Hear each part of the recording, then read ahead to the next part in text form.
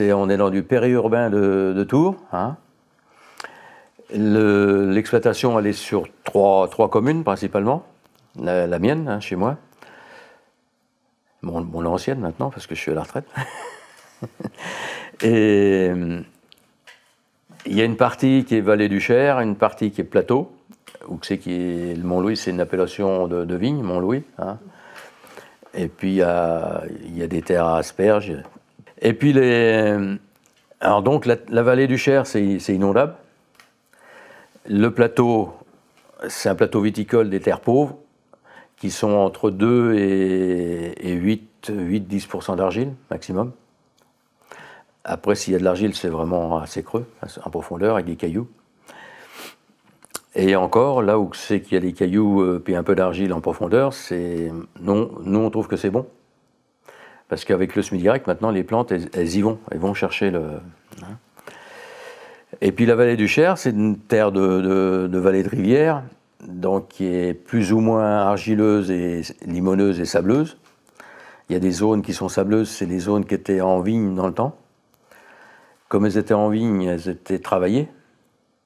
Et euh, au fur et à mesure des, inondations, bah, la- l'argile est partie, puis et elle est restée, pour dire que du sable.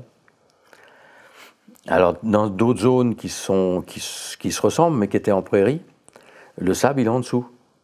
Hein, sous la couche, de, la couche arabe. Et au-dessus, bon, bah, c'est un peu sableux, mais il y a, il y a de l'argile, il y a encore de l'argile, qui est de reste, parce que c'était, c'était resté en prairie. Et par contre, tout que c'était en culture, bah, ça a été lessivé. Et puis, euh, alors moi j'ai commencé le SMI direct sur le plateau, hein, sur le plateau, et après j'ai continué dans, dans la plaine deux ans après, mais tout en faisant des essais. hein. J'ai fait des essais. Alors à Mont-Louis, à bon bah, c'est assez morcelé. Il y a 750 numéros de parcelles pour les 350 hectares. Et puis j'ai 110 propriétaires. Hein, pour ici, pour chez moi. Alors donc euh, l'évolution s'est faite euh, tout doucement. J'ai cette, cette surface-là depuis euh, les années 80, 90. hein. 88, 89, 90, euh, 85, tout ça, ça a évolué à ce moment-là. Au fur et à mesure que les, petits agriculteurs du coin euh, arrêtaient, puis qu'il n'y avait personne qui reprenait. Le- Et puis je faisais partie, moi, d'un GDA. hein. D'un GDA, c'est-à-dire qu'on était. Moi, j'ai toujours été sur le principe d'avoir. euh, après l'école, hein, j'ai juste, moi j'ai juste un BA. J'ai deux BA, un BA normal, un BA cycle 1 et un B, BPA et un BPA, un brevet professionnel agricole. Et puis après ça, bah, j'ai continué avec, avec la Chambre, avec euh, les conseillers de, secteur, à faire de la formation, euh, la formation continue. Et bon, moi je pense qu'on avait de la chance et qu'on avait un bon technicien sur, euh, dans notre secteur, qu'on a gardé jusqu'à. qui nous a accompagnés même au début du, du SMI Direct, hein, qui a travaillé 10 ans avec nous en SMI Direct. Puis après, il, a quitté la Chambre. Et ça a aidé. Et bon, un jeune qui s'installe, faut, faut qu'il fasse ça. Faut pas, faut pas qu'il aille euh, ch- chercher le conseil dans une coopérative ou un négoce. hein. Là, il aura, il aura rien comme conseil. Il aura du conseil, mais pour, faut qu'il ait du conseil, parce que là, avec la Chambre d'agriculture, on a des conseils, euh, du conseil sur la gestion, euh, la gestion technico- technico-économique. hein. On, faisait les, marges de, culture, puis après, on faisait le- la gestion technico-économique, on allait jusqu'au bénéfice net. Toi. Et ça, pour un, un jeune, quand il démarre, faut qu'il continue, faut qu'il il faut être là-dedans faut y être. Et puis, euh, ouais, alors donc, donc après, euh, au fil du temps, Moi, j'étais en labour à ce moment-là. J'ai démarré en 1970. En 70, mon père m'avait émancipé pour que je puisse euh, m'installer. Il y avait une ferme de 32 hectares à prendre euh, dans la vallée. Puis. Et puis mon père ne voulait pas la prendre. Il dit, après tout, tu t'installes directement là-dessus. Plus 20 hectares qu'il m'avait donné euh, dans l'installation. Et puis euh, j'ai démarré comme ça avec 52 hectares. Et puis bon, bon on était en labour. Hein, en travail euh, traditionnel ou conventionnel. Hein. Et jusqu'en de, 60, de 70 jusqu'en 80, oui jusqu'en 80. En 80, je suis allé euh, dans le sud-ouest, j'étais voir quelques exploitations, puis j'étais voir des, des exploitations qui utilisaient la machine à bêcher. Euh, j'avais vu des reportages, tout ça sur les journaux, comme je suis assez curieux, je m'intéresse. Puis je suis toujours aussi curieux, même que je suis plus agriculteur. et, et puis j'étais voir des gars qui utilisaient des machines à bêcher. J'ai été voir deux revendeurs de machines à bêcher. Ils étaient dans le sud-ouest, dans les terres argileuses, dans les pentes du Gers. Hein. Et là, chez nous, dans la vallée du Cher, comme c'était très argileux aussi, par endroits, j'ai dit ça, ça devrait pas être mal. Et puis bon, euh, après, on a acheté une machine à bêcher. Et puis, euh, j'ai monté un semoir dessus et je, en bêchant, je semais. La première année, ben, on bêchait, puis après, on passait la rotative derrière, puis on semait. Puis pour supprimer un, tracteur et un chauffeur, euh, je trouvais que c'était dommage de repasser sur le, sur le travail de la machine à pêcher. Comme ça, ça tout était semé il y avait une meilleure infiltration de l'eau, comme ça. Et puis ça, ça a été jusqu'en 80... Ben jusqu'en 90. En 91, dans l'hiver 90-91, on a commencé les formations pour réduire les, réduire les coûts. Parce que 89 et 90, c'était des années très sèches. Et sur le plateau, euh, sur le plateau, euh, j'avais des endroits où c'est que le blé avait même pas les pieds. Hein. Alors, euh, on s'est dit bon bah faut qu'on réduise les coûts dans ces endroits-là, puis qu'on qu'on arrête d'user de la ferraille. Et puis, et puis là, on a, on a tout, on a tout commencé d'un seul coup. On a commencé par réduire les intrants réduire les intrants en engrais, toi. Essayer de euh, travailler, c'est-à-dire changer notre logiciel, c'est-à-dire au lieu de travailler comme euh, nous faisaient travailler les, les techniciens de chambre aussi, comme les techniciens de COP, c'est-à-dire au maximum, au, maximum de faire toujours le maximum de rendement. Mais en fait, euh, quand on est dans des terres à faible potentiel, les derniers quintaux, bah, on les a que tous les 5 ans, tous les 6 ans, tous les 10 ans. Hein. Et dans les terres les plus mauvaises, c'est même des fois que tous les 20 ans. En 88, on avait fait une belle année de blé et d'orge d'hiver sur les, sur les plateaux. Et puis mon père m'avait toujours dit, tu sais, celle-là, tu t'en feras une comme ça que dans 20 ans. Puis bon, il a eu raison. Hein. On n'a jamais fait d'années comme ça après. Hein. On a refait dans, ouais, en 2007, je crois, 2007, ouais, c'est tout. Et puis, euh, donc, cette, euh, cette évolution s'est faite avec euh, tout ensemble, la réduction d'intrants, de volume, volume de produits, de bouillie, hein, qui nous a permis de réduire les doses de, de bouillie. Il y a des, il y a des produits qu'on ne mettait plus qu'au cinquième de la dose. Et ça faisait le même effet que quand on les utilisait avant, à pleine dose, à 200 litres hectare ou 150 litres, ça ne servait à rien de mettre tout. Et puis on a appris aussi quand traiter dans la journée par rapport déjà à ce moment-là en 92, 90, 91. Et puis après en 92, on, on s'est mis à, à travailler sur la réduction, même 91, la réduction du travail du sol depuis labourer dans, dans ces terres, euh, dans ces terres mauvaises. Je labourais encore un peu, une fois tous les deux ans, dans la vallée du Cher.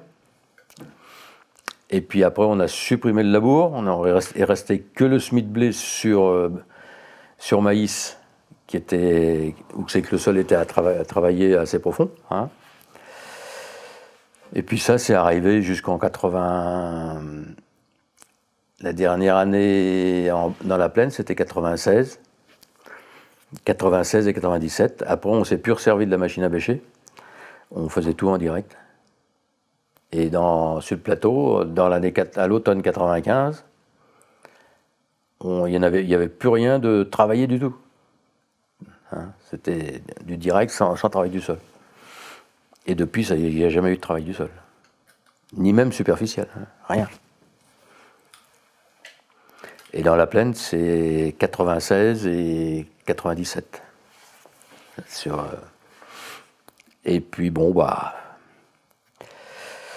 on a eu des petits problèmes de, des petits problèmes de, de mise en route de tout ça. Et le, problème principal du, aussi bien, aussi bien sur le plateau que, que dans la plaine,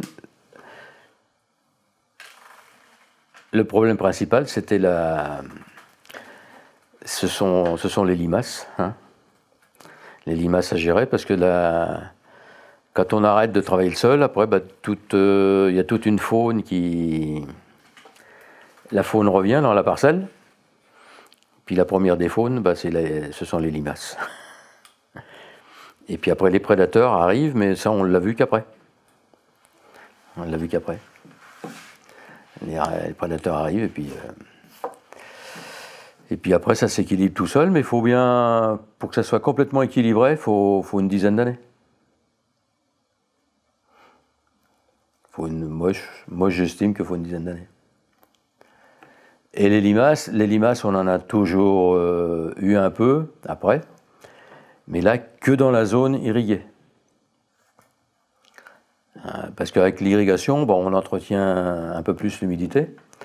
Tandis que sur les plateaux, sur les plateaux, bah, les périodes sèches, bah, comme on n'irrigue pas, bah, elles sont sèches. Et puis là, on arrive à, ça arrive à calmer les, des limaces. Hein. Des limaces. Et avant, avant que j'étais en labour, on n'en avait pas de limaces. Parce qu'on on détruisait tout avec le labour. On détruisait tout. Et puis là, en 95, on a notre euh, conseiller agricole, il nous a fait venir, comme on voulait euh, plus labourer, tout, il nous a fait venir euh, Claude Bourguignon à l'époque. Hein. Et puis, quand on l'a eu, on l'a eu dans l'hiver, on a fait une journée dans l'hiver, et puis, euh, au mois de mai, mai début juin, dans, en pleine, on a fait une fosse, et puis on a fait regarder les, toutes les petites bestioles au microscope là-dedans, et puis expliquer les profils. Hein. Et puis là, on a tout de suite compris qu'il bah, fallait qu'on arrête de travailler le sol. Enfin, sur les 20 agriculteurs que l'on était, après, il y en a eu d'autres. Il y en avait, je crois qu'il y en avait une soixantaine en tout, pas loin. On n'est pas beaucoup à avoir tout compris. Ce que je vous dis, il y en a encore qui grattent encore leur sol. Enfin bref, et, puis qui font des, ils font automatiquement des rendements euh, nettement moins bons que ce qu'on fait maintenant. Hein. Voilà, voilà. Alors donc le début de ces le début du SMI direct, ben, nous, on s'attendait pas. On s'attendait pas à l'époque. On faisait ça, nous, pour des questions économiques, hein. Pour essayer de rentabiliser un peu mieux avoir une meilleure rentabilité des cultures sur les parcelles. Parce que dans, des terres euh, à faible pourcentage d'argile, Bon, bah, les, rendements ne sont pas énormes. Il hein. faut, se débrouiller avec euh, moitié moins de rendement sur la parcelle que, les gens du Nord. Hein. Ou même rien que de Beauce. Hein, ou même par ici. Par ici, vous avez des, régions qui sont. où c'est que la terre est bonne, il y a de la profondeur et tout ça. Il pleut, il pleut pas, mais bon, c'est pas grave. Bon, par contre, vous en avez d'autres terres où c'est que des limons ou c'est que la terre est bonne, mais s'il pleut trop, bah, l'eau reste en surface. Et puis là, c'est les problèmes d'humidité, c'est pas les problèmes de sécheresse, c'est les problèmes d'humidité hein, qui font chuter les rendements. Alors là, au, au fur et à mesure, on a découvert tout un tas d'avantages euh, agronomiques. Hein. Le premier avantage agronomique qu'on a vu, c'est qu'on avait une meilleure infiltration de l'eau. Et puis c'est là que je me suis dit, moi, dans le début des années 2000, je me suis dit, mais dans, certaines terres limoneuses qui ont été drainées, et elles ont été drainées parce qu'elles étaient en labour. Si elles avaient été faites tout de suite en semi-direct derrière les prairies ou un truc comme ça, ou même, euh, eh bien, il n'y aurait pas eu besoin d'être drainées.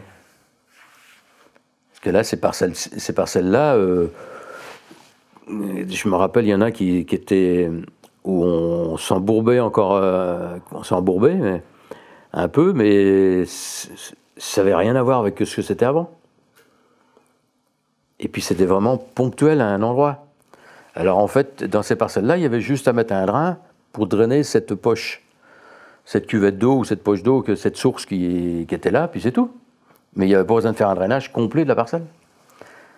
Comme les gens ont fait dans, ces années-là, dans les années 70-80, là, et ça, c'était fait parce qu'on parce qu'on labourait.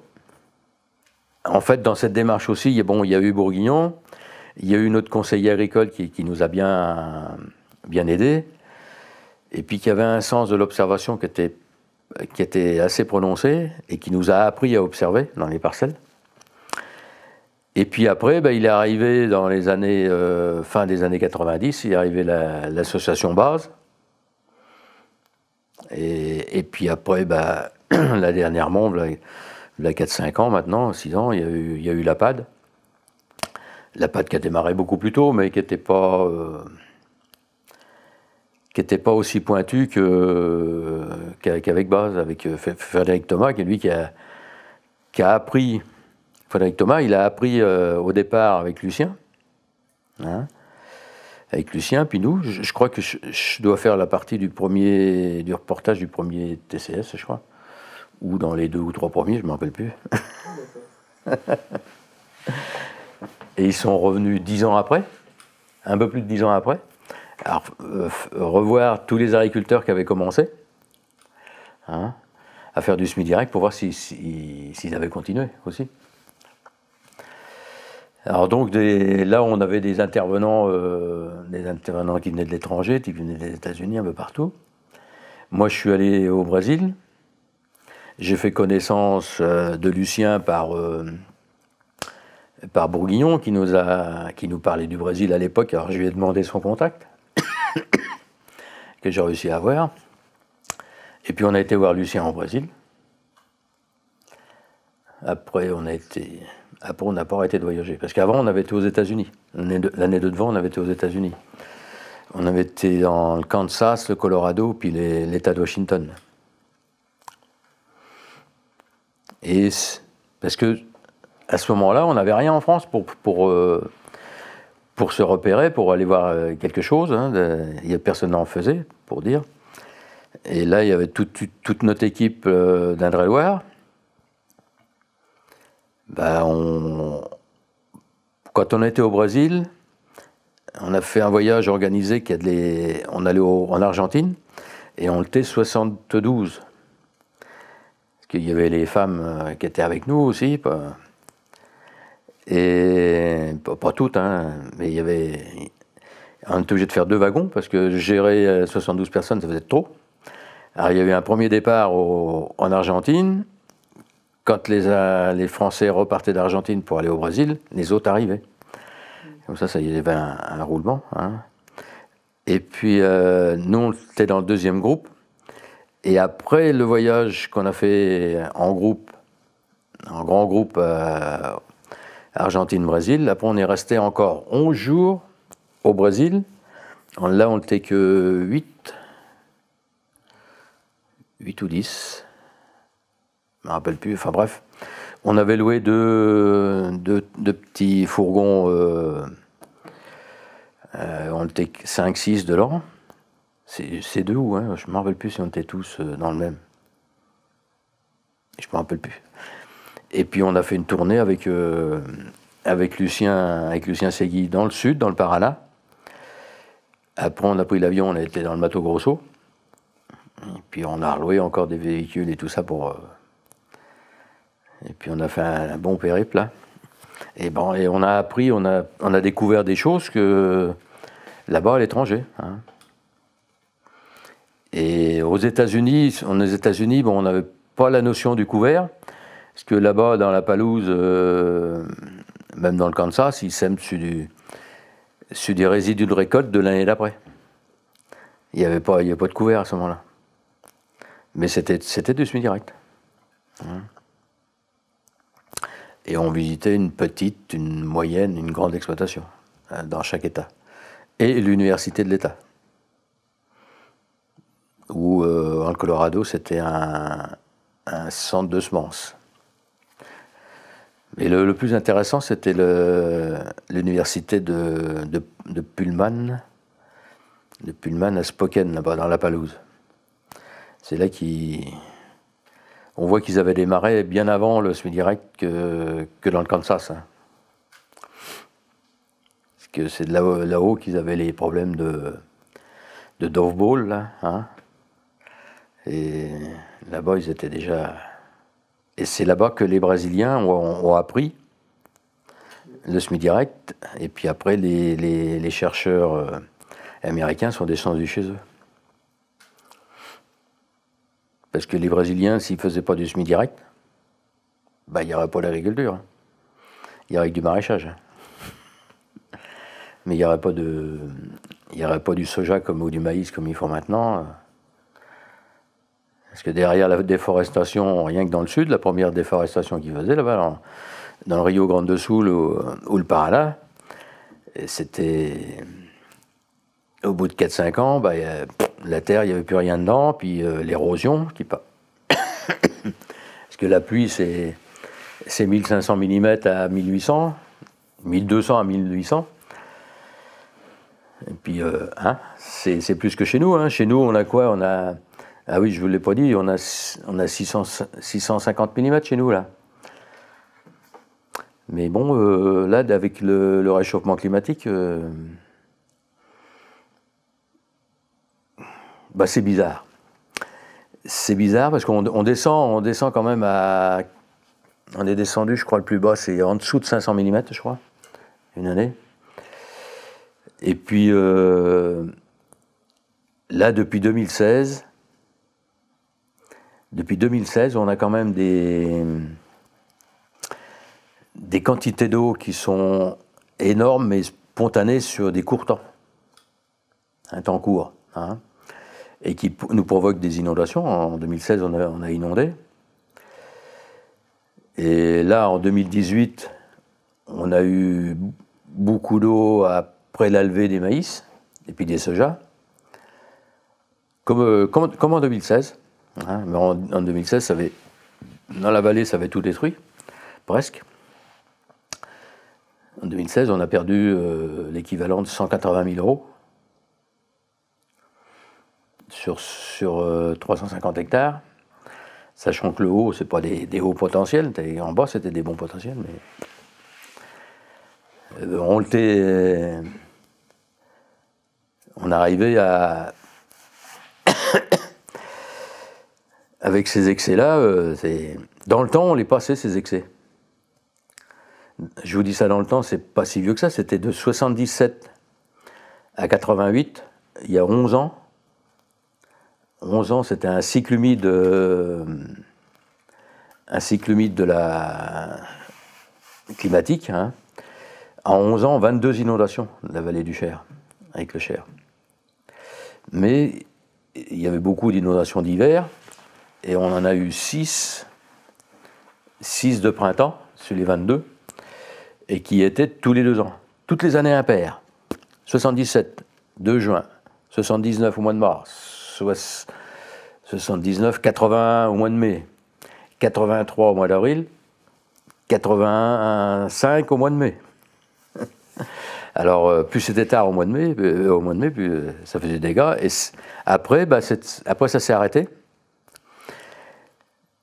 Ça s'est arrêté et on a eu une autre inondation après, après celle de 85. On en a eu une autre qu'en 2001. 2001, au mois de mai aussi.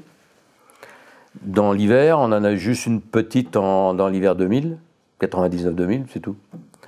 Mais qui n'était pas méchante. Les, les crues d'hiver ne faisaient pas de dégâts. Il n'y a que le blé et le blé résiste aux inondations. Donc à l'époque, euh, à l'époque, on, faisait, on, des, on a baissé, un petit peu en rendement à cause des limaces la baisse de rendement qui était, forte, enfin forte, oui, c'est qui était forte quand même, c'est dans, la, vallée du Cher en 99 sur maïs. Sur maïs, c'est là que j'ai eu les premières limaces euh, dans la partie vallée du Cher, comme il y avait deux, il y avait deux ans de retard par rapport en, haut. En haut, bah, je m'en suis pas trop aperçu parce qu'il y avait, pas beaucoup d'endroits qui étaient argileux de terre forte, il y avait très peu d'endroits, c'était des petits ronds. Alors ça, on arrivait à les contrôler facilement. Facilement, puis on, on avait l'habitude, même en labour, il y, avait, il y avait des fois des limaces, surtout quand on faisait du colza, des trucs comme ça. On le terrolait, mais dans la plaine, moi, j'avais jamais eu de ça. Parce que dans la vallée du Cher, comme je. Pour semer du maïs l'année d'après, je labourais au mois de septembre. Au mois de septembre, vous avez encore des jours qui sont chauds. Le labour, il, arrivait des fois à sécher jusqu'au fond de l'arrêt. Alors je me dis que ça, ça calmait les limaces, tout ça là. Puis le travail du sol, euh, ça, calme tout aussi. Et là, en 99, bah, les, limaces m'ont mangé à peu près, j'estimais à l'époque, 15 quintaux hectares de maïs. À ce moment-là, je faisais, je faisais un peu plus de 100 quintaux hectares et on n'a fait que 85 quintaux de moyenne, euh, enfin un peu plus de 85. Donc là, on s'est, avec le conseiller agricole, ben, on s'est dit faut qu'on faut qu'on voit ça de plus près. Donc dans l'hiver, on a fait une formation avec, euh, avec un, chercheur euh, de, de Chabert, ce Chabert. Puis là, il nous a expliqué comment toutes les différentes sortes de limaces, il nous a expliqué comment est-ce qu'est leur physiologie, c'est-à-dire quand est-ce qu'elles s'accouplaient, qu'elles faisaient des œufs, des ponlets, enfin, puis des petits. Et puis il nous a expliqué aussi comment fonctionnaient les produits. Et à l'époque, on n'avait pas beaucoup de produits, on avait, le métaldéhyde et puis le, un autre qui que de chez Bayer, qui agit sur le système, nerveux, je ne me rappelle plus du nom, enfin qui est plus autorisé maintenant, et qui était plus efficace que le, que mais il tuait tout, même les vers de terre. Mais le métaldéhyde euh, faisait pas de bien en vers de terre aussi. Mais bon, le métaldéhyde, ça, ça, agissait, pas euh, à 80% sur les limaces. Et puis on a eu des automnes, des automnes humides hein, qui, ont été 99, 99, 2000 et puis 2001, je crois. Des automnes humides, il y a eu des automnes où c'est que dans un mois d'octobre, il n'y avait que deux jours efficaces pour que le, le, le métaldéhyde soit, efficace sur les limaces. Vous mettez ça, les autres jours, hein. Lima s'est dessoulée, puis après elle revenait à elle et c'était reparti. Plus les œufs qui avaient éclos. Alors là, avec Chabert, on a appris qu'il fallait, qu'il fallait détruire les limaces tout de suite après les grandes chaleurs, aux premières pluies et rafraîchissement de, température qui arrive après au mois d'août. Hein. Alors des fois ça peut être euh, au 15 août, d'autres fois c'est qu'en septembre, ça dépend des années. Et c'est là qu'il faut, dès que les limaces se mettent à ressortir, c'est là qu'il faut les détruire avant qu'elles aient eu le temps de, s'accoupler, enfin surtout pondre. Et puis de refaire des petits. Et puis, euh, Et puis au printemps, en sortie d'hiver, c'est après les froids. Après les froids, c'était là qu'il fallait, fallait détruire les limaces avant qu'ils aient eu le temps de, pareil, de se raccoupler avec le radoucissement. Et puis là, quand en apprenant ça, bah, on a utilisé nettement moins de produits. Et on était moins surpris, euh, beaucoup moins surpris après dans la végétation, hein, euh, sur les cultures. Il y avait des infestations, mais qui étaient nettement faciles à contrôler. Ça ne faisait, pas, ça faisait pas de perte. Moi, j'ai commencé avec des. Dès le départ, avec, avec du couvert. Alors, avec Bourguignon, il nous parlait du seigle. Alors, qu'est-ce qu'on a fait? Bah, On s'est dit, on va faire du couvert de seigle. Voilà. Et puis, bon, bah, on était qu'avec du couvert de seigle hein, au début. Après, pendant deux ans. Après, on était en couvert d'avoine. Ça, c'est quand on a quand on a été voyager au Brésil, qu'on a vu Lucien Segui. C'est lui qui nous a dit ça. Il nous a dit bah, l'avoine, ça l'avantage, c'est que ça fait de l'allélopathie sur les, sur les dicotes euh, estivales, hein. c'est-à-dire les morelles, les kénopodes et puis, et puis les amarantes. Et c'est vrai que. Mais le semi-direct en lui-même aide aussi. On en a beaucoup moins. Hein. On a beaucoup moins d'herbe avec le semi-direct qu'avant qu'on travaillait le sol. Hein. Même, même à faire des, soi-disant des faux semis, comme on dit, avec les faux semis, ça, ça, sert à rien du tout, ça. Ça, c'est vraiment dépenser de l'argent à rien. Hein, et Arvalis, Arvalis l'a, l'a, cherché, enfin, l'a. Ils ont fait des observations pendant quelques années. Et entre un semis de blé, un, une moisson de blé, hein, une moisson de blé et un semis d'orge, parce qu'il y a beaucoup d'agriculteurs qui font, qui font de l'orge d'hiver derrière du blé, et un semis d'orge derrière le blé, si vous avez fait trois, semis, trois faux semis, des chômeurs et tout ça, et, puis euh, là sur votre parcelle, vous faites rien du tout, et vous semez votre orge directement sur le chaume là. Hein. Et le SMI, à ce moment-là, c'était du SMI, euh, ce qu'ils ont observé, c'était le gars, il travaillait le sol pour semer. Et ils n'auraient pas travaillé le sol, il y aurait eu encore moins d'herbe. Mais déjà, rien qu'en travaillant le sol, juste pour semer, ça faisait moins d'herbe, il y avait moins de plants de, dans le de avec la, avec la culture que si vous aviez fait les trois semis, les trois faux semis. En 2017, le collègue qui, a suivi les mêmes formations que nous, mais qui a toujours gratté, il laboure plus, mais il gratte. Alors, euh, même par moment, il gratte assez creux, il gratte en profondeur parce que ce terrain pas en masse. Bon, bah, ce qu'il y a, c'est qu'il ne s'embête pas à faire des couverts. Hein. Alors, le, travail des racines des plantes, euh, ça y fait pour beaucoup. Hein. C'est ce que je disais au début, c'est quand on, mettait notre seigle au début, et il me disait Mais t'es fou, qu'est-ce que tu fais? Bah, ça coûte tout ça, mettre du seigle. Je t'en fais pas.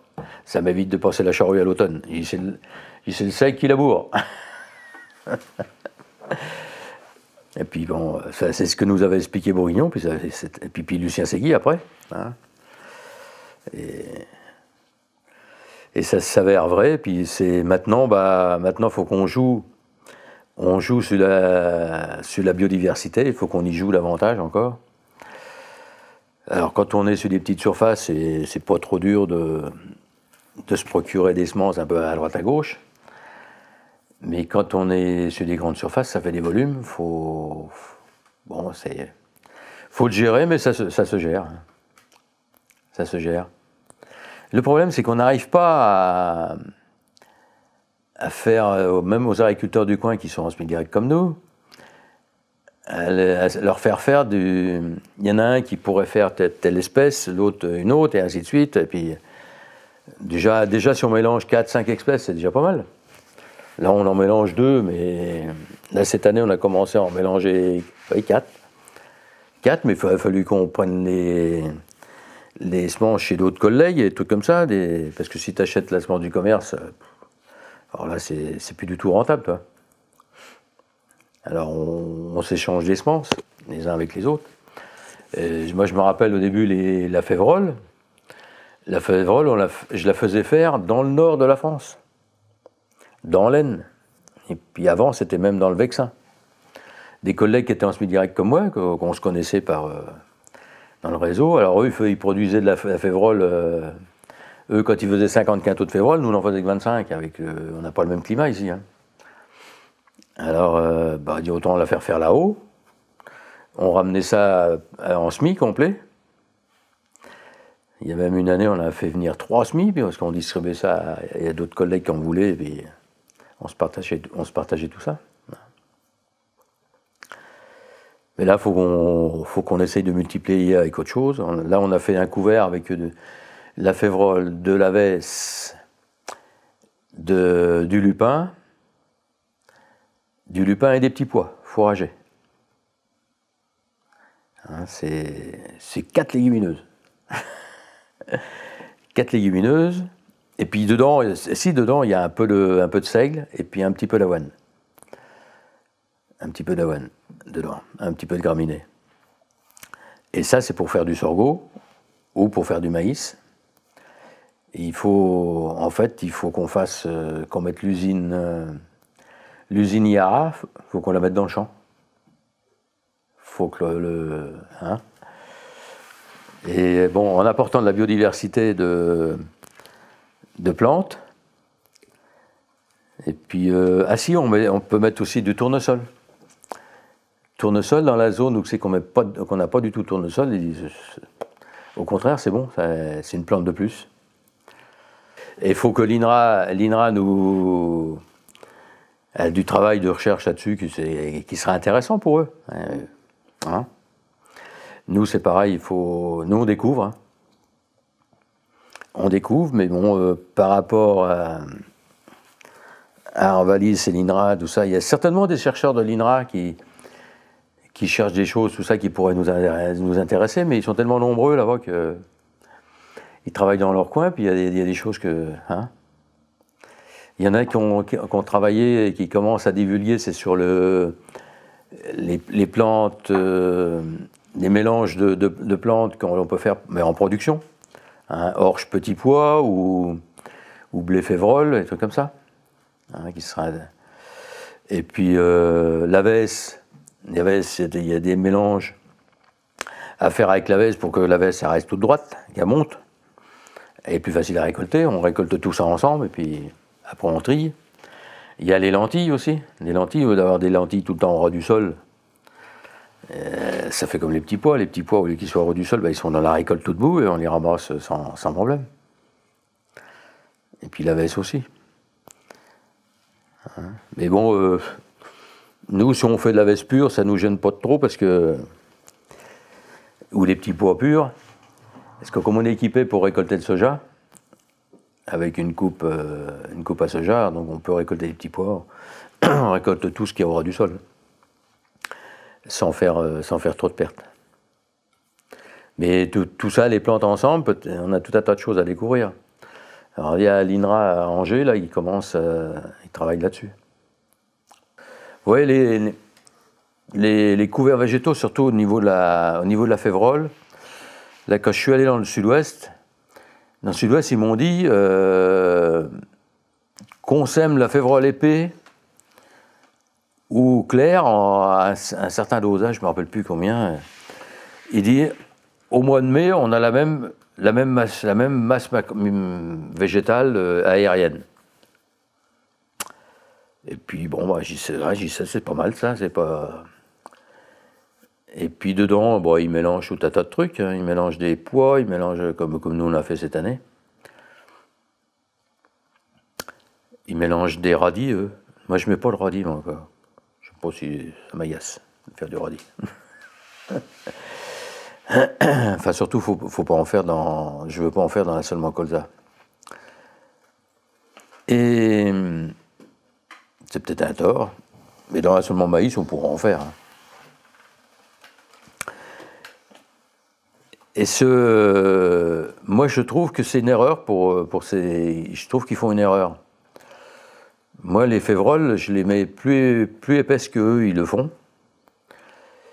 Et faut pas s'occuper que de que la partie aérienne. faut aussi s'occuper des racines. Et je crois que plus on a plus de pieds, naturellement, s'ils sont clairs, ils vont être un peu plus gros, il y a de la racine, mais s'ils sont trop clairs, il va y avoir des trous entre. C'est que le sol ne va pas être exploité. Et moi, je pense que si, plus il y a de racines, plus le sol est exploité, plus le sol sera poreux. Et plus la, la, la légumineuse va nous ramener de l'azote, va nous laisser de l'azote dans le sol, en principe. Parce que si, si les pieds sont plus près les uns des autres, il y aura plus de nodosité, plus. Hein. En principe, ça devrait être ça. Moi, je pense que il faut pas descendre en dessous, de, en dessous des 100 kg euh, hectares de, de, voire même 150, ça dépend de la grosseur du grain. Et puis, euh, si on met autre chose avec, on peut rester à 100 kg. Si on met de la veste, si on met de, ouais, de la veste, de, des poids, des pois euh, fourragés, des trucs comme ça. On peut mettre aussi du lupin, ça fait, on a fait un essai avec ça. Ça, peut, apporter un plus. Hein. Plus il y a de biodiversité, mieux c'est. On pourrait y mettre de la facélie aussi. Et il faut quand même mettre un peu de graminées dedans. Il paraît que c'est mieux. Là, on va bien voir. Là, c'est une année, c'est une année euh, qui n'est pas ordinaire qu'on a eue. Euh, on n'a pas pu semer à l'heure, euh, enfin à la date qu'on voulait. On a semé quand même assez tôt, enfin assez tôt, par rapport à la sécheresse qui a continué. Et puis bon, ça levait pas parce que c'était trop sec, hein, mais ça levait quand même un peu. Que les, en semi direct, c'est marrant, le, peu d'eau qui tombe, et hein, eh ben tout s'évapore pas, il en reste. Et le peu d'humidité qu'il y avait, bah, les, grains ont réussi à grossir. Hein, je vois dans les semis de blé qu'on a fait précocement aussi, enfin précocement. Par rapport au, 27 octobre, on les a semés oui, 15 jours plus tôt. On a semé ça à partir du 15, 10, 10-12 octobre. Bon, on croyait qu'on allait les, louper. Ben non, les, les blés ont germé avec le peu d'eau qu'il y a eu. Ils ont fait un petit germe. Après, il a fait sec, ben, il bougeait plus. Mais c'était qu'avec le, avec le, couvert de paille. Hein, c'était, pourtant, c'était que de la paille de, soja. Hein. C'était que de la paille de soja, il n'y avait pas. Mais ben, le, les grains n'ont pas, ont pas crevé. Parce qu'on a eu des, agriculteurs qui, sont en travail du sol, où c'est que les, grains ont germé, puis après le, blé a crevé dedans. Mais peut-être que comme le soleil euh, sur les terrains nus chauffe davantage le sol, hein, eh bien c'est ça ce qui, fait, qui a peut-être fait crever les, les. Est-ce que là, sur un sol qui est déjà couvert, eh ben, le sol chauffe moins hein, C'est ce que disait Lucien, il faut que les plantes aient la tête au soleil, mais les pieds au frais, les racines au frais. Il dit là, elles poussent, saison et les racines au chaud, euh, elles ne poussent plus. Alors ces, couverts-là, bon, bah, ils, ont, ils ont levé tard. Bon, c'est pas une année euh, qui peut servir d'exemple. Mais euh, tous les ans, bah, faut, on, s'arrange de façon à les semer début septembre. Parce que si les févroles sont trop fortes avant l'hiver, elles, gèlent. Même en 2017, celles qu'on a semées en 2016, elles n'étaient pas très fortes, mais elles étaient trop fortes, elles n'étaient plus hautes que le pichet, hein, euh, avant, les, froids du mois de janvier, mais c'était trop fort. Est-ce que là, en ce moment, elles sont hautes comme ça, c'est tout ah, Peut-être que là, ils vont être au bon stade pour le progeler, et peut-être que ça va progeler. Hein? Faut avoir, du caractère, de résistance avec, avec le temps. Hein. enfin, on n'en sait rien, l'hiver n'a pas passé, ça peut s'attendre de geler en février. Hein de février ou de, ou de mois de janvier. Oh, ben la, je, la on a fait ça, on a essayé de répartir ça pour toute la surface, mais la verse, elle, est à 10 kg c'est tout. De la commune. C'était pas de la velue. Velue, on n'en avait pas. C'était de la commune. Et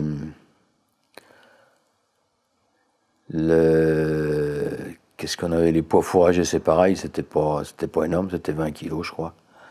On avait de quoi mettre 20 kilos à répartir. 20 kilos hectares.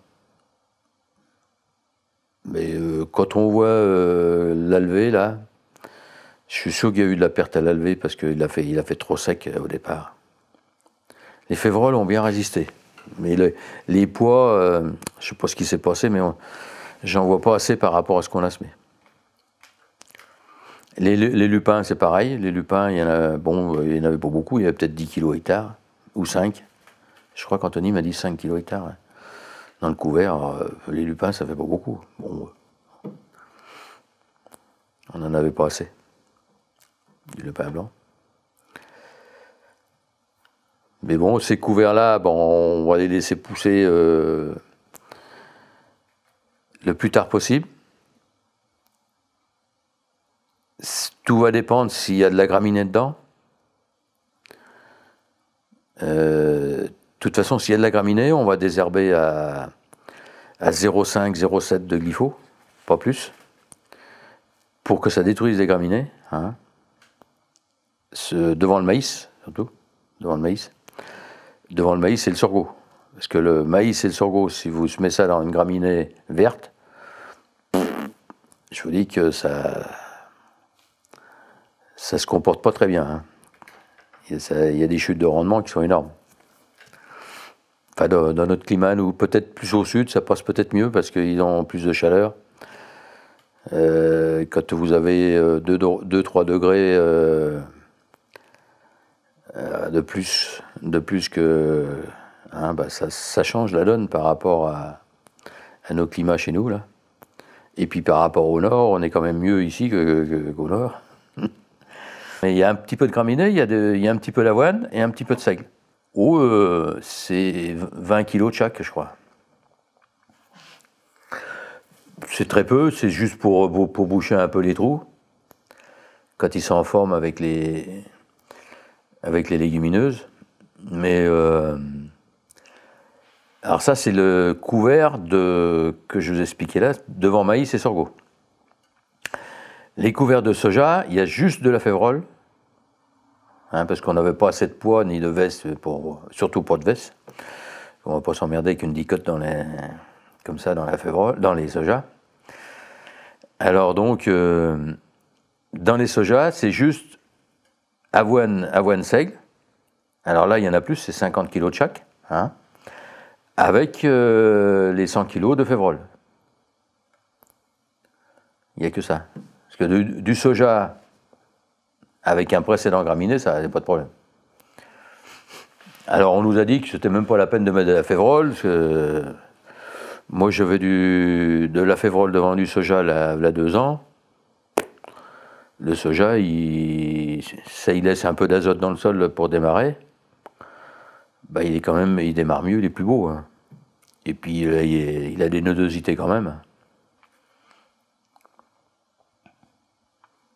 Puis je me dis, c'est pas trop grave, c'est de l'azote organique euh, qui vient de la févrole.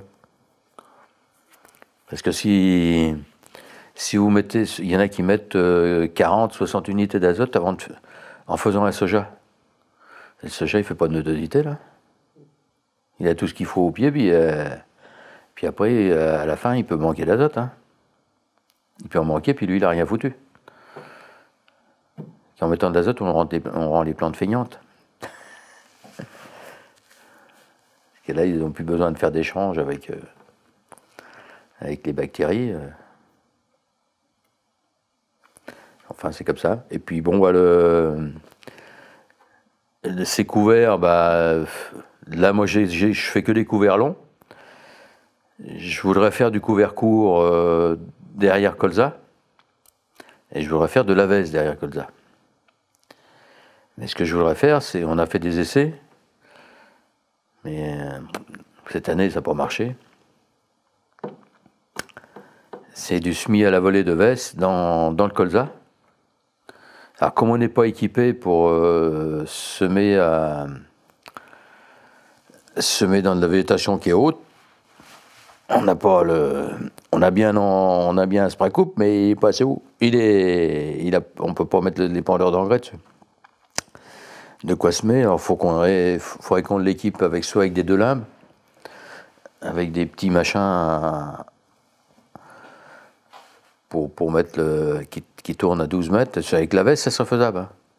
Faudrait équiper ça comme ça. Mais bon, euh, avec ces engins-là, on peut se mettre que de la veste et des, trucs pas trop, volumineux. Parce que les réservoirs sont pas grands, c'est vite. Euh, puis on peut pas mettre quelque chose de trop lourd au bout des rampes, parce que les rampes, on va les, on va les casser. Hein.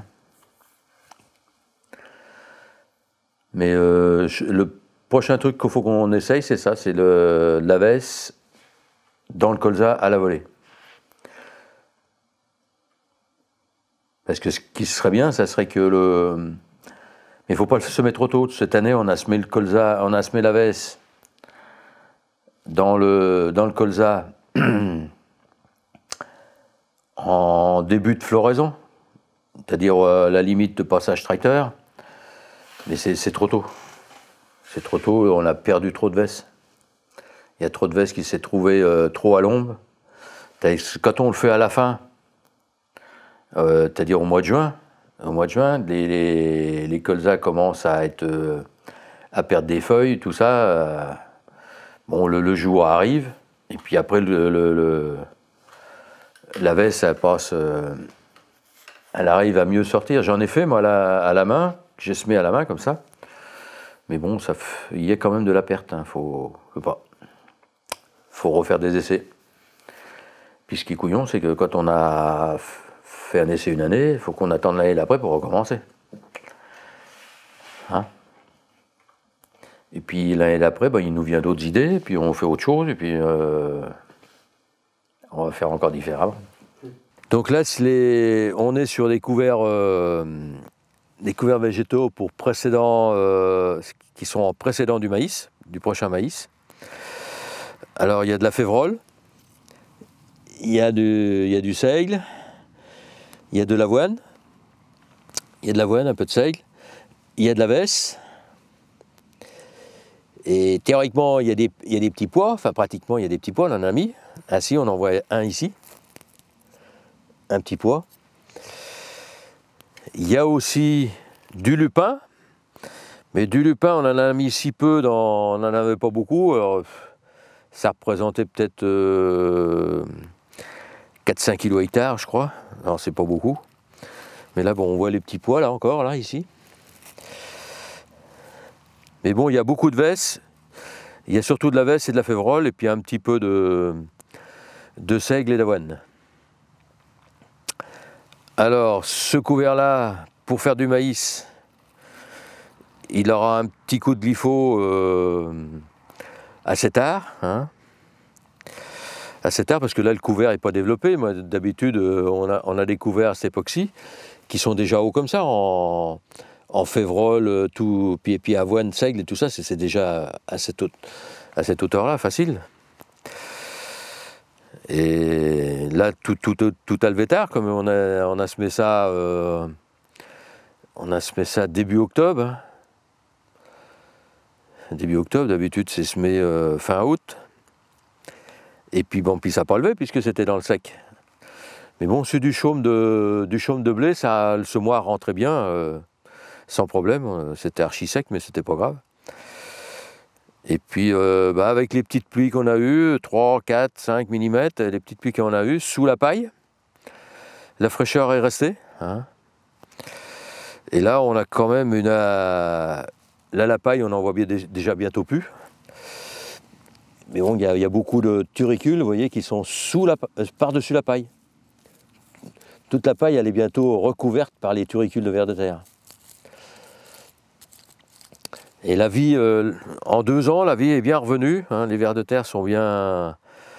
Ce qu'il faut se dire qu'au mois de juin, euh, juin de 2016, c'était, inondé. Hein. C'était inondé. Il y a pas mal de, vers de terre qui ont, crevé, certainement. Mais bon, ça revient assez vite, hein. ils ne crèvent pas tous hein, de, loin. Et surtout, si, le sol n'est pas travaillé, ils ont leur poche euh, dans le sol, ils ont leur, leur abri, puis qui, peut. et où c'est qu'il doit rester de l'air dans, dans, le, sol. cest que si on travaille le sol, bah on, écroule, on démolit leur maison, hein, leur habitat. Aussi bien pour les carabes que les, tout ça qui sont dedans. Même les limaces.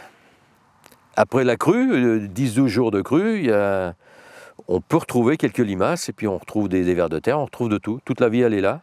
Et puis après, bah, elle remonte en puissance euh, au, fil de, l'année suivante, et puis des, années suivantes. malgré qu'il y a eu quand même cette année des, phénomènes, euh, des phénomènes de sécheresse qui sont en 2016 qui ont été prononcés. Hein. En 2016, de début juin, fin mai, début juin, les dernières pluies qu'il y a eu. Hein. Il n'a pas tombé d'eau, euh, presque pas tombé d'eau jusqu'à jusqu'à jusqu'à 21 septembre, je crois. C'est 21 ou 22 septembre. C'est que là, on a eu un peu d'eau pour faire du colza. Alors que cette année, on n'en a même pas eu pour faire du colza. Alors là, c'est des terres qui sont, ça fait 20, on attaque la 22e année, 22e année de semi-direct. J'ai commencé dans la vallée du Cher deux ans après les, coteaux de Mont-Louis. Hein. Mais j'avais une parcelle. Ah, ici, ici c'est peut-être euh, la même chose que, que, le coteau de Mont-Louis, parce que là, c'était ma parcelle, ma parcelle témoin que j'avais fait en, j'avais commencé en semi-direct pour voir si, dans ça passait aussi bien dans, ces terres-là que, là-haut. Et puis en fait, que je me suis aperçu que c'était pareil, bah, deux ans après, tout était passé. Les 350 hectares étaient en semi-direct. Et puis après, en 98, euh, quand mon fils s'est installé avec moi, et puis, le, puis chez le copain, dans l'autre ferme, et ben les, les 270 hectares là-bas, hop, tout en suit direct dès la première année qu'il a été installé là-bas. Et ça marche à merveille. Alors là, on va regarder le sol, la couleur du sol ici.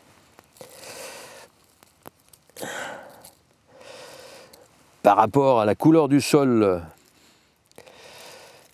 hein, tout le dessus du sol, il est, vous voyez, c'est granuleux là, bon, ça fait longtemps qu'il a plu, hein. c'est granuleux, c'est plein de matière organique, tout ça là. Le dessous, le dessous, mais il faut aller assez loin quand même pour retrouver. Tiens, il y a un verre de terre que j'ai abîmé avec mon couteau. Là-dessous, on retrouve la, couleur de du sol original, vous voyez, qui est un peu moins, un peu moins noir, mais il, il commence à noircir aussi en profondeur à moins qu'on fasse avec la pelle tout à l'heure. Et puis là, on va aller voir dans la parcelle d'en face.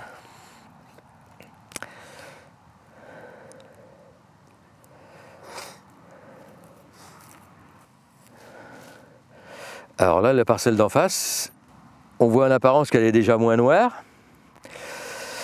Moins noire. Elle est en semi-direct, sans, disons sans travail du sol. Euh, sans labour, ça c'est sûr, avec un peu de travail du sol, c'est-à-dire un déchômage. Là, le collègue, il faisait un déchômage tous les deux ans. Hein. Et c'était comme chez moi, c'était à l'époque, c'était du blé-maïs, blé-maïs euh, alterné. Hein. Et là, son, son sol, son sol est, moins noir que chez moi. Hein, on, est, tout de suite tout de suite, là, quand on gratte, on est tout de suite sur la couleur de la terre euh, originelle euh, d'ici. Hein. On voit que c'est nettement plus clair.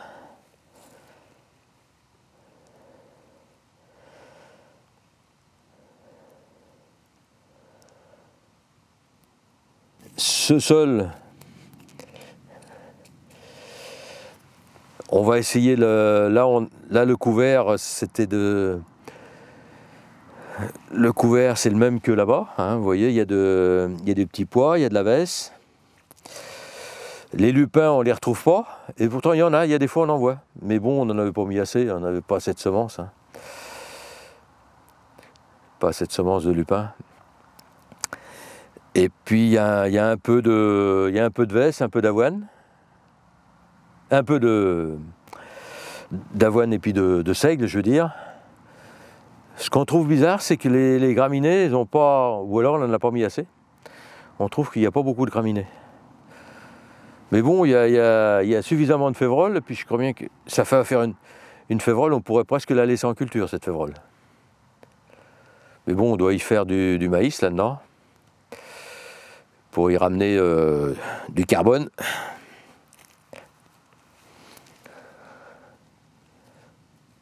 Ah, ils ont les vers de terre qui est là. Mais là, les vers de terre sont tout jeunes. Hein. On voit que c'est des vers de terre qui. des tout jeunes vers de terre qui sont venus après l'inondation.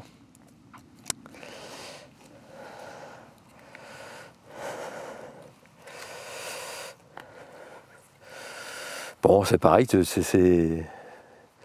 ces couverts sont trop, euh, sont trop petits pour passer l'hiver. Enfin, ils vont mieux passer l'hiver, remarquez. Parce que quand ils sont trop forts, quand ils sont hauts comme ça, souvent de fois, s'il y a un coup de gel un peu fort, la, la févre la gèle. Et là, j'espère qu'elle ne va pas geler parce qu'il n'y a pas assez de graminées à travers pour. Euh,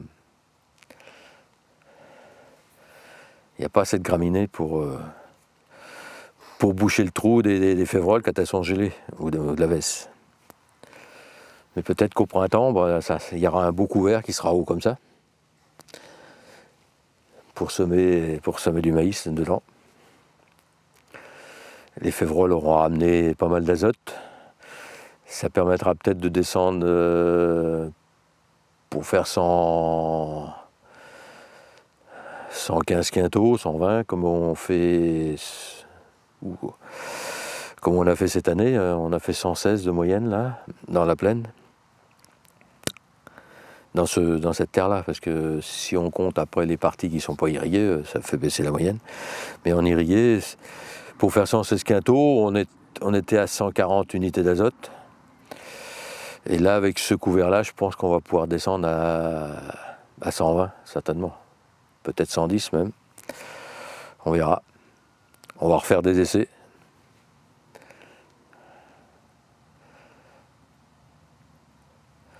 Alors qu'avant, il nous fallait, euh, pour faire ça, il nous fallait 220, 220 unités d'azote hein, quand on était en labour.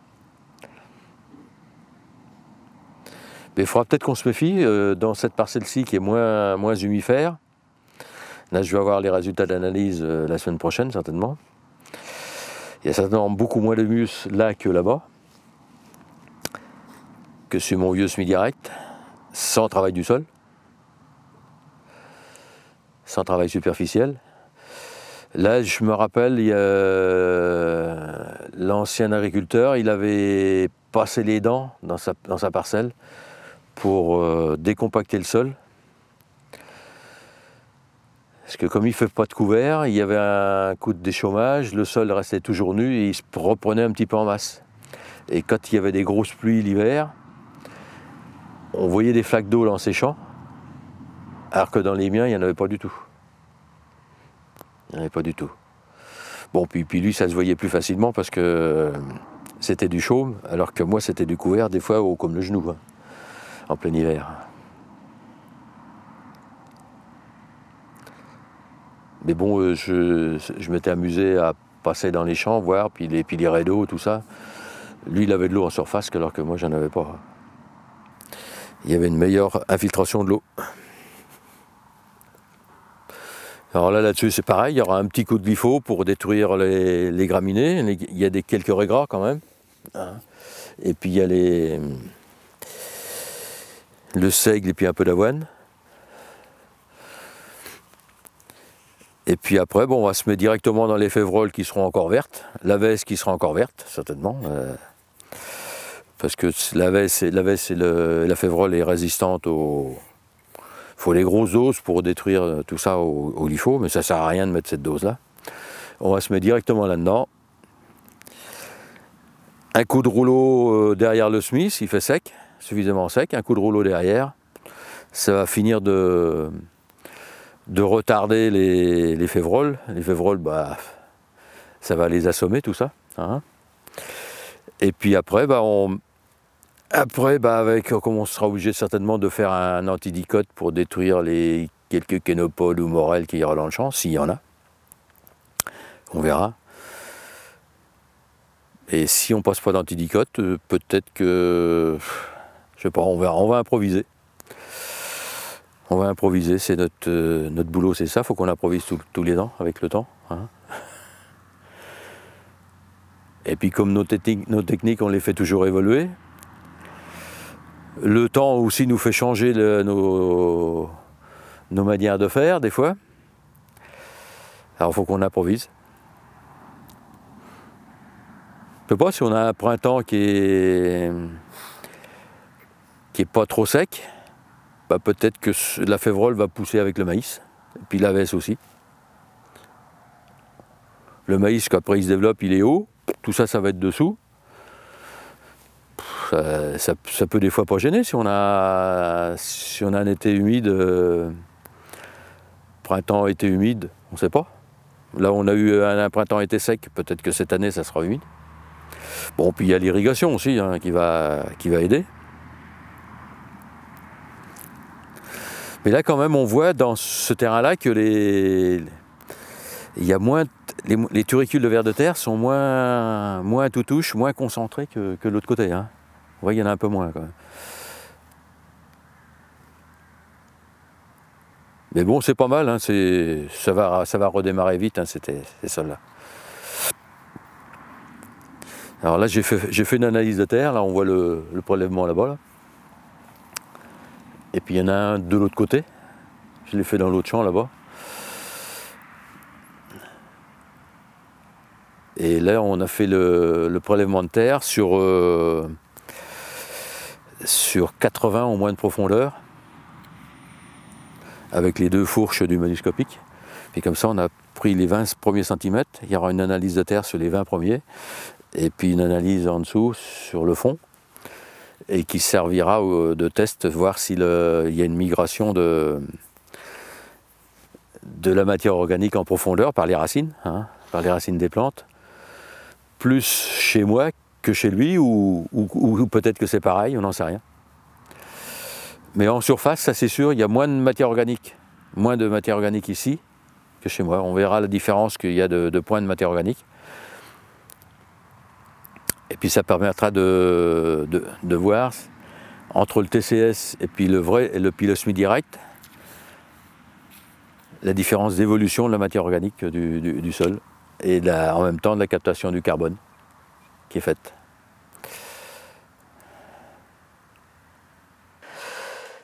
Oui, alors donc à partir de 98, 98, euh, donc euh, mon fils s'est installé avec, euh, avec le collègue. Alors la, rotation, on l'a continué chez lui comme nous sur le coteau sur 4 ans. Hein. Alors là sur le coteau, comme c'est des terres sableuses, les parties sableuses c'était de l'orge orge, colza, orge, euh, millet ou sorgho ou tournesol. Il y avait tournesol beaucoup à ce moment-là, on faisait. Malgré qu'on était embêté avec les pigeons euh, qui nous faisaient pas mal de dégâts, et après on a abandonné le tournesol. Et puis les terres qui sont, qui sont un, peu, un peu plus fortes, là-haut, hein, qui sont un peu meilleures. Et dans l'autre ferme, où c'est que Anthony, mon fils, s'est installé avec, avec le copain, là, là on faisait blé, blé colza, blé sorgho, sorgho ou millet si, des fois on est obligé de semer tard, des, des, printemps humides, hein, on, mettait, on faisait du millet à la place. Et euh, au début, il y avait du tournesol aussi, les premières années. Puis après, on a arrêté euh, à cause des. Bah, beaucoup à cause des limaces au départ. Parce que les pas les premières années, pas les deux premières années, mais après, ça y vient. Les limaces montent en puissance. Et on avait beaucoup de pertes avec euh, les pigeons, les perdrix, les, limaces. Tout mis ensemble, ça faisait trop. On a arrêté, puis c'est là qu'on. Moi, je faisais déjà du sorgho euh, depuis les années 83. 82-83, je faisais du sorgho déjà. Alors, euh, bon, bah, on s'est mis à faire du sorgho un peu plus, puis c'est tout. Hein. Et alors en faisant ces, euh, cette rotation-là, en fait, j'avais j'avais une culture de printemps tous les, tous les 4 ans. Je faisais un couvert long tous les 4 ans, avant cette culture de printemps. Mais dans la, vallée du Cher, c'était blé, maïs, blé, maïs. Hein. C'est pour diminuer les risques de, des inondations. Le blé maïs, ça permettait d'avoir des, terres propres. On n'avait pas de problème de désherbage de régras. Ni... Mais tout doucement, on avait quand même des, problèmes de, de, hein, de dicote, puis de panique, de graminées aussi, de panique digitaire. Une fois qu'on est passé avec le semi-direct, bah, après c'était que les paniques digitaires. On contrôlait bien les paniques digitaires avec, des, avec deux mélangés avec euh, juste un demi-litre un demi-litre d'atrazine. L'atrazine, on n'en mettait plus au SMI, ça ne servait plus à rien, parce que on avait été terrains qui étaient propres. Hein. Alors, par contre, on avait toujours quelques petites levées, euh, des petites levées tardives, alors donc on mettait, faisait ça. À partir du moment que l'atrazine a été interdite, bah, on ne pouvait plus en mélanger dans, nos deux sulfos, et puis c'est là que les, résistances ont commencé à arriver. Et on aurait continué avec l'atrazine. Bah, Peut-être qu'on aurait des résistances maintenant, mais à ce moment-là, on n'en avait pas. Hein. Puis ça faisait déjà plusieurs années qu'on le faisait. Et puis, euh, dans cette rotation-là, on, l'a toujours maintenue. C'est une rotation qui n'est pas très longue, hein, 4 ans. Dans la vallée, c'est 2 ans, mais comme c'est une culture d'hiver, une culture de printemps, bon, ça, ça elle va bien. Maintenant, on a, on a, diminué la surface de maïs de moitié. L'autre moitié, on l'a remplacé la moitié par cette moitié-là par euh, du soja. Et là, avec le soja, on, là, on nettoie là. On nettoie au niveau des graminées, des graminées estivales. Là, c'est bon là parce que on arrive. Euh, là, on va pouvoir faire des le, soja, ça fait 2015, ça fait que 2016. Hein. En grande surface, disons qu'il y a vraiment la moitié. 2015, il n'y avait pas la moitié encore. Non, il n'y avait pas la moitié. Alors 2016, 2017, 2018, ça fait que la troisième année. 2019, là, cette année, ça fera la quatrième. Après, on devra avoir des terrains suffisamment propre. Là, on va pouvoir faire du, du SMI à la volée dans le blé. Donc on va qu'on a déjà fait, euh, mais là on va essayer de rajouter d'autres plantes. On a déjà fait avec le sarrasin. Avec le sarrasin, ça marche à merveille. Ça fait deux ans qu'on le fait. Et puis après, sur le sarrasin, à l'automne, on moissonne le sarrasin et on sème un deuxième couvert de, de févrole de févrole dessus. Comme ça, on a deux couverts l'un derrière l'autre. Là, cette année, on pas, on en a fait une partie. C'est pas fait avec du sarrasin, c'est fait avec du sorgho, du sorgho piper, hein, du sorgho fourragé. On a semé dans du sorgho qui était presque aussi haut que la cabine là. Comme ce sont des terres euh, très humides en dessous, ce sont des terres marécageuses là qui sont. Alors le, le sorgho, une fois qu'il a été rendu dans, dans le fond, là, un nappe, alors là, là, il a poussé. La sécheresse, euh, ça ne faisait rien.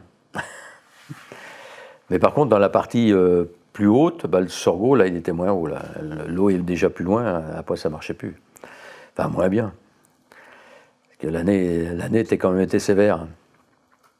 Et c'est vrai qu'avec le réchauffement, enfin le dérèglement climatique, si on, je ne sais pas si c'est il y en a eu d'autres dans les siècles avant et tout ça. Euh, je pense que peut-être ce qui nous arrive, c'est certainement lié, au, lié aussi au, au CO2 qu'on dégage dans l'air hein, depuis, depuis, depuis le pétrole.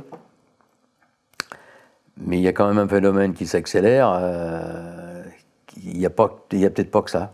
On n'en sait pas. C'est peut-être naturel une partie naturelle, 50 naturel, 50 CO2. On ne sait pas. Hein. On, entend, euh, on entend parler de tout. Enfin, Mais si. Et c'est vrai que depuis ces années, depuis les années 90, les, rendements, euh, les rendements céréales, on plafonne. Hein. Ils plafonnent. Nous, par contre, dans nos, dans nos mauvaises terres, dans les terres superficielles, avec le SMI direct, nos rendements, ils, sont, ils ont, non seulement ils, sont, ils, ont, ils ont progressé. Hein. On, fait maintenant des rendements nettement meilleurs que, que les voisins. Et dans les, dans les terres de l'autre ferme, qui ne sont pas des terres euh, aussi mauvaises que chez moi à Mont-Louis, sur le dessus, là, euh, vous me direz que sur le dessus, par rapport aux voisins, maintenant j'arrive, je fais, le double de rendement presque. Hein, et aussi bien en culture d'été qu'en culture d'hiver. Bon, bah, il y, a un phénomène qu'on a découvert aussi tout doucement, c'est que avec le SMI direct, la matière organique monte dans le sol. Et on a des sols qui sont de plus en plus noirs. Et le noir n'est plus qu'en haut comme ça, il descend. Alors on, suppose que, bah, ça, ça doit y faire beaucoup. On nous a dit que 1% de matière organique, c'était 30 mm d'eau de, stockée. Et quand vous avez une augmentation de, de 2,5%, 2,5% maintenant, on est passé de 1,8 dans la plaine à, à 4,5. Hein et sur le coteau, on est de de 1, 1 à 5 à, 3,5. 3,5 encore, euh, je crois que ça monte encore. Il faut que je refasse des analyses. J'en fais moins sur le plateau que dans, la plaine, les analyses. Mais il faut, qu'on regarde ça de, près là-haut sur le coteau, je suis bien sûr que. Et c'est effarant la différence D'abord, on peut, on peut les prendre en photo. On a le champ du voisin, comme qui dirait là, là.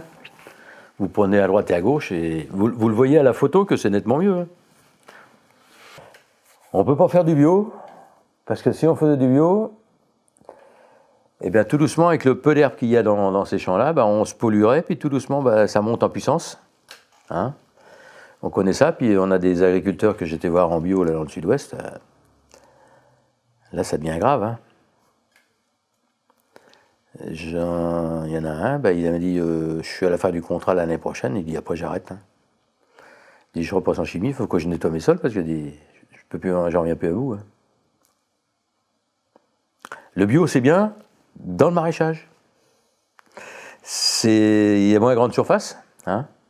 C'est plus facile à avoir de la main-d'œuvre pour des petites surfaces.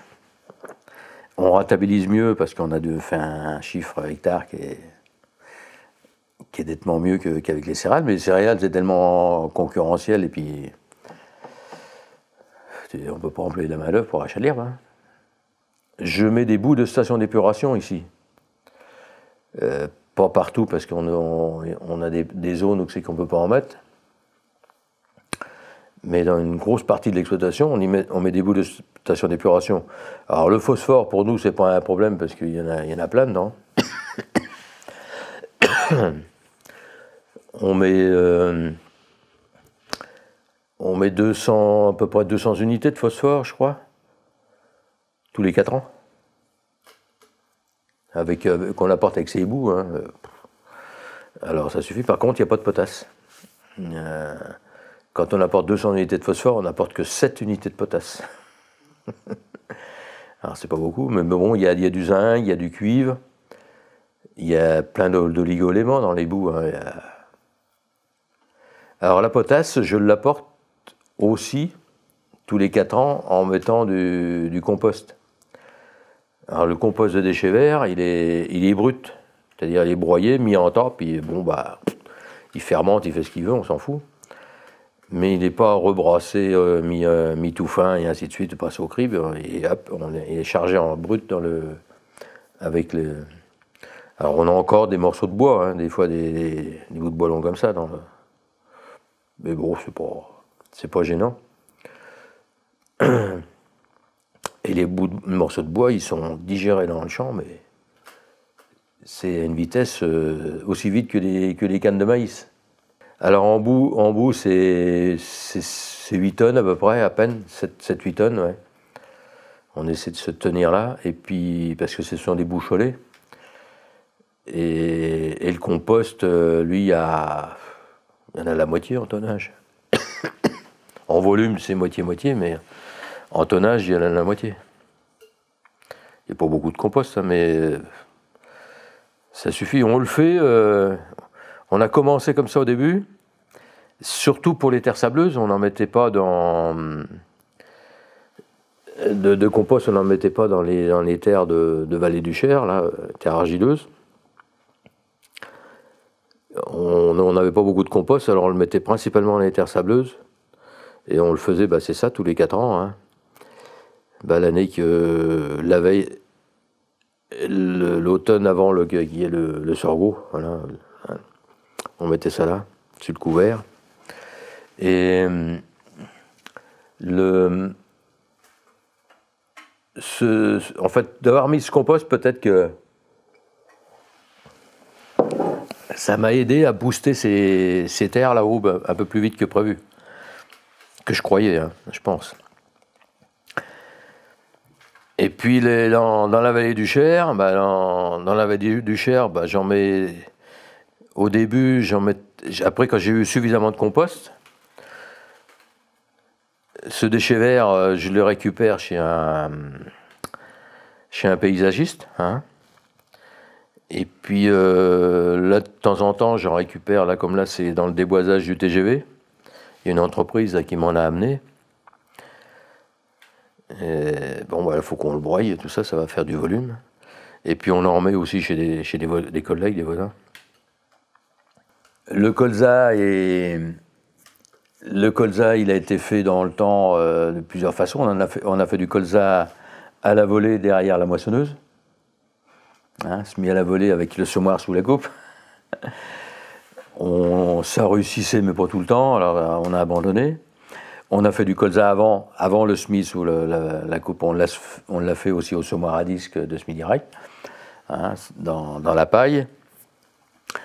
Alors au début du Smith Direct, quand on n'avait pas trop de limaces, ça allait bien. Après, quand il y a eu des limaces, c'était pas très régulier non plus. Enfin, il fallait bien surveiller. Mais quand même, on avait des, quand on a des automnes assez humides, assez prolongés, euh, je dis que les, limaces, elle se déplace. Hein. Puis le colza, bah, il est tout petit. Hein. Il est tout petit, il a vite fait d'être euh, brouté. Euh, j'ai l'exemple d'un collègue à Lucien euh, qui, travaillait à Madagascar quand il a commencé le SMIDI chez lui. Il a arrêté de faire du colza derrière de la paille parce que il dit je peux pas partir en vacances. Il dit quand je pars en vacances, je reviens, il n'y a plus rien. les limaces ont tout bouffé. Alors lui, il faisait ses colzas derrière lentilles. Derrière une lentille, euh, c'est une culture de printemps. Et puis il y a moins de paille hein, sur le sol. ou, derrière une févrole, on peut le faire aussi, ou, derrière. Euh, euh, je ne sais plus quoi. Ah si, derrière les pois. Ici, derrière les pois, il faisait une partie en lentilles, une partie en pois, c'est vrai. Derrière les pois, on a un terrain qui est plus, euh, qui a presque plus de paille. Là, les limaces, il y en a beaucoup moins.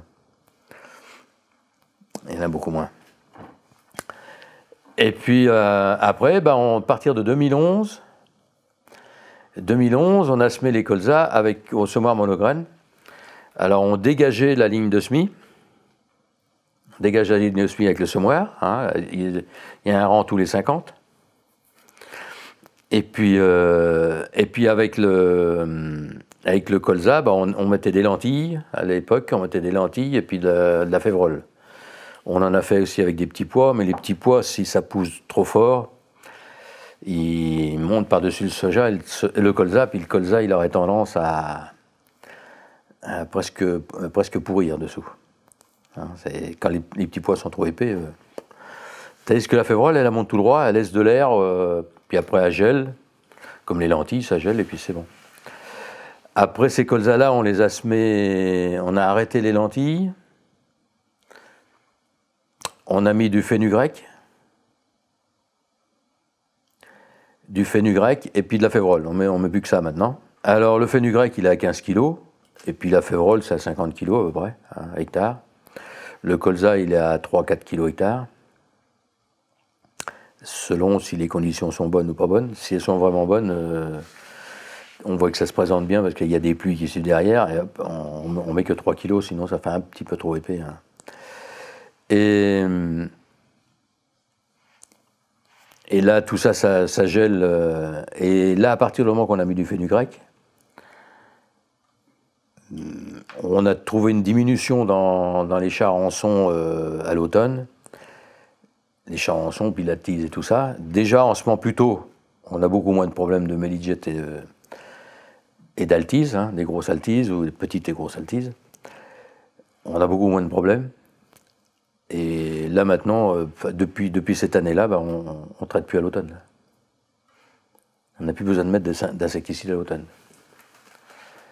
Et ça, c'est quand même pas mal parce que ces insecticides qu'on balance, là, je vois en 2017, en 2018, enfin surtout 2017, même, même 2018, là, ceux qui ont, réussi à faire du colza, mais soit par l'irrigation ou qui ont eu des orages bien placés, il y en a qu'on fait en 2017, il y en a qu'on fait jusqu'à 7 passages d'insecticides à l'automne. Non. Moi, j'ai c'est fou, c'est pas la peine. Hein. Si, si, on en arrive là, vaut mieux abandonner la culture. Hein. Et puis faire autre chose. Et, et là, en faisant de cette façon-là, bah, là, il n'y en a plus. On ne fait même plus d'insecticides au printemps. En fait, euh, quand on discute avec des biologistes, les il y a beaucoup les, prédateurs de toutes ces espèces euh, qui sont nuisibles. Ils sont pas très nombreux, en fait, il y en a beaucoup moins. Hein. Il y a beaucoup moins de variétés d'espèces. Mais ces espèces-là, si vous travaillez plus du tout le sol, elles peuvent se reproduire sur place. On en esquinte un peu certainement avec les roues de, les roues tracteur, les roues de moissonneuse. Puis... Mais bon, euh, il, en reste, quand même suffisamment. Et c'est peut-être pour ça qu'on a, on a moins, de, moins de problèmes. C'est vrai pour les limaces, pourquoi que c'est pas vrai pour le reste? Et là, depuis ce temps-là, bah, le, colza, il est fait. Il n'y a même plus de désherbage euh, au SMI. Il y a un désherbage de rattrapage au mois de septembre si l'automne a été sec, qu'il n'a pas plu assez. Alors il y a un, désherbage avec un antigraminès foliaire pour diminuer la pression des, repousses de céréales et s'il y a un peu de régras ou un truc comme ça. pour diminuer ça, en attendant le, le kerb, le qu'on fait au mois, de, mois de décembre. Hein. Et, puis après, bah, c'est fini. Hein. Après, c'est fini. je me rappelle au tout début, on passait un long. Un long trail pour les, les liétrons. Mais là, maintenant, on a, pour dire, plus de problème de liétrons. C'est, marrant, les, plantes, les mauvaises herbes, c'est un peu des effets années. Il y a des années, vous allez avoir des, des repousses de, de je sais pas pourquoi, ou des repousses de gaillet. Hein des repousses de gaillet, des fois. Euh. Bon, bah, Là, cette année, dans les colzas, il y avait un petit peu de gaillet. Hein. C'était pas méchant, mais il y en avait un peu. Il y avait un peu de gaillet. On l'a euh, on l'a bien retrouvé à la moisson, alors que dans le champ, on le voyait à peine. Hein, mais bon, euh, si on trouve des semences de gaillet dans le colza, c'est qu'il y, avait du gaillet. Alors donc, on fait des colzas maintenant à pas trop cher. Le fongi, euh, sur le colza, il y a un fongi sclérotinia, mais les années sèches, au moment de la, floraison, on n'en fait même pas. Ça ne sert à rien. Parce que fongi ou pas fongi, on l'a fait, euh, que dalle. Par contre, les années humides, euh, c'est qu'il y a de l'humidité euh, au moment de la chute des pétales, là, euh, puis que ça dure, surtout si ça dure. hein. Et là, il y a des, il y a une différence de rendement à l'arrivée quand même. Et qui paye, bien le produit. Et les rendements, ça va de les très mauvaises années, ça va à 15 quintaux quand il fait très sec dans, les sables, dans les sables à eau, jusqu'à 35, 40 quintaux. Et la semence, c'est de la semence de ferme. Hein, pas tout, mais une partie. Et puis on a un peu de, un peu d'hybride, mais on a surtout des, on a un peu d'hybride quand même. Et puis des, des lignées. Maintenant, il y a des quelques lignées, une ou deux là qui sont bonnes là, qui sont aussi bonnes que le, que les hybrides. Il n'y a pas trop d'écart. Alors, alors la fertilisation, euh, quand même, on est entre 160 et euh, selon la, pop- la population GAR, entre 160 et 170 unités d'azote. hein. Si les colzas sont bien beaux à l'automne, bon bah, ça permet de diminuer la dose au printemps. En azote, il y a de, il y a de la potasse. Il y a, il y a toujours oh, 40, 60 unités de potasse, c'est tout. Qu'on met pour le, pour le colza. Après le blé derrière, il n'y a, il y a que l'azote. Le phosphore, euh, le phosphore, on en met un petit peu en semant le colza, sur la ligne de semis. hein. Parce qu'on a un semoir monograine et qui. On peut mettre avec les févroles, on met l'engrais, qui se retrouve avec, sur les lignes, euh, les lignes à engrais. Et puis le reste, après, le, il y a un distributeur qui distribue le, le fenugrec dans la ligne de semis. On a un autre distributeur qui distribue l'antilimace sur le sol, derrière, sur la ligne de semis. Et plus le, colza qui est distribué dans la ligne de semis aussi. On peut semer euh, quatre, euh, quatre choses différentes. Et si on mélange, euh, hein, on multiplie, mais il y en a quatre. Ça fait quatre semoirs sur le même.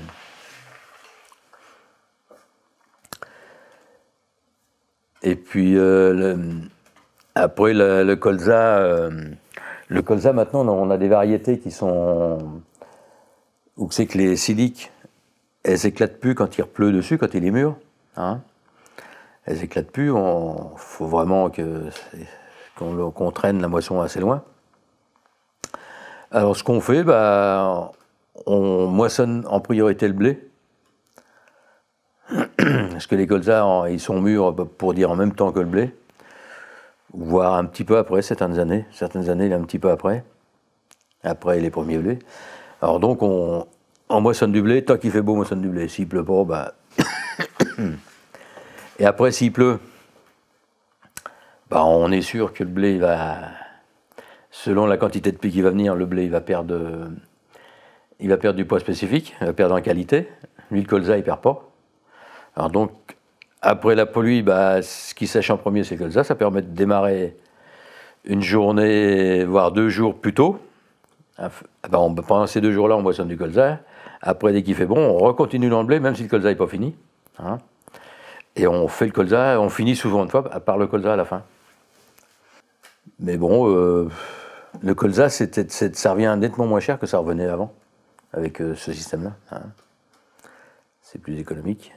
Il le faut parce que dans des terres comme les plateaux, là, euh, c'est pas des terres à gros potentiel. hein. Quand je vous dis qu'on fait 35 à 40 quintaux dans les bonnes terres, ou certaines zones de bonnes terres là, euh, il y en a grand à côté qui, qui descendent qu'à 25 hein, quand on fait. Et puis quand c'est fait à 20, à 30, bah, souvent de fond on est à en dessous de 20 dans, dans les mauvaises. Ça veut dire qu'il fait sec et puis la réserve hydrique, elle est pas. Mais bon, euh, on récolte du colza. Parce que les collègues, j'ai des collègues ici, euh, bah, le gars il a fait du colza plusieurs fois, mais il n'a jamais récolté. Il n'a jamais récolté. En 2017, 2000 à l'automne 2016, c'est nous qui avons semé le colza au, au monograine. Et en 2017, il a récolté du colza. Là, en 2018, euh, oui, qu'il a récolté en 2018, attendez, oui. Oui, non, qu'il a récolté en 2018. Semé en 2017, récolté en 2018. En 2016, en 2016, après les inondations de, de, de mai, non, de juin, de juin, il n'y a pas eu, d'eau après. Il n'y a pas eu d'eau après, il a, fait, il a fait sec, sec, sec. Et puis à l'automne, bah, à l'automne, il a fait trop sec trop longtemps, on n'a pas fait de colza. En 2015, on a fait du colza, là, le collègue avait fait du colza, en 2000, puis ainsi de suite. Et trois ans avant, il n'avait pas récolté de colza.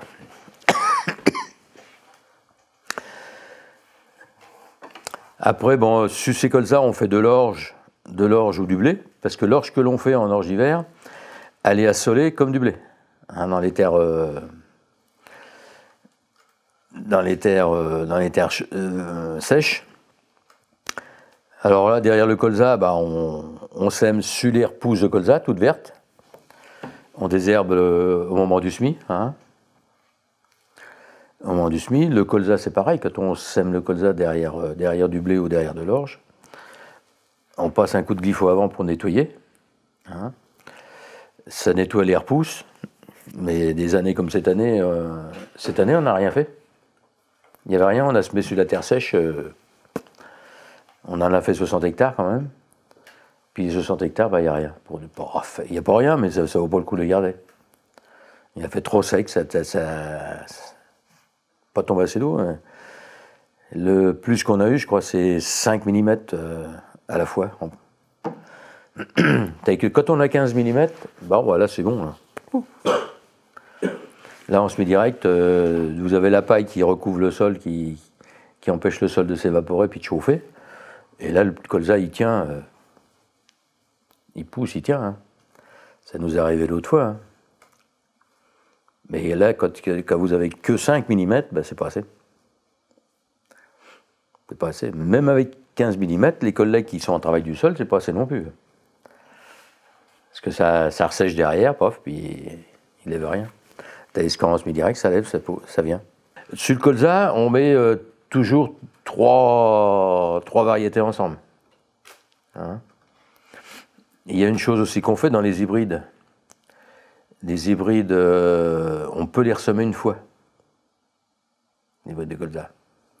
Il n'y a pas beaucoup de monde qui le savent, mais vous le ressemez une fois et vous n'avez pas de chute de rendement. Ou très peu. Hein. mais bon, il ne faut pas recommencer après. C'est pour ça que nous, dans nos, mélanges, on met, des lignées. Je crois que cette année, on en a deux. Qu'on mélange avec, euh, avec notre semence de colza qu'on qu'on ressème. Et on rachète toujours de la semence de colza hybride pour se refaire de la semence après. Puis ça permet d'essayer les nouvelles variétés, de voir ce, qu'elles donnent. Bon voilà, c'est, on est sur les coteaux de, de Mont-Louis, dans les parties que je vous disais tout à l'heure, euh, hier, qui sont les parties sableuses. Là, c'est des terres à 2%, 2 d'argile.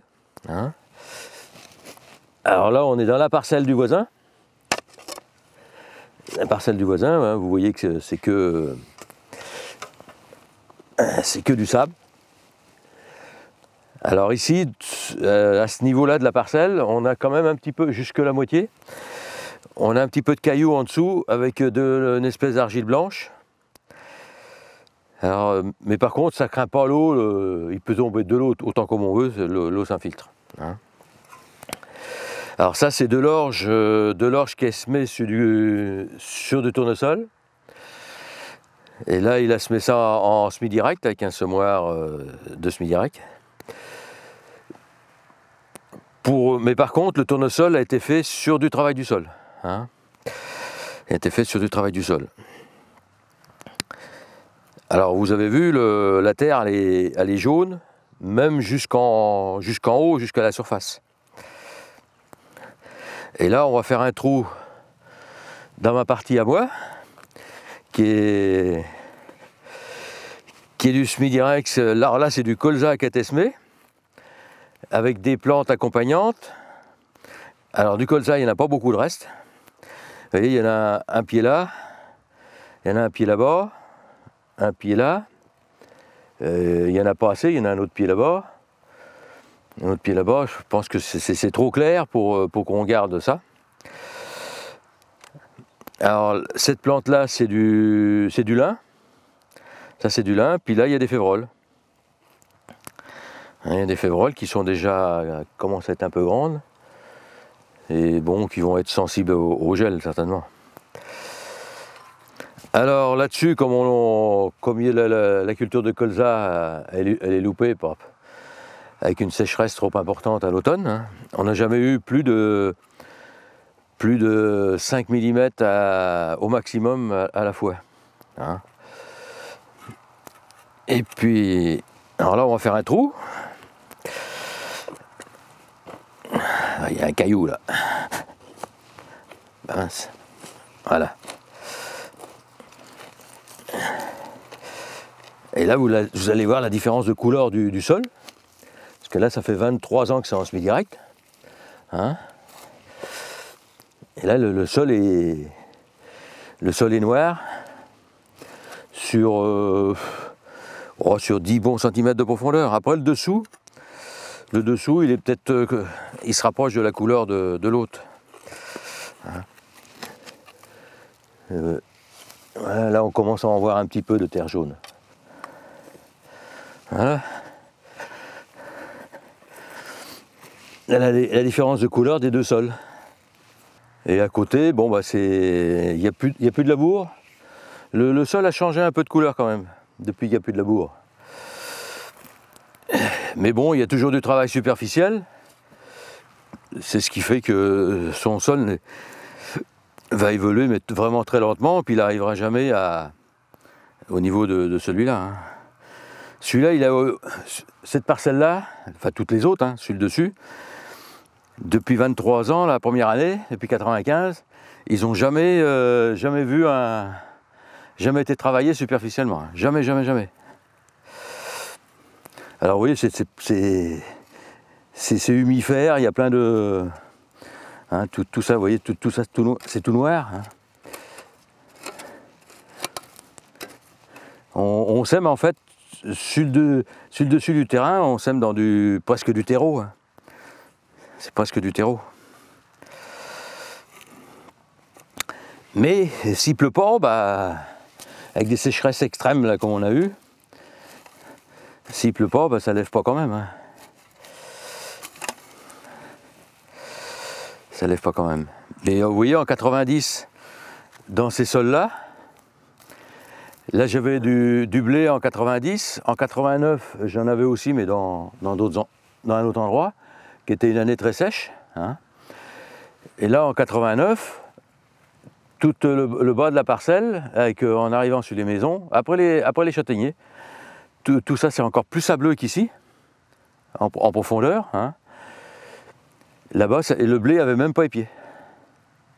Ici, il y avait, il avait quelques épis. Hein, on, on, faisait 10-15 euh, quintaux hectares.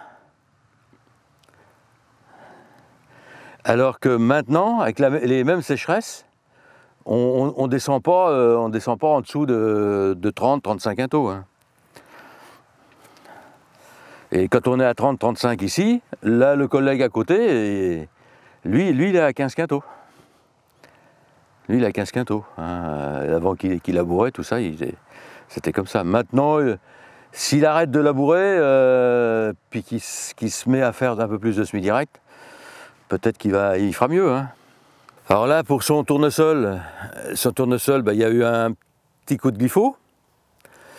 Hein, euh, parce que vous avez vu, c'est Là, c'est la limite du champ entre les deux. Bon, bah, des fois, c'est mal désherbé. Euh. Il y a des pollutions qui se font euh, à droite, enfin, surtout de son côté. Hein. Là, j'ai des photos de dans le temps. on avait du sorgho chacun. Son sorgho, il l'avait, il l'a biné. Il n'arrivait plus à le contrôler, les, mauvaises herbes avec le. Avec, avec les désherbants, il a fallu qu'il bine pour pouvoir sauver sa, récolte et puis pour faire, euh, pour faire 25 quintaux, alors que euh, moi à côté j'en faisais 50 ou certaines années même plus. Voilà. Alors il y a un, petit, un petit coup de glypho pour détruire toutes les graminées qui sont, qui sont enlevées au moment du semis. Là, là c'est pareil, comme la culture elle est, loupée. Alors là, on va, on va passer un coup de glypho juste pour détruire les graminées, c'est-à-dire les graminées se détruisent avec euh, un litre, un litre et demi, un maximum de, de glypho, hein, voire moins. Peut-être que là, il va, il va y avoir moins.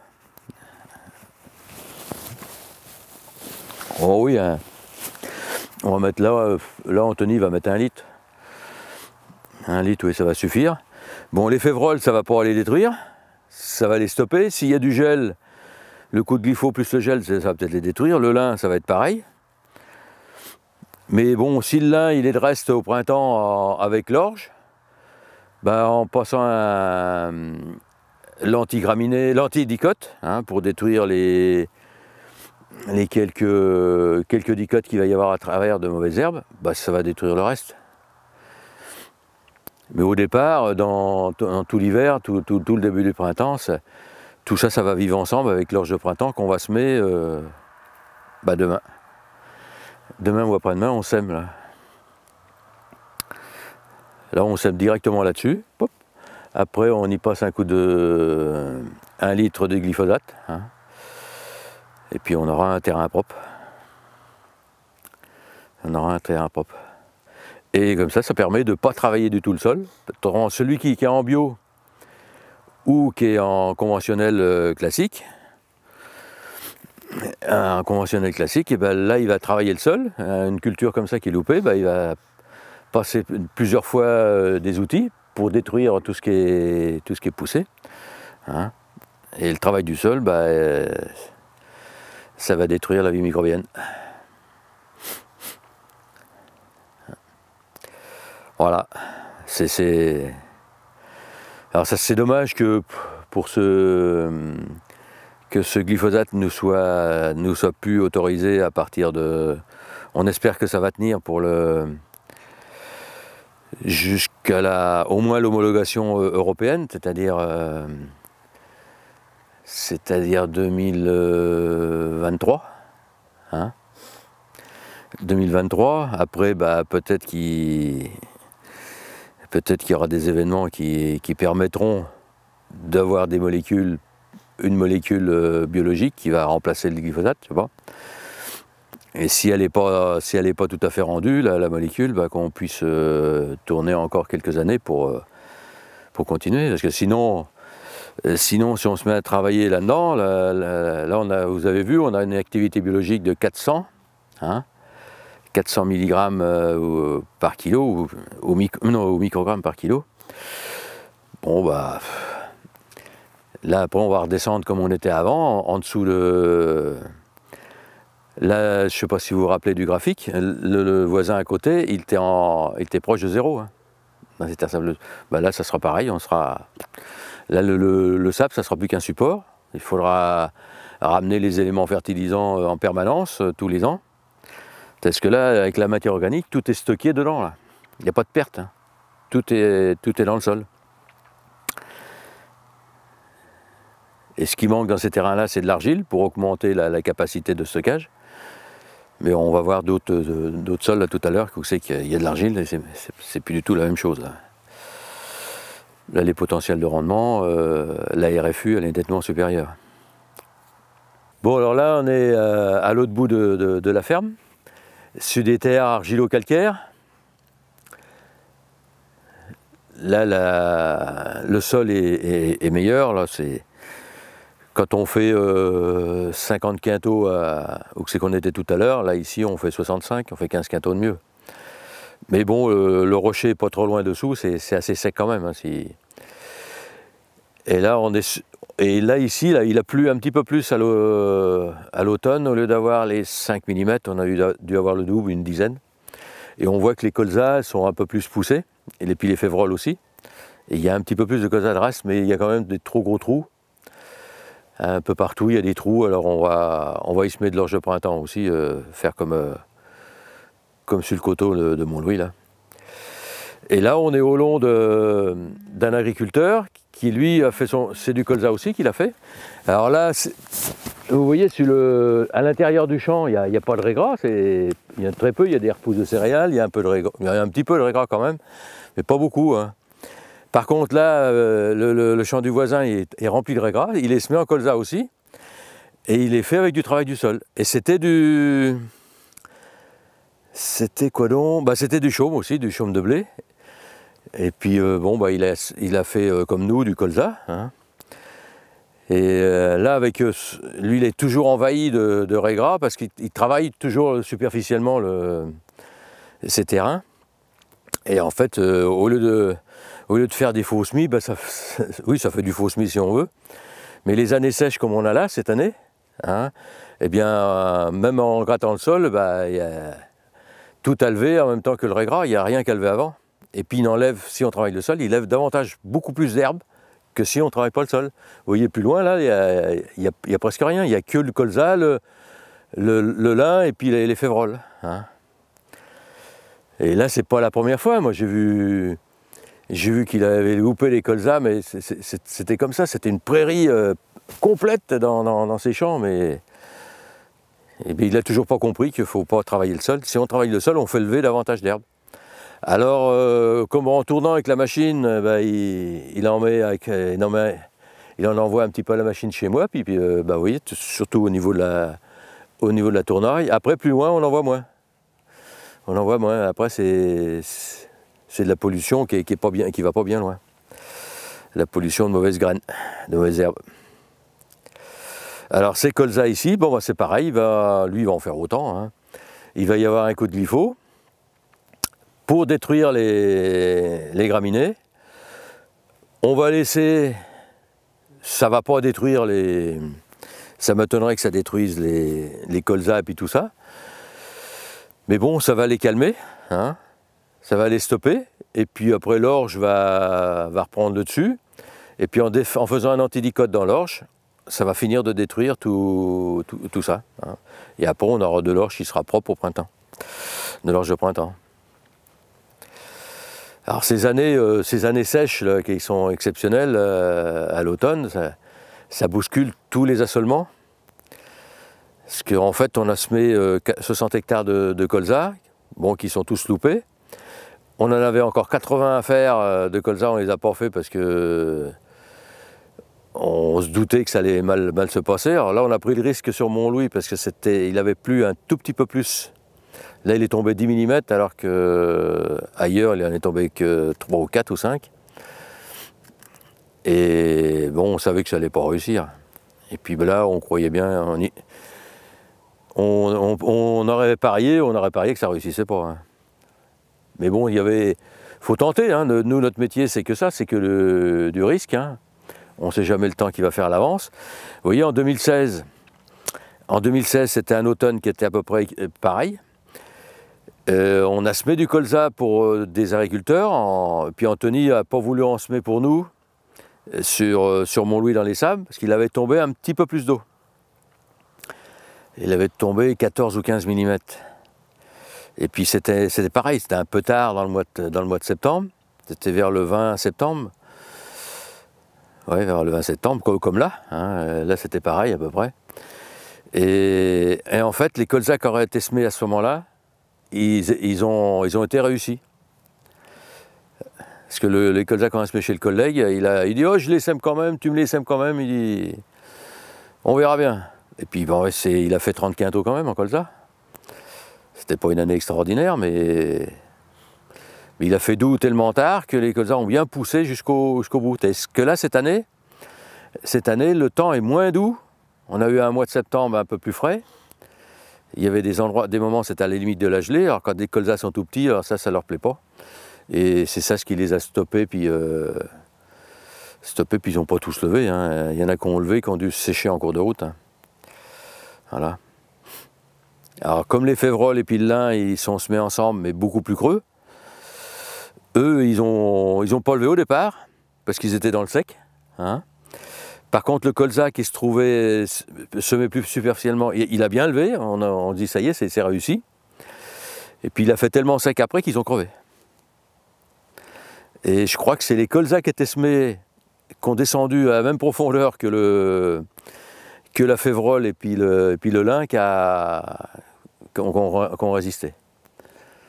Et les autres étaient trop superficiels, euh, ça, ça a trop séché derrière. Voilà, puis vous voyez, le, hein, le, champ du voisin, bah, il, est, il est en travail du sol, superficiel, mais il n'est il est pas mieux. Il est pire même. Il y a encore moins de colza qu'il y a chez moi. Et puis moi en plus, bah, j'ai une légumineuse, j'ai des févroles, j'ai du lin. On, a introduit le lin dans les, plantes accompagnantes parce qu'on avait, était trop tard pour semer du fenugrec. Le fenugrec ça marche bien, mais il faut le semer euh, début août. Et là, il arrive à floraison au mois d'octobre, début floraison. Et puis il a vraiment son effet répulsif à insectes, le, le, le fenugrec. C'est-à-dire à, Altise, euh, et puis Charançon de Charançon d'Atige. Charançon d'automne. Et, et puis en plus, le lin, il, a, il est comme la févrole, les limaces l'aiment pas. Alors s'il y a pas mal de plantes, euh, mais bon, des limaces, il n'y en a pas beaucoup parce que les, les colzas sont, sont un, petit peu, un petit peu troués, mais c'est pas, pas méchant. Hein, il y a peut-être un peu de limaces quand même parce qu'on n'a pas de grand froid pour les, empêcher d'évoluer. Et on a quand même. Euh, et puis on n'a pas eu beaucoup d'eau, mais on a dû durant le temps doux par, par période, avec 100, 150 mm de pluie depuis, le 27 octobre. Non, on doit être à 160 même maintenant. 160 ou 170 mm. Voilà. Bon, donc là-dessus, euh, un litre, de, de. Euh, là, il faudra peut-être mettre un peu plus, là. Ce serait grave là parce qu'il est costaud, un litre et demi. Et puis après, ben, on sème le... Où on va semer avant, puis on va désherber après. On sème l'orge de printemps là-dessus. Et puis euh, ce qui reste en dicote, le lin et puis le, la févrole, bah, c'est pas grave. Euh, ça va être calmé un petit peu par le glypho, et puis ça va être détruit avec le désherbant orge. Le désherbant des dicotes de l'orge. Puis on espère qu'on aura un printemps qui va être euh, moins, moins humide, moins sec, je veux dire. Puis qu'on réussisse la récolte de la récolte d'orge de printemps. Mais bon, c'est pas, ça casse là seulement, c'est de l'orge de printemps. Derrière de l'orge de printemps, normalement, nous, derrière le colza, c'était du blé. Euh, on va voir, on va essayer de faire un couvert de végétal de, de vesse derrière l'orge de printemps pour qu'on ait du blé sur de la vesse à, à l'automne. On va se mettre sur de la vesse verte, on espère. J'espère que l'été va être un peu plus humide parce que si c'est aussi sec que cette année, euh, on sème de la veste au mois de fin juillet, puis après, euh, la veste, elle lève pas parce qu'il n'y a, pas d'eau. Là, on a, des, de, depuis 2016, on a des années climatiques. Euh, dans la même année, on a l'excès, des gros excès d'eau et des gros des excès de sécheresse. Ça, c'est. C'est pas facile à, vivre, mais bon, c'est notre métier. Hein. Alors donc, euh, derrière ce colza, on fait de l'orge, de l'orge sur les plateaux ou du blé dans, les terres qui sont meilleures. La conduite est la même, hein, un passage de glypho avant le semis, juste avant ou, même après le semis, hein. c'est pas grave, mais avant la levée en tout cas. Et euh, sur du colza qui est ouvert. Alors maintenant que l'on a des colzas qui sont qui s'ouvrent plus, les CDX s'ouvrent plus, on a moins de pertes. Moins de pertes aussi en moissonnant aussi, parce que les, on est avec des, des tables. Maintenant, c'est une table à tapis, alors elle est assez longue. Mais avant, on avait une table à colza qui sont assez longues aussi, on, a moins de pertes. Et en fait, on a moins de levée de colza. Alors, faudrait qu'on on ait fait des essais de semer de la veste sur le colza. Et puis là, on n'a pas de bol avec les années, les, étés qui sont trop secs. La 2016, euh, 2014, ça avait bien marché. 2014, ça avait bien marché, mais on faisait que des essais à ce moment-là. Alors, il a fallu faire toute la ferme. toute la seule colza. Et puis en 2016, 2016 euh, c'était un automne trop sec, 2017 pareil, puis 2018 pareil. Alors, euh, on laisse les fameuses repousses de colza comme elles sont, mais cette année, il n'y avait même pas de repousses de colza, il n'y avait rien, hein. rien du tout. Donc c'était nu, ou les, les quelques raies les quelques paniques digitaires qui étaient là, c'est tout. Il n'y avait que ça en. Alors ça, bah, on les, ou les kénopodes, quelques kénopodes aussi, dans, les terres sableuses. Bah, ça, c'est du couvert spontané, bah, on le laisse. On le laisse et puis on, on le détruit avant qu'il soit, soit monté à graines avec un, passage de glypho. Là, cette année, on l'a fait. Tout a crevé, impeccable. Et puis, il a fait tellement sec après que rien n'a rien poussé après. Et puis là, les blés, les blés ou les orges, elles sont faites comme ça. Il n'y a pas de désherbage à l'automne. Il y a juste un désherbage de rattrapage au printemps, qui est dans les terres sableuses, qui est nécessaire surtout en dicote. Hein en dicote et puis un peu en graminé aussi. Et puis dans la, vallée du Cher, sur les blés ou sur les autres blés par là, il y a un anti-graminé puis un anti-dicote aussi, mais euh, bon, c'est on désherbe plus des, grands tapis d'herbe comme on faisait dans le temps, hein. c'est fini là. On a des, trucs qui sont propres hein, maintenant. Hein. Alors le désherbage, comme je vous disais au printemps, en désherbage de rattrapage antidicote antigraminé. Après, après, il y a un fongicide au stade dernière feuille, début épiaison. Si le temps est sec, on attend. On attend le stade limite euh, sortie des épis, là. Euh, parce que là, les, fongicides arrivent à, passer dans, le, dans la sève, les, les systémiques. Si on le fait trop tard, après, ça ne sert plus à rien. Et les, autres fongicides avant, il n'y en a pas. C'est pas la peine. Hein, il n'y a, a que ce dernier fongicide et qui est au, quart de moitié, quart de dose ou à, moitié dose selon l'année. Hein. Même zéro certaines années, 2009 et 2010, il n'y a pas eu de fongicide sur le blé. Il a fait tellement sec, euh, tellement sec au moment de, de, de, la floraison, puis après, euh, c'était pas, il y avait un peu d'eau, mais c'était pas à mettre de la maladie. Donc on, ne l'a pas, pas désherbé, puis c'était, bien. Hein. Et euh, autrement, c'est un quart à, une demi-dose. Ben, ça suffit. Hein. Ça suffit. Et encore, faut que je vous dise, il faut que le, il y a de l'humidité au, moment de la floraison du blé et tout ça. Hein.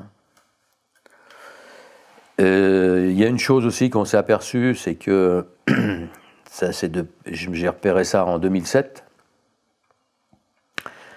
En 2007, c'est que nos sur maïs, il n'y a, a, plus de problème de fusariose comme on avait dans le temps. Des, infestations de fusariose, on les a plus comme on avait dans le temps. Alors, soi-disant que ça viendrait de la biologie du sol. Il y a des chercheurs de l'Université de Lyon qui nous, à une journée TCS qui nous ont dit qu'ils avaient découvert des bactéries qui mangeaient le fusarium qu'il y avait dans le sol. Hein? Et ce que je vous dis là pour le blé, c'est aussi vrai pour le maïs avant. Le maïs et puis le, sorgho. Le sorgho, c'est une plante qui est très sensible euh, au, fusarium, fusarium roseum, surtout les années sèches. Et quand vous. Quand euh, il y a une année, une année très sèche, vous voyez ça, les sorgho, ils, commencent à verser, à tomber par terre dans les zones de terre sèche. Hein et ça, vous le voyez dès le départ chez les, gars qui sont en travail du sol ou en labour. Ça, j'ai remarqué, on le voit bien. Hein. Et puis, ça dépend aussi des variétés, des origines génétiques. Et euh, quand vous êtes en semi-direct à côté, la parcelle de semi-direct à côté, elle, ne bouge pas. Il va, se, il va se créer de l'averse, vraiment, avec ces années extrêmes à la con là qu'on a là, c'est tant pis, de 2016, hein, de l'été 2016, et puis euh, euh, l'automne, enfin l'automne surtout, l'automne 2016 et l'automne 2018 là, on a eu quelques petits passages de, de, verse. Et bon, euh, par rapport aux voisins, c'est pas grand chose. Hein.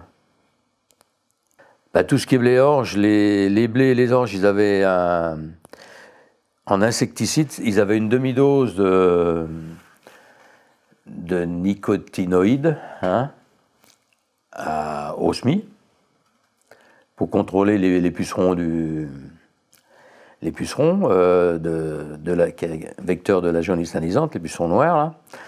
Et là, c'est la suorge, bah, on ne le fait plus parce qu'on a des variétés résistantes à la jaunisse anisante maintenant. Mais c'est vrai que bon, bah, on voit presque plus de pucerons. Hein. Bah, dans les semi-précoces, c'est. Ça fait un peu comme le colza. Le, colza, quand vous semez le colza autour du 15 août ou avant le 15 août, hein, là cette année, on a même vu des colzas semés en juillet et puis c'est ceux-là qui étaient élevés, qu'ils ont profité de la, fraîcheur euh, qu'il y avait tout de suite après moisson. Et puis après, il a fait sec. Les colzas, ils poussaient plus. Alors on risquait pas d'avoir des colzas qui étaient trop forts à l'automne, puisque ils poussaient plus. Mais ils étaient là et ils, avaient passé le stade de, tout, de toutes ces bestioles. Hein, des, des des, des altides et tout ça. Tandis que là, pour le blé, le blé, c'est pareil, il faut il ne faut pas revenir venir en, semi-précoce au mois de septembre. C'est peut-être pas assez précoce le mois de septembre. Il faut peut-être faire du, du, SMI, euh, soit derrière colza, juste fin juillet. Hein, il y en a qui le font. Il y en a qui font des essais, hein, des, agriculteurs. Et après, bah, votre, votre, euh, votre blé, bah, il, a, il a un stade où c'est qu'il ne craint plus les pucerons euh, qui apportent la jaunisse. Il y, a, aussi un phénomène que. Un phénomène quand même qui, que l'on que, que a ici, on a dans un micro euh, un microclimat, microcoste, c'est que tout le monde dans le coin, sauf la partie vraiment ouest du secteur, ou la partie est, ou même la partie sud, nous dans notre coin, on est 4-5 agriculteurs, on est tous sur la même technique. Alors que, est-ce que on n'a plus les invasions du champ du voisin Puisque le voisin, bah, le voisin est dans la même technique que nous. Est-ce que c'est vrai que dans ceux qui sont en bordure, on voit dans les, dans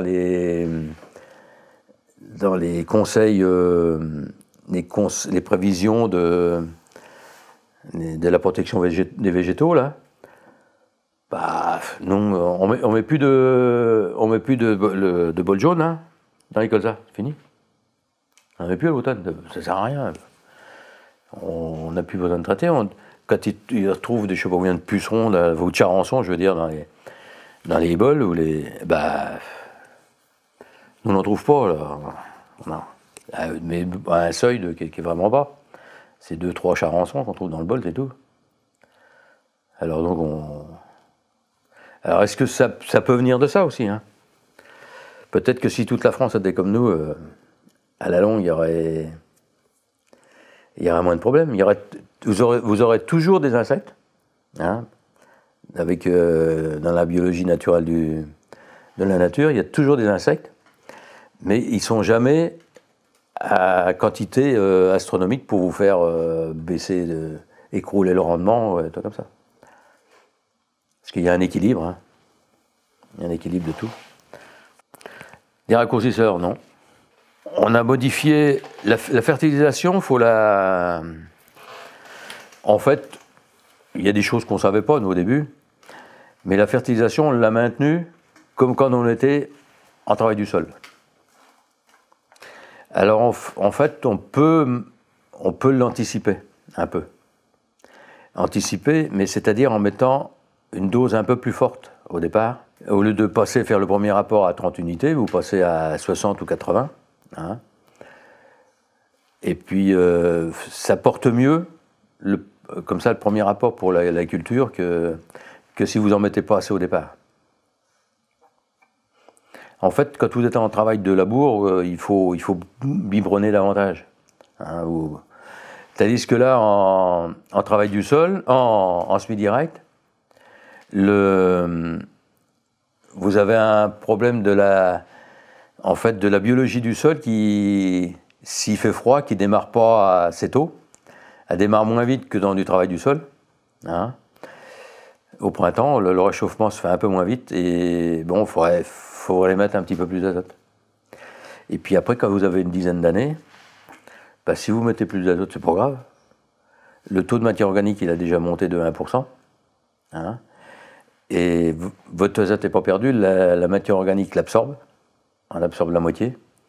Alors si vous faites un, apport de 80 unités, c'est comme si vous vous en mettiez 40 euh, en labour à côté. Et après, vous avez une restitution euh, dans le temps.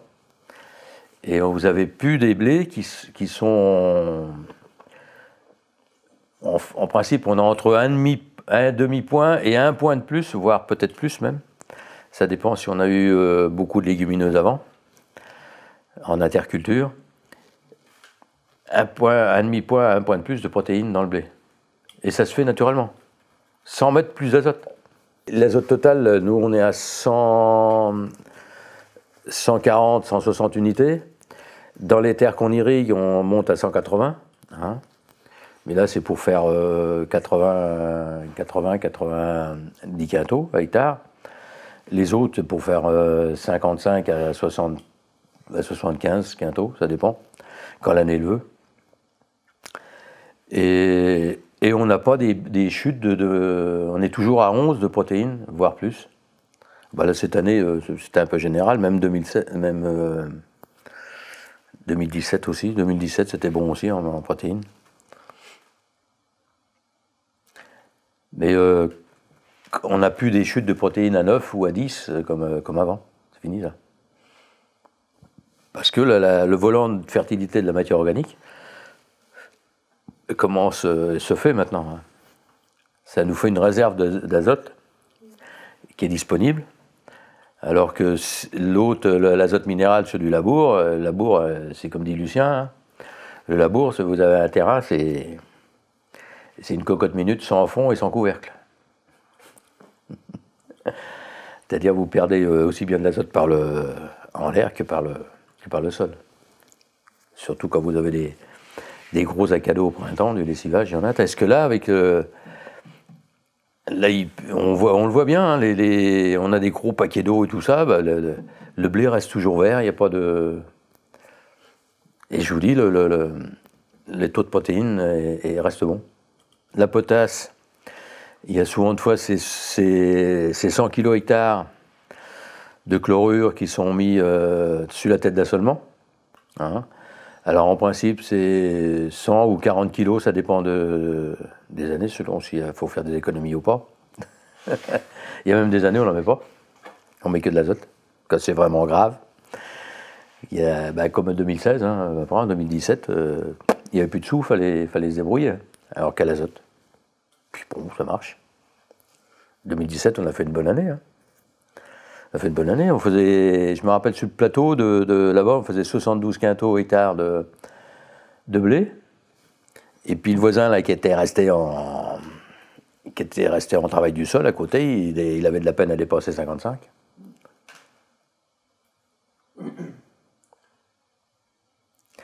Et le, mais l'azote, on en met moins, on en met moins qu'on en mettait avant. Hein. On en met moins. je suis sûr pour faire 90 quintaux, les, les gars, ils sont à 200, voire plus de 200. Si, si, il y a du souffle pour le blé. Le blé, il y a, il y a minimum, euh, pour le blé, il y a 40 unités de souffle. Le colza, c'est à peu près 60. Hein. Le blé, le phosphore, bah, il n'y en a pas. Le blé, en... le blé, on a deux mélanges. Un mélange qui va derrière colza et derrière soja. C'est-à-dire que là, on met des blés, on est toujours en blé euh, BPS, c'est-à-dire euh, qui sont bons pour la boulangerie, toi. Hein. Et derrière soja et colza, comme il n'y a pas de problème de fusariose, hein, d'origine avec la culture d'avant. Donc le là, on, met de, on peut mettre des, variétés qui sont, qui sont sensibles à fusariose, enfin, disons pas trop sensibles parce que. Mais qui sont moins résistantes, qui ont une note de 5, 5,5, alors que les, les résistants à fusariose ont une note de 6,5, 7 ou 6. Et là, derrière maïs, derrière sorgho et derrière millet, enfin le millet, on va l'arrêter. On va plus en faire parce que c'est, je crois que c'est le pire point de vue pour apporter la, fusariose dans un sol. Le millet. Hmm. Alors, est-ce que c'est parce que toutes ces cultures-là, et depuis, plusieurs années, là, ils, finissent leur cycle avec le sec, archi sec, et alors, euh, quand vous finissez le cycle du sorgho en conditions humides, enfin humides, bah, le sorgho, il n'y a, pas de fusariose. Même le maïs. Hein.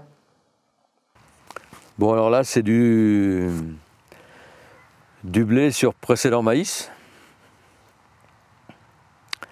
Sur précédent maïs.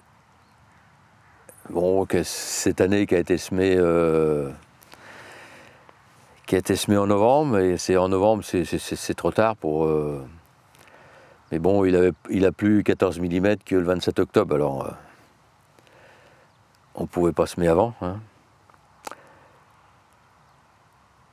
Et, en plus, on n'y avait pas que ça à semer, on a semé ailleurs avant, on est revenu après ici, parce qu'il n'avait pas tombé assez d'eau, il tombé que 5 mm avant, c'était pas possible. Et à partir qu'il est tombé les 14 mm, alors là, c'était suffisamment humecté pour pouvoir semer sans. suffisamment pour, euh, que ça passe bien. Et euh, sur maïs, bah, c'est pas facile de semer avec un semoir à dents. Donc, au semoir à disque, bon, ça va, ça va bien. Hein. Le Là, il y a la, vie, la, vie, euh, la vie du sol est bien, était bien repartie. Là, il y a des turicules de vers de terre partout. Elles sont presque à tout touche. Mais la vie du sol avait pris un grand coup en, bah, déjà avec la sécheresse qu'on a eue là. Et puis en 2016 avec l'inondation. Avec l'inondation, l'inondation du juin 2016, ici, là où c'est qu'on est là, il y a de l'eau jusqu'à la ceinture à peu près, à peine. Oui, jusqu'à la ceinture.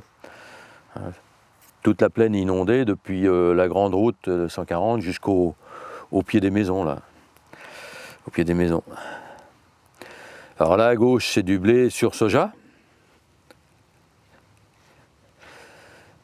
C'est du blé sur soja, pareil qui était semé euh, dans les mêmes moments ou peut-être un petit peu plus tard. Toutes ces cultures d'automne sont très en retard. Mais bon, euh, parce que la, pluie froide qu'on a eue euh, début novembre, c'était presque de la glace. Ça, c'était bienvenu pour pouvoir faire germer du blé et tout ça, mais la, a été longue parce que toute cette pluie glacée a refroidi le sol, pas mal.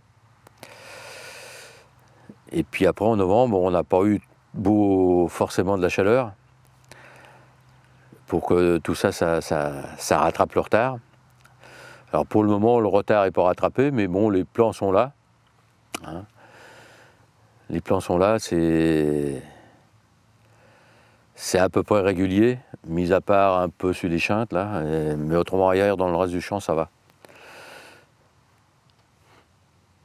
C'est à peu près régulier, mais c'est pas si c'est pas si bien que, si ça avait été semé euh, dans. ça avait levé un peu plus tôt. Là, on verra tout à l'heure du blé sur maïs, du blé sur soja. Hein. Non, c'est du blé sur soja. Hein, qui a été semé 15 euh, jours avant le 27 octobre, c'est-à-dire vers le 15. C'est des terres qui sont qui sont marécageuses, assez, humides euh, en profondeur. Et puis comme c'est assez, euh, assez humifère, le semoir y rentrait bien. Alors on les a semés quand même. On s'est dit, bon, on verra bien. Et puis là, on, on va voir sur les. On va voir tout à l'heure quand on va y aller. C'est nettement mieux que ceux-là qui sont semés euh, un peu trop tard. Mais bon, c'est l'année qui l'a voulu. Hein. On fait avec. Bon, bah, maintenant, on va aller voir les, les couverts. Hein. Et puis, avec la pelle, on va voir la terre du voisin et puis la terre de chez moi. La, différence de couleur. Bon, alors là, on est sur une parcelle de, blé. Un collègue qui a semé euh, du blé sur blé, là. Euh, certainement qu'il a, il a fait ça parce qu'il devait, certainement y avoir vouloir faire du colza, puis comme avec la sécheresse, le colza, on n'a pas pu en faire partout. Hein. Les, les, pluies n'ont pas tombé partout pour pouvoir en faire un peu. Ça fait comme chez moi. Et donc il, refait du blé sur blé là. Mais il l'a fait un peu tard. Et puis avec du travail du sol superficiel, avec les, les déchaumeurs rapides. Et en fait, ce déchaumeur rapide sur du sol qui était un petit peu frais, euh, pas très frais, mais un peu, ça fait, ça fait une, semelle, euh, une semelle dessous. Et puis là, avec les pluies qui n'ont pourtant pas été trop importantes, mais euh, là, on avait quand même eu une vingtaine de millimètres avant Noël. Les, les, vingtaines de millimètres sont venus trop rapidement. L'eau ne pas, s'est pas infiltrée dans, le sol. Et puis elle a noyé le, blé. Vous avez des grands trous là de, c'est que dans, après la, pluie, on passait sur la route, on voyait ça, c'était à blanc d'eau. Et tout ce qui est à blanc d'eau, le blé a noyé. Partout, c'est là, vous voyez derrière, là, tout ça, là, c'est l'eau est restée. Et bon, sur du blé, il serait été semé en direct, en direct sur le chaume, il n'y aurait pas eu ces effets de, de noyade parce qu'il n'y aura pas eu la semelle du travail du sol. Et là, c'est, on voit plus loin dans le champ, là c'est pareil, c'est... Il n'y a vraiment que les parties hautes, les parties hautes, ou peut-être où c'est que la terre est plus, euh, plus filtrante, bon, le, sol s'est pas refermé, il n'y a, eu, euh, a pas eu de semelle dessous. Ça s'infiltre un peu. C'est pour ça qu'il vaut mieux, des fois, euh, passer que le semoir, et ça suffit comme ça, on ne bouscule pas la, porosité du sol. Les galeries de vers de terre, pourtant les vers de terre, c'est pas ça ce qui manque. Hein. Il, y a des, galeries, hein. il y a des, turicules euh, au-dessus du sol, pas mal. Mais bon, il n'y en a, y en a pas, assez. Il n'y en a pas assez. Et où c'est que le, blé est noyé, c'est là qu'il n'y a, pas de. On le voit ici, là. Si vous voulez le, Là où c'est que le, blé noyé, là vous avez presque pas de turicule. C'est là que le, les canaux de verre de terre, il n'y en a pas assez. Hein. Là on le voit bien là-bas, hein. ça fait la cuvette aussi. Et avant cette eau-là, il n'y avait pas d'eau. Il n'y avait pas d'eau parce que l'eau qui est venue avant était moins, moins forte. Là, elle n'était pas très forte non plus, mais elle a tombé quand même sur, euh, sur 24 heures. 20, mm sur 24 heures, c'est pas, pas très fort. Hein. Mais bon, l'eau pénétrait plus. Alors le maïs, lui, euh, lui c'est toute la semence à aller c'est du maïs hybride. Hein. Il, est, il est semé euh, sur le couvert mort, c'est-à-dire qu'on le détruit euh, un mois, un mois et demi avant le, le semis. Hein. Il y a des fois, il n'y a que trois semaines parce que ça dépend du. S'il a plu beaucoup, s'il pleut beaucoup, euh, on laisse le. On laisse le, le couvert toujours pour, pour pomper l'eau, toi. Puis au printemps, les jours allongent, tout ça. Alors là, le couvert, il pousse. Le maïs, je me rappelle, au début du semi-direct, le sol n'était pas fait. Hein parce qu'au début du speed direct, c'est surtout au printemps que c'est. C'est surtout euh, au printemps que ça pose des problèmes, les, les de printemps pour le SMI direct. Il y a beaucoup de gens qui ont du mal à, passer en direct pour les SMI de printemps. Alors souvent de fois, c'est là que les sols sont légèrement travaillés. Il y a du travail superficiel. Et c'est ça ce qui casse, euh, qui casse tout. Alors donc, euh, il y avait les, premières années, là, on, ouvrait le, sol pour semer. C'était dans les couverts de seigle à l'époque, au tout début.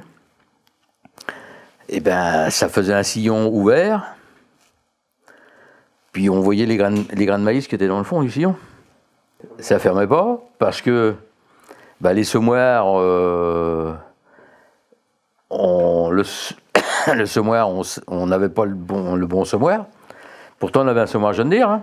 C'était un Max Emerge, mais un Max Emerge qui avait les anciennes roues à l'arrière, qui n'étaient pas, euh, ne pouvait pas régler l'écartement. Parce que les nouveaux, ceux qu'on a eu après, de, ceux qui étaient de 89, on ne pouvait pas régler l'écartement. Ceux de 93, on pouvait. Alors, tu enlevais une entretoise, de chaque côté, puis hop, tu rapprochais les roues, tu mettais l'entretoise à l'extérieur. Alors en fait, il fallait que la roue, les deux roues passent sur les lèvres qu'on fait les deux, les deux disques là. et puis là, ça fermait. Est-ce que là, autrement, les, les, roues passaient trop loin Alors ça ne pouvait pas fermer. Et puis dans, dans des terres argileuses, euh, hein, c'est comme si tu se mets dans du beurre, alors ça faisait un trait tout droit. Mais les maïs, ils ont levé hein, quand même. Sauf que là, il y avait, il quand il y a des limaces, eh bien, c'est l'autoroute à limaces là.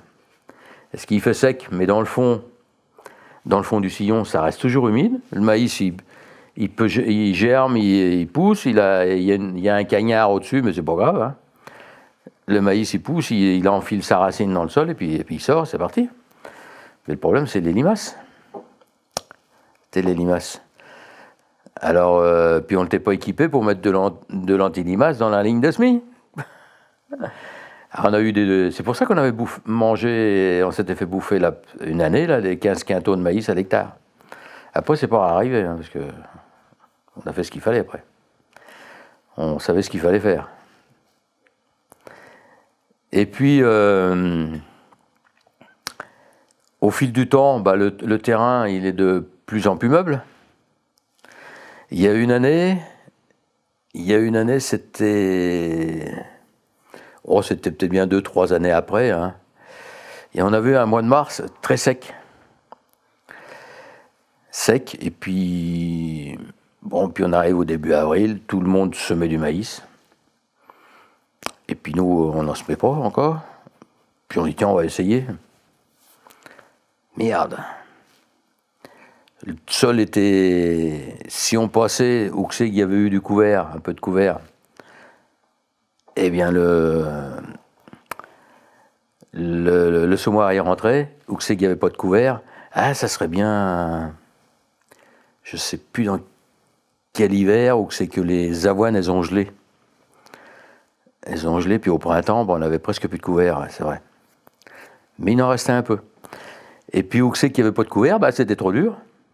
Et puis le, sol, bah, ça faisait pas assez longtemps qu'il y avait qu'il était en semi-direct. Hein. Puis quand j'ai vu le boulot que ça faisait, j'ai dit Attends, Anthony, on rentre le somewhere. Et puis il y a Alfred qui vient. On dit ça à Alfred. On dit euh, bah, Non, on s'aime pas parce qu'on peut pas semer, c'est trop dur. Et puis il y a un collègue euh, qui est dans le groupe avec nous, là, qui, était avec nous euh, dans la chambre d'agriculture. Il dit bah moi je passe un, un, petit coup de disque, un petit coup de dent là, pour casser la croûte pour pouvoir semer. Bon, si tu veux. Je dis moi j'y touche pas, je fais rien. Je vais te dire quelque chose, je vais dire au lieu, de, gratter ton terrain, tu ferais mieux d'aller au bord de la mer ou d'aller à la pêche. Et puis si tu reviens, tu vas semer que quand il va pleuvoir. Après la pluie. J'ai dit, moi, c'est ce que je veux faire, je vais attendre. Et puis, entre les deux, il se passe une semaine. Ben, il se passe une semaine, il n'y a encore pas plus. Et puis, Alfred, il, vient, il me dit, je te laisse, euh, on fait un essai avec mon semoir sémiato. D'accord On fait un essai, on fait un aller-retour sur le, sur le bord du champ. Il me dit, euh, ben, il dit, si tu veux, je te laisse le semoir, c'était un vendredi, je dis, je te laisse le semoir tout le week-end. Il dit j'en ai besoin que mardi. De mardi, je vais faire un, un essai dans, chez un, client. Bah, j'ai dit, tu sais pas, ton semoir, tu vas le emmener. Parce que j'ai j'ai dit, ton semoir, on, y rentre, on peut se mettre. Hein, mais on sème dans les calots, hein, dans les mottes. Je dis, euh, la levée va pas être terrible à l'arrivée. Et puis on avait mis le semoir jeune dire à côté. Comme il s'était passé encore une semaine de temps sec derrière, le semoir jeune dire, il roulait comme sur le corlage. Ou sur la route. Même avec le discouvreur et tout ça, j'avais le discouvreur, tout ça à l'époque. Hein, rien à faire. Donc ça roulait. Alors, euh, on, rentre tout ça, puis je dis à Alfred, bah, tu, tu ramènes ton semoir. Il dit, je veux pas se mettre dans des modes comme ça, c'est pas la peine. Pas la peine d'assister. Je dis, on verra ça quand, il va pleuvoir. Il se met à pleuvoir la, semaine d'après, que Alfred était passé, c'est-à-dire ça veut dire s'était passé 15 jours, hein, entre l'essai puis le premier essai. Il tombe 6 mm. Ben, c'est pas beaucoup, hein. Mais sur un sol qui n'est pas travaillé, ben c'était formidable. On ne trouvait plus le sec, parce que le sec, il était en surface, mais en dessous, c'était c'était pas très c'était pas très sec encore. Hein. C'était qu'au mois d'avril. Hein. Et puis euh, la fraîcheur du dessus avait rejoint le dessous. On a semé, on faisait de la cendre. On a fait un semis comme euh, rarement j'ai fait. Maintenant, j'en fais euh, presque tous les ans comme ça, mais le sol a changé. Hein. Mais là, à ce moment-là, on a fait un semis impeccable. Après qu'on a eu tout fini de semer, il en retombe encore 5-6 mm. Ah, ben, ça, c'est l'Amérique, ça. ça, que sur ce qu'on avait semé, ça commençait à sécher, toi. Il retombe 5 mm, euh, oh, que 4-5 jours après, ouais. Et puis, euh, bah, le maïs, il, a levé impeccable, il ne manquait pas un pied. Les collègues qui avaient gratté. Bah, une fois 5 mm sur des mottes, ça ne sert à rien. Une autre fois 5 mm sur, les mêmes mottes, bah, ça ne servait à rien. Et lui, il a fallu qu'il arrose pour faire lever son maïs. Il a fallu qu'il arrose. Et puis les autres, il a fallu qu'ils attendent, ils attendent qu'il tombe davantage d'eau plus tard, euh, trois semaines, un mois plus tard, je sais plus, pour, pour que ça lève. Je ne me rappelle plus exactement. Et maintenant, les, maïs, alors les maïs sont semés à, à 80, à 75, 76 exactement. Depuis 2011, depuis 2012, depuis 2012, ils sont semés à 50 les maïs. Hein Parce qu'à partir du moment qu'on a acheté le semoir, euh, le semoir Amazon, là, qu'on a semé les colzas à 50, en monogrène. Sur la ligne, ils sont à de combien? Ah bah, Sur la ligne, ils sont à écarté de 20, 19, 20. Hein. alors que normalement, c'est 12, 13. C'est quand on est à 75. Alors, on a une meilleure répartition. Alors, on avait fait ça parce qu'on s'est aperçu, puis ça nous a été dit par les gars du Sud-Ouest, ils avaient de l'avance sur nous là-dessus et nous ont dit, quand le, c'est vrai, quand le maïs se met plus serré, l'entre-rang, il est plus vite recouvert, et le terrain, il est beaucoup plus propre en dessous, tout, tout l'été, toi, avec l'irrigation. Parce qu'avant, avec les, à, 75, avec l'irrigation et puis les, ou les fortes, ou les, les pluies qu'on a tout de suite après les, après les semis, là, les désherbants, bah, ils, ils ont pu un effet euh, très long, les désherbants pré-SMI, hein. Ils ont pu un effet très long, et puis euh, bah, surtout qu'on en mettait euh, à la suite que la trazine a été, a été interdite. On s'était remis au, au désherbant pré-SMI, alors qu'avant on l'avait abandonné. On avait abandonné les saloperies comme le lasso, là, le lasso, le métolachlore. Dans le métolachlore, ça va. Le lasso, cette époque, c'était pas un mauvais. C'était une saloperie parce qu'il était, euh, était formulé avec du solvant. Et c'est le solvant qui était, qui était mauvais pour. Euh, c'était pas le lasso lui-même, c'était le solvant. Qui était mauvais pour nous, utilisateurs. Et le. Alors donc, euh, on, a, on, avait recommencé, on avait recommencé ça. Et ces désherbants, bah, au fil du temps, euh, et surtout nous en semi-direct avec la vie microbienne qui montait, eh ben, ils se dégradent de plus en plus vite, ces, produits-là.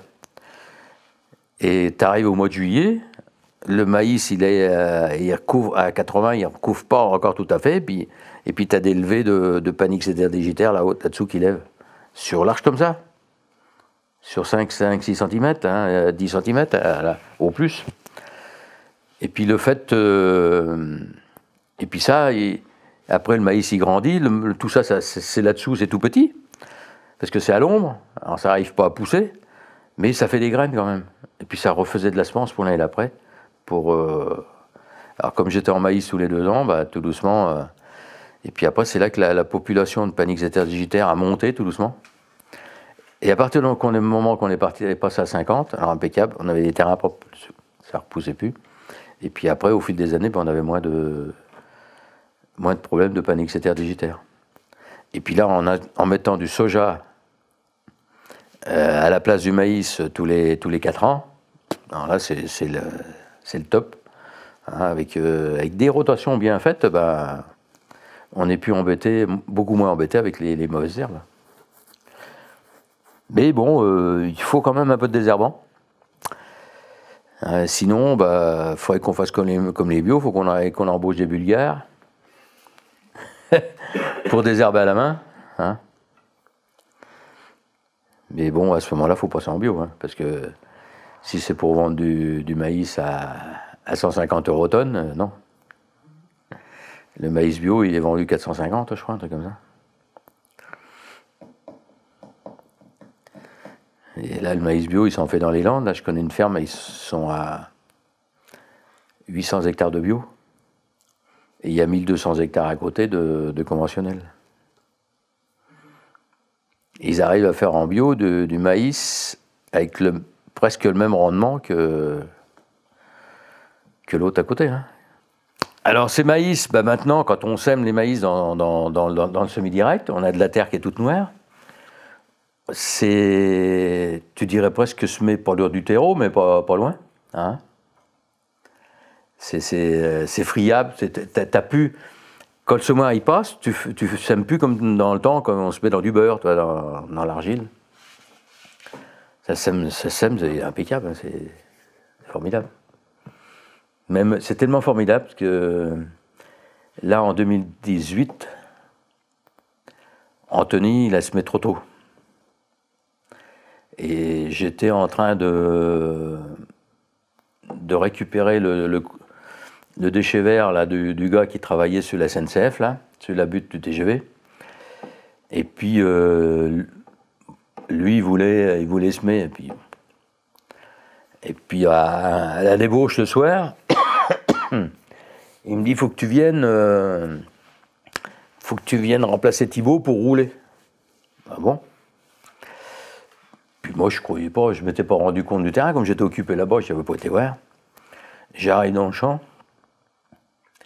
Bon, bah, je plie les rouleaux, puis je m'en vais chez moi. Hein. Je m'en vais à la maison, je rentre à la ferme. Hein. J'ai dit, tu vas pas rouler du terrain comme ça, t'es des barjots, non Il faut attendre que, que ça grâle un peu pour, euh, avant de rouler. Parce que j'ai ton SMI, il est un peu trop gras. Hein. J'ai t'auras pu attendre deux jours, moi. Tu veux te dépêcher, mais tu auras pu attendre deux jours. Et puis, euh, et puis bon, bah, c'était, un peu gras, hein. il, a, semé, et puis heureusement, il a fait sec derrière. Il a fait sec derrière, donc le, sillon s'est légèrement ouvert, un tout petit peu. Ben, ça suffit, ça laisse de l'air pour que, le maïs sorte. Et puis ça fait un peu, d'air, ça l'a pas. Mais il n'aurait plus derrière beaucoup, ça l'aurait asphyxié. Hein. Il, il avait semé trop mouillé, puis plus il passe les rouleaux, alors boum, il dame le terrain. Alors après, le reste, ben, je l'ai roulé, mais que le. J'ai roulé, moi, j'ai. ah oui, ça tombait le week-end. Après, ben, j'ai roulé le samedi, j'en ai même roulé le dimanche, le matin. J'ai attendu que les parcelles euh, s'assainissent pour, avant le. Puis comme ils annonçaient du, terrain, du temps sec, c'est pour ça que j'ai roulé. Qu'on a roulé, euh, ils annonçaient du temps sec derrière, on voulait pas que ça ressèche sur le, sur le summit. eh ben, malgré qu'on ait semé trop tôt, dans des mauvaises conditions moi, de, de, sol, à mon avis, et puis après il en a convenu, Anthony. Enfin, c'est comme ça. Mais bon, on a, on a fait un SMI qui, était, qui aurait pu être mieux.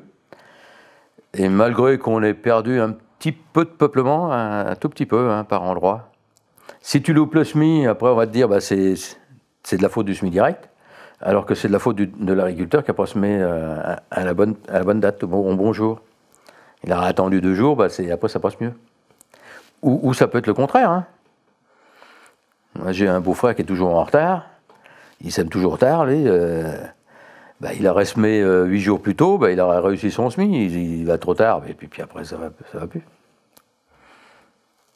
Et le métier d'agriculteur, c'est. Et c'est ça ce que souvent de fois les chercheurs, ils n'arrivent pas à. Ils n'arrivent pas à faire, c'est le. C'est réussir, des choses. On dit ils loupent tout et ça parce que bon bah eux, ils sont pas, ils n'ont pas la notion de cette notion-là de, l'agriculture. Quand on travaille à l'extérieur, c'est pas comme dans un laboratoire hein. ou dans une serre. Alors donc c'est les SMI maintenant avec euh, tous les SMI de printemps, hein, que ce soit les SMI de, de sorgho et tout ça, là on fait des SMI avec avec n'importe quel semoir. En fait, c'est c'est plus facile maintenant de, de, semer que c'était la, la 15 ans, au début de Smillac. Ça, ça fait déjà 23 ans qu'on est là-dedans. Oh, bah, il, il, est semé à 105 000. On est à des variétés des, qui sont à l'indice 280. En désherbage, alors on est revenu, maintenant qu'on est à 50, on est revenu au désherbage euh, Presmi. Mais bon, on est en désherbage, on met du métolachlore il met plus du. Il avait essayé pendant un moment un désherbage qui était bon, qui était soi-disant costaud pour. Euh, euh, pour les. Mais, il était. C'était un désherbant qui était. On, trouvait qu'il était agressif sur le maïs. Surtout quand il y avait eu des pluies et des trucs comme ça. Alors, après Smith, on le met, le met plus sur. On le met plus, puis on se demande même s'il n'avait pas des effets sur ah non, c'était les sulfos. Les sulfos qui ont des effets, qui avaient des effets sur le, blé d'après. C'était au, au, tout début là-haut. Mais bon, bah, maintenant avec la, matière organique, ça va. Et puis euh, là, si c'est bon, on va peut-être arrêter ce, ce métolachlore. On va, de toute façon, avec les, RPD qu'il y a maintenant, qu'ils vont nous mettre sous les. Hein, euh, taxes, euh, pour en payer moins, ben, on va mettre moins de produits, puis c'est tout. Puis de toute façon, là maintenant, avec le soja, avec d'avoir introduit le soja dans l'assolement maïs, on est mieux. Alors si on n'a pas de trop de gros problèmes, ben, on va supprimer des, des désherbants. Moins on en met, mieux c'est, pour le sol. Bon, puis pour le portefeuille aussi, mais pour le compte en banque aussi, mais pour le sol, c'est mieux. Autant, autant le faire. Hein. Et puis on va faire juste euh, un, désherbage de rattrapage, puis terminé. Et puis ça ira bien. Alors là, dans les maïs, euh, ces maïs-là, bon, ils, vont être faits, ils vont être faits comme ça. Il y a, il y a 60 unités de, de potasse. Il y a 100, 140 unités d'azote. Et puis, on ne sait pas si on en pas encore de trop. Parce que là, le, fait d'avoir une, grosse quantité de matière organique à l'hectare maintenant, quand on est à 4,5 de. 4,5, il y a des endroits où on est à 5, même 5,2 de, de matière organique à l'hectare. C'est pas sensible pour faire du blé. Pour le blé, ça, y est euh, un peu, c'est en fin de saison. En fin de saison pour faire les protéines. Hein. Là, c'est pour ça qu'on ne descend pas en protéines comme, on fait, comme dans le temps. Et là, sur les maïs, bon, les maïs sont irrigués. tu as la chaleur de, l'été, plus l'irrigation. Et là, la, matière organique, euh, hein, elle libère. Le micro-organisme, il libère de, Et là, c'est pour ça qu'on on peut descendre encore en azote. Je suis bien sûr qu'on peut descendre à, à 120 unités, certainement, puis, puis, puis peut-être voir 100. Mais parce que là, on a fait des essais encore cette année, là, euh, de pas, dou- pas double dose de- d'engrais, mais presque. Et puis la dose qu'on met normalement, sans- sans- et puis la dose, euh, une dose inférieure. Et puis on s'aperçoit que la dose inférieure, je croyais qu'elle est aussi bonne que l'autre. hein. Bah, le maïs, nous, on se base tou- toujours sur 120 quintaux.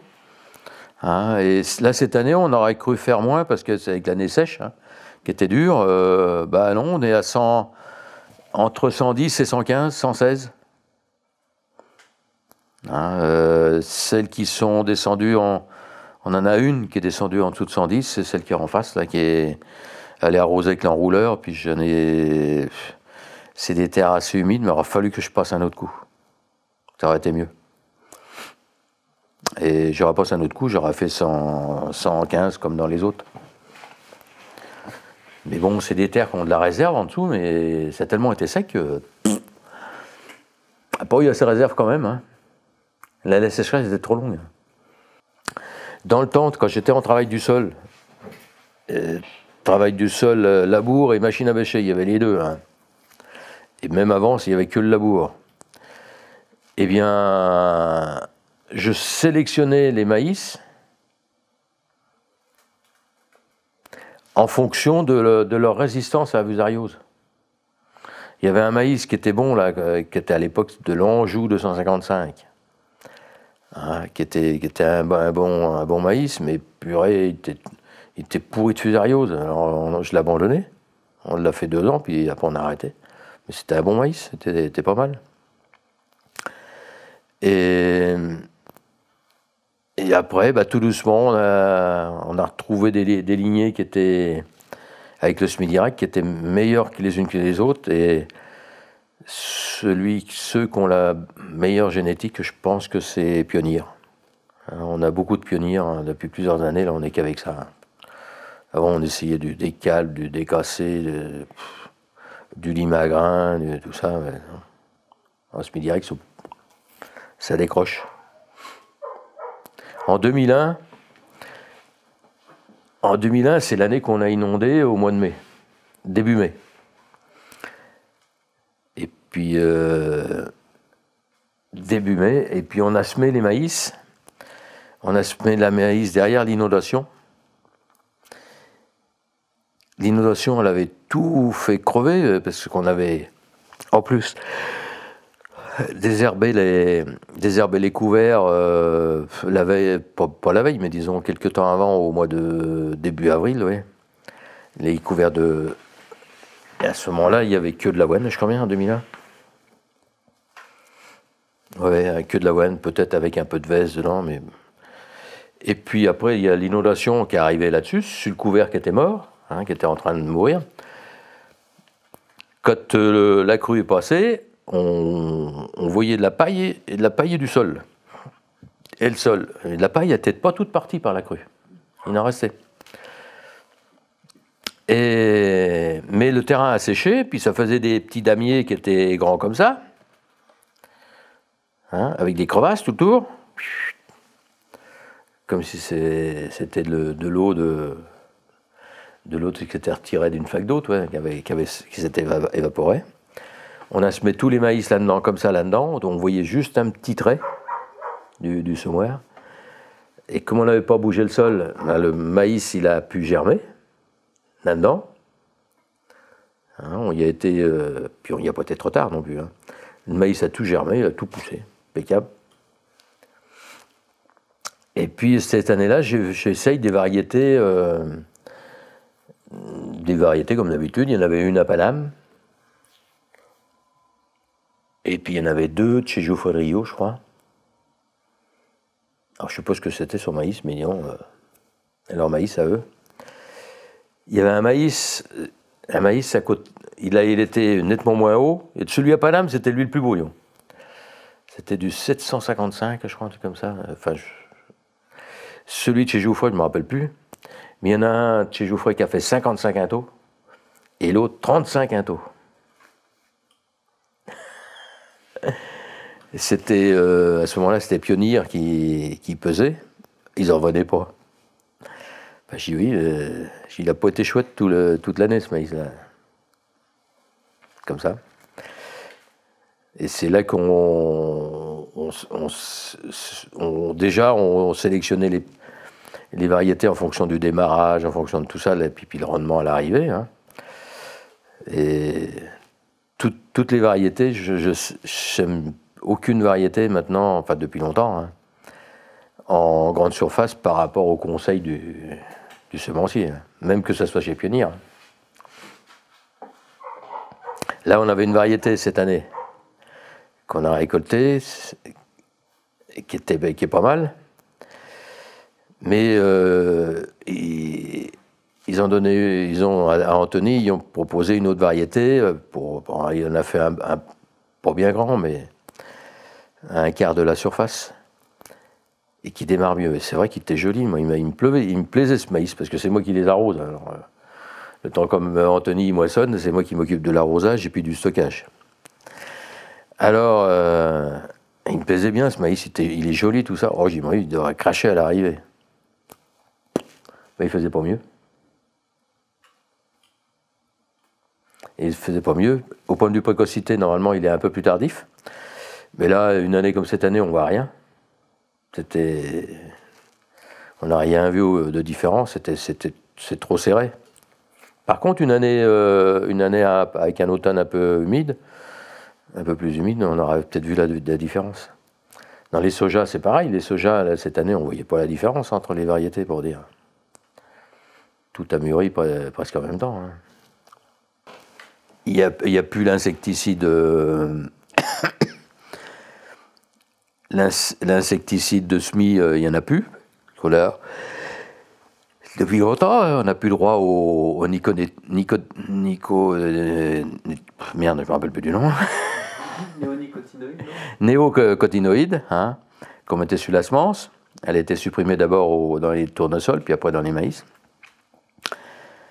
Mais bon, comme on en mettait sur blé, on en mettait sur blé pour les pucerons, je pense que ça a aidé à, nettoyer les sols comme les taupins et tout ça. Et c'est ce que je dis, c'est que malgré qu'on emploie ça, qu'on a employé ça tous les, deux ans, hein, un blé tous les deux ans, eh bien la microbienne a toujours monté. Donc c'était pas si dangereux que ça. Puis ce qu'il y a, c'est que c'est des insecticides qu'on met à, petite quantité, comme on n'en met que sur la semence. Alors en mettant à petite quantité, on ne fait pas de dégâts. Ce qui fait, ce qui fait du dégât dans la, dans la nature, c'est les excès. hein. Hein, comme les dans le Nord, là, qui font des. même par chez nous, euh, qui sont à faire trois fongicides sur un blé. Et puis euh, ils sont à 80% de la dose hein, à chaque fois. Si c'est pas si pas la dose pleine. Bah, des quantités de fongicides comme ça, euh, je vous dis que dans dessous, euh, les champignons, il n'y en a plus. hein. Vous avez des sols qui sont, morts après, qui meurent tout doucement. Et les gens ne s'en rendent pas compte. hein. Et une fois, j'ai l'Agence française de développement qui sont venus là me voir. Au moment où les maïs étaient, étaient pas haut comme le genou, mais pas loin. Pas loin. Puis c'était une année, euh, une année atypique. euh, Il n'y a jamais une année qui se ressemble. hein. Il y avait eu des gros accados, des gros accados à ce moment, dans cette période-là, au moment qu'il était à cette hauteur-là. Et puis, euh, c'était chez un collègue là, qui est, qui est en semi-direct comme nous. Et puis, à côté, c'était le laboureur, là. Bah, c'est le seul hein, qui reste, hein, dans le coin. Mis à part euh, un bio. Mais lui, euh, il laboure encore. Lui. Ah bah lui, il a tout- toute la collection de matériel. hein. La charrue, euh, tout, euh, tout ce que tu veux, les crever crop, les Canadiens, et les déchaumeurs, les déchaumeurs rapides, comme ils appellent maintenant. hein. Et puis il a le semoir à disque, je viens de dire, il y a, tout. Et il. Puis, Enfin bref. Eh bien, il avait des maïs. J'ai emmené les gars de l'AFD. euh, voir ça. Et ben, ils étaient comme moi, ils n'en revenaient pas. hein. Le maïs de l'autre à côté, ben, t'as dit qu'il n'était pas beau. hein. Il avait passé par toutes les couleurs, et par l'excès d'eau. hein. Le sol était fermé, était asphyxié. Était... L'autre à côté, ben, le maïs était bien vert, tout joli. La seule différence, c'est la structure du sol qu'il y avait là qui était, qui était intacte. Puis avec la, vie microbienne, l'autre, était. Après, quand c'est poussé, qu'il y a eu la chaleur, après, euh, il y a eu le froid aussi qui faisait ça. Il y a eu la chaleur et tout ça. Après, ça, ça se voit moins, mais tu, tu le vois quand même tout le long de la végétation, c'est quand même moins bien. C'est quand même moins. Et les, agriculteurs, ils, ils- ils sont à côté, ils remarquent pas. Ils remarquent pas. Parce que le, cette année, le maïs, on l'a presque pas séché. On l'a récolté à, à 19, euh, ouais, 19, 20 d'humidité, c'est tout. 10 17, 18, 19, on l'a récolté. Ça passait vite dans le séchoir. Le séchoir fournissait la moissonneuse. C'est-à-dire que la moissonneuse, elle avait de la peine à faire suffisamment de réserve pour la nuit, pour que le séchoir il, il ait suffisamment de maïs pour tourner toute la nuit. Et à, minuit, minuit et demi, une heure, fallait que je remplisse le- les fosses, qu'elles soient bien pleines pour que ça tienne jusqu'à 7 heures le lendemain matin, 6 heures ou 7 heures le lendemain matin. Et puis après, il fallait se dépêcher d'aller moissonner pour pouvoir euh, ralimenter le, le. Bon, alors le, sorgho, le sorgho, c'est une plante qui est un peu comme le, comme le maïs. Lui, on le fait qu'en qu'en culture sèche. Enfin, pas tout le temps. Il y en a un petit peu dans l'autre ferme qui est en, irrigué. En irrigué, euh, parce que l'autre ferme, a un étang. Alors donc, de chaque côté de l'étang, on a, si, on a arrosé le, sor- le, le sorgho. un peu, il a, il a fait deux passages d'irrigation. On en a fait trois, sur le soja trois sur le soja. Et puis, comme l'automne, euh, le printemps avait été très humide jusqu'au mois de juillet. 1er juillet, on se tape 60 mm. Le 9 juillet, on en tape 50. Alors, ça fait 100 mm là en peu de temps. Euh, ça a rechargé euh, les sources, ça. Et puis, l'étang, il a, il a donné jusqu'au bout, oui, c'est vrai. C'est en 2000. Je crois que c'est 2005. Je crois que c'est 2005, c'est l'année des CAD. Qui était après les après les, les CTE. hein. Les CTE, on n'était pas rentré dedans parce que c'était trop compliqué leur truc. euh. Et puis là, le CAD, c'était un truc simple. Ben, il y a- T'avais une aide à l'hectare pour, euh, euh, pour les couverts végétaux. si tu n'avais pas assez grande couverts végétaux par rapport à, par rapport à ta surface, tu pouvais euh, faire autre chose. Et nous, on, mettait, avait mis les microgrammes avec de maïs. Et puis dans la ferme à Patrick, je crois que c'est dans, ces années-là. Enfin bref, l'hiver avait été sec, pas, très, humide. Et puis là, on s'est dit, ça y est, là c'est foutu, on va, faire du maïs, mais on va pas pouvoir faire une bonne récolte parce qu'on va, va l'arroser que deux fois, peut-être bien, et puis c'est tout. Alors, euh, les, sources ne sont pas rechargées, c'est foutu. On se dit, bon, on va faire du sorgho. Puis au dernier moment, merde, les microgrammes. Ah Bon, comme dans les sorgho, il y a de la pyrale aussi. Hein, Il y, il y en a aussi, mais moins que dans le maïs. On téléphone à la, à la DDT, on leur dit on ne veut pas faire de maïs cette année parce que l'étang ne va pas, permettre d'arroser comme il faut. On va faire du sorgho et on va mettre des trichogrammes quand même dans le sorgho parce que de, toute façon, il y a un peu de, il pyrale dans le sorgho. Ah non, non, non, non, c'est pas prévu pour le sorgho, c'est que le maïs. Bon. Et il nous fallait 13 hectares de maïs. Le minimum, c'était 13 hectares. Bon, on a dit, bah tant pis, on va faire du maïs, et puis on va faire le minimum. Il, vous faut 13 hectares de maïs pour euh, les trichogrammes. Bon, on fait les 13 hectares de maïs. Le reste du champ, on le fait en sorgho. Hein, et puis on a arrosé que le maïs. Parce qu'il n'y avait, avait, pas trop d'eau, et on l'a arrosé que deux fois. On y a mis deux fois 25 mm. et encore, je ne sais pas s'il y était. Et puis, à l'arrivée, bah, le maïs, 55 quintaux. Le sorgho, plus de 65. Et lui, il n'avait pas reçu d'eau. Un peu?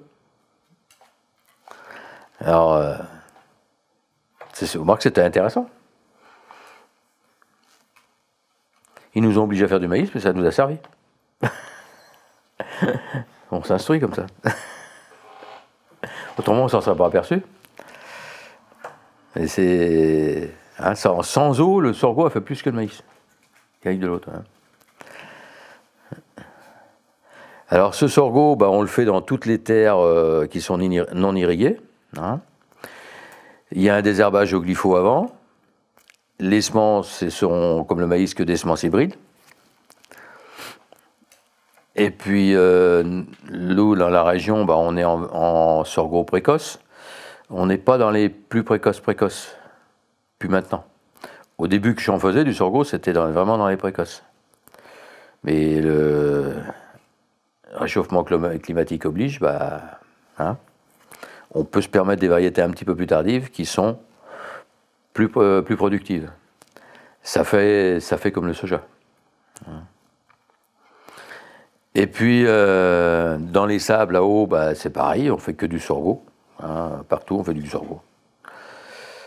on va arrêter. Euh, on va arrêter le millet à cause de, à cause de la fusariose qui, qui apporte, ce millet. Et puis, bon, bah, ce sorgho, il est semé à 50, comme le. Ah non, puis maintenant. C'est vrai que non. Maintenant, il est avec le nouveau semoir l'on a, on, peut semer du, on sème du sorgho avec. Et le sorgho, il se met à, il se met tous les 20, à peu près. 20-22 selon les, endroits du semoir. il est semé tous les 20 en répartie. Et là, bon, bah avec ça, on fait des,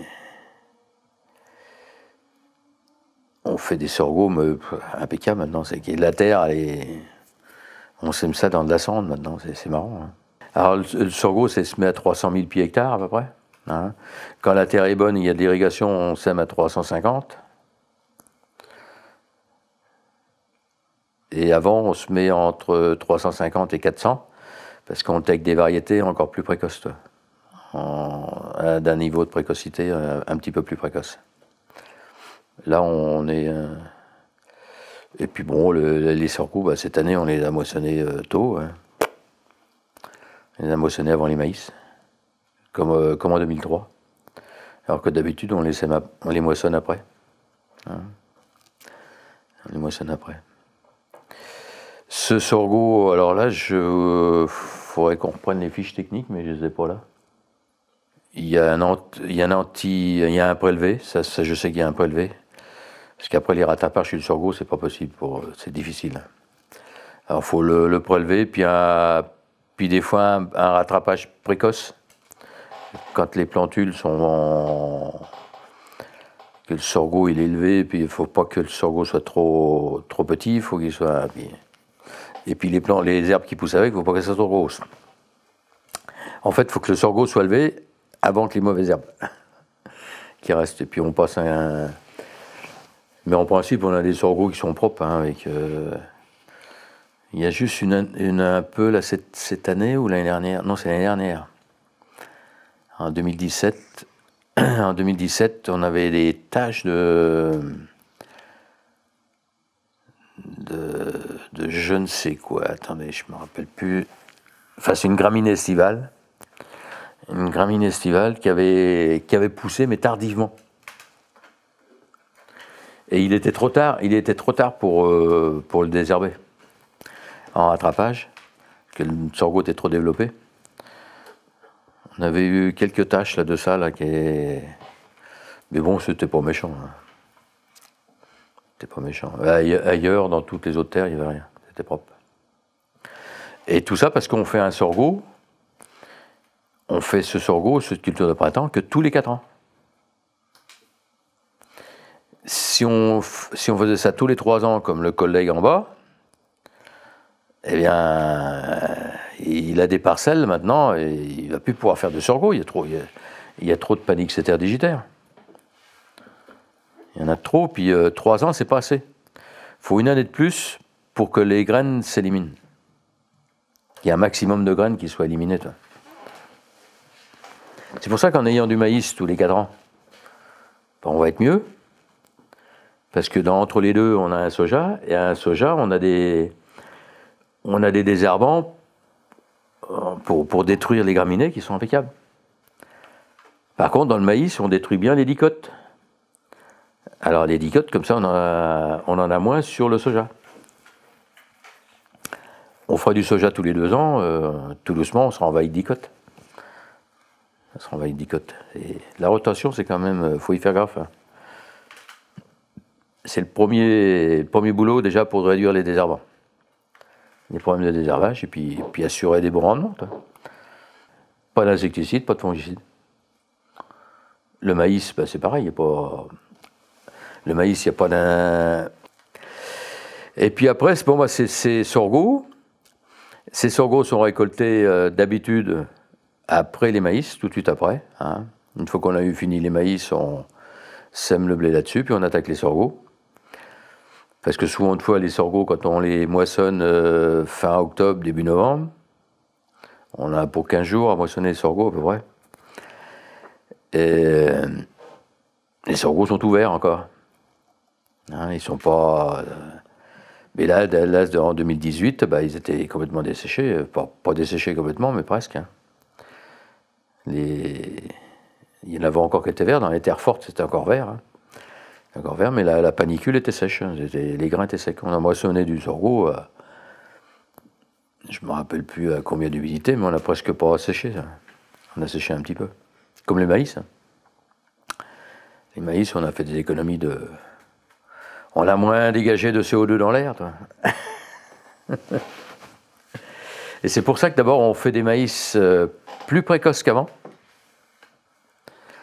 Ils ont fait des progrès là-dessus, hein, des maïs qui, sont, qui font le même rendement qu'un tardif presque. Presque le même rendement, euh, et puis euh, où il y a si peu de différence que ça vaut pas le coup de passer dans le tardif. Le tardif, naturellement, tu es content, tu fais, des, tu fais 10, 15 quintaux de plus que. Mais les 10 quintaux de plus, si, les 10, les 10 quintaux de plus, si tu leur dépenses dans le séchage, ça sert à rien. Tu dépenses du gaz à la place. Alors c'est pas la peine. Et puis euh, tu les récoltes un petit peu plus tard.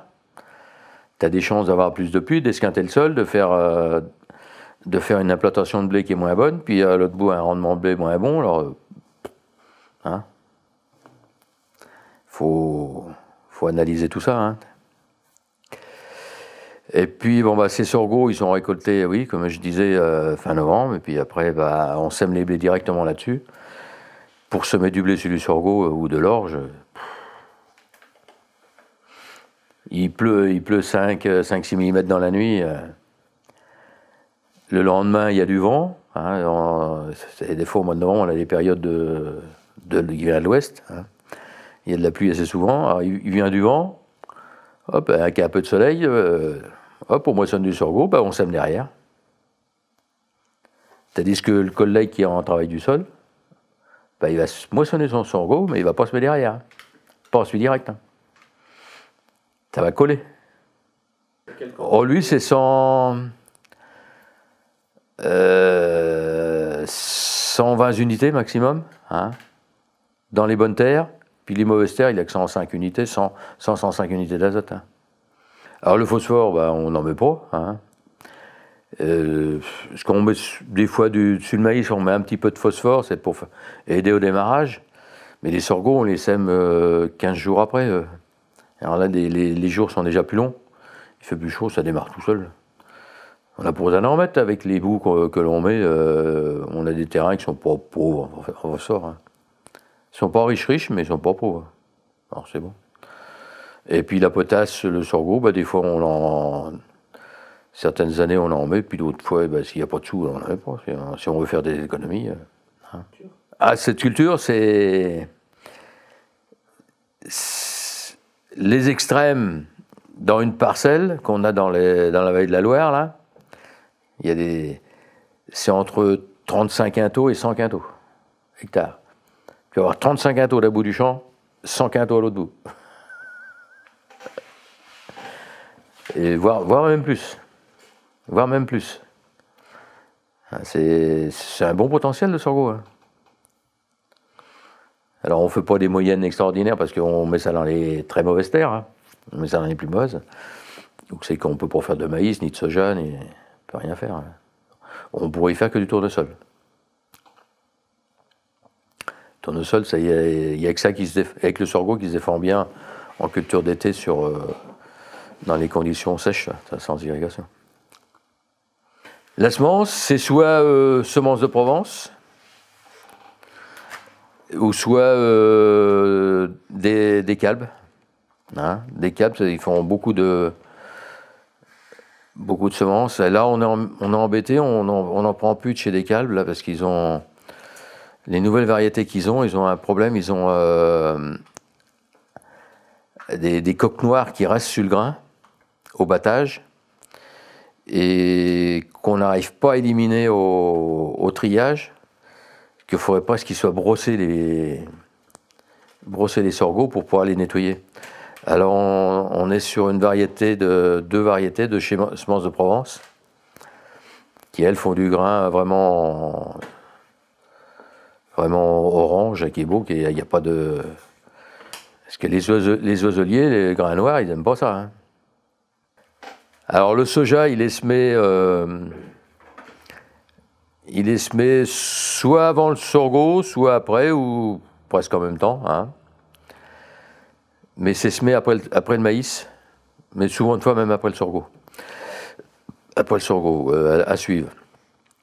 Que le soja, c'est une plante qui demande euh, un démarrage bien rapide puis chaud, avec de la chaleur. hein. La première année qu'on a fait du colza, c'est en 2004, du soja en 2014. On en fait 10, 10 hectares de soja. Les 10 hectares, ils ont pourri. On a semé ça, puis il a tombé de la flotte derrière euh, à Tire-Larigot. Alors donc, euh, pourtant on le sait, hein, on, le sait par rapport au maïs. euh, quand on fait des semis, pour n'importe quel semis, que ce soit en labour ou ailleurs, hein, le temps qu'il fait après le semis est des fois, plus important que le qu'au moment du semis. On avait ça avec les. Je me suis aperçu ça en 2005 avec les maïs. Et le soja, c'est le même principe. hein. Vaut mieux semer, vaut mieux semer tout de suite après la, pluie et avec qu'il y a du temps frais qui est, arrivé avec la pluie, automatiquement avec la pluie, il arrive du temps frais. hein. Alors, tu laisses le terrain s'assainir, et puis là, il- l'anticyclone, il arrive, il ils annoncent du beau temps au moins pour une semaine ou une semaine ou dix jours. hein. Et là, tu, là, tu sèmes. Le soja, c'est là qu'il faut le semer. Et puis après, avec la, t'as la température qui chauffe et tout ça, et là, il décolle, c'est parti. Si tu as semé avant cette pluie-là, tu peux avoir jusqu'à 50% de perte. 50% de perte dans ta levée. Et le maïs, tu n'as pas 50% de perte, mais tu, tu peux avoir une petite, de la perte aussi. En 2005, en 2005, j'ai- c'est l'année où c'est qu'on a monté le premier pivot euh, de la ferme. Et puis le pivot était monté. Et puis le temps était encore un peu humide. euh, mais bon, euh, on aurait pu semer, ça, aurait- ça y aurait été le maïs. Puis on se dit, bah, Bon, on va attendre, on va, faire, on va continuer à travailler sur le pivot, fallait faire les passages, tout ça. Et puis il se passe euh, trois jours, quatre jours. Oui, quatre jours. Ah, puis j'ai dit, oui, mais attends, ils annoncent du beau temps, ça chauffe. J'ai dit, on... Le pivot, euh, on arrête et puis on va, on va semer du maïs. On sème du maïs. À ce moment-là, j'avais qu'un seul semoir à maïs. Et puis il nous a fallu cinq jours pour faire les, les 130 hectares de maïs qu'il y avait à semer. Eh bien, et il nous restait, ah oui, c'est pour ça que je voulais me dépêcher, il restait, ils, annonçaient 5 jours de beau temps. Bon, bah, on sème les maïs, en 5 jours, on va les finir. On a fini les maïs en 5 jours, pile. Mais entre le, le jour 1 et le jour 5, la levée, il y avait 15 jours à l'arrivée d'écart. Hein? Et tout ça parce que quand la pluie est venue sur, euh, après le- la levée, c'était de la pluie avec- automatiquement avec- un peu plus, plus froide. Ça rafraîchit le truc. Les, derniers, bah, ils n'ont pas, euh, pas germé tout de suite. Les autres étaient déjà prêts, ben, germés, pas prêts à sortir, mais étaient déjà la, germination était lancée, c'était bon.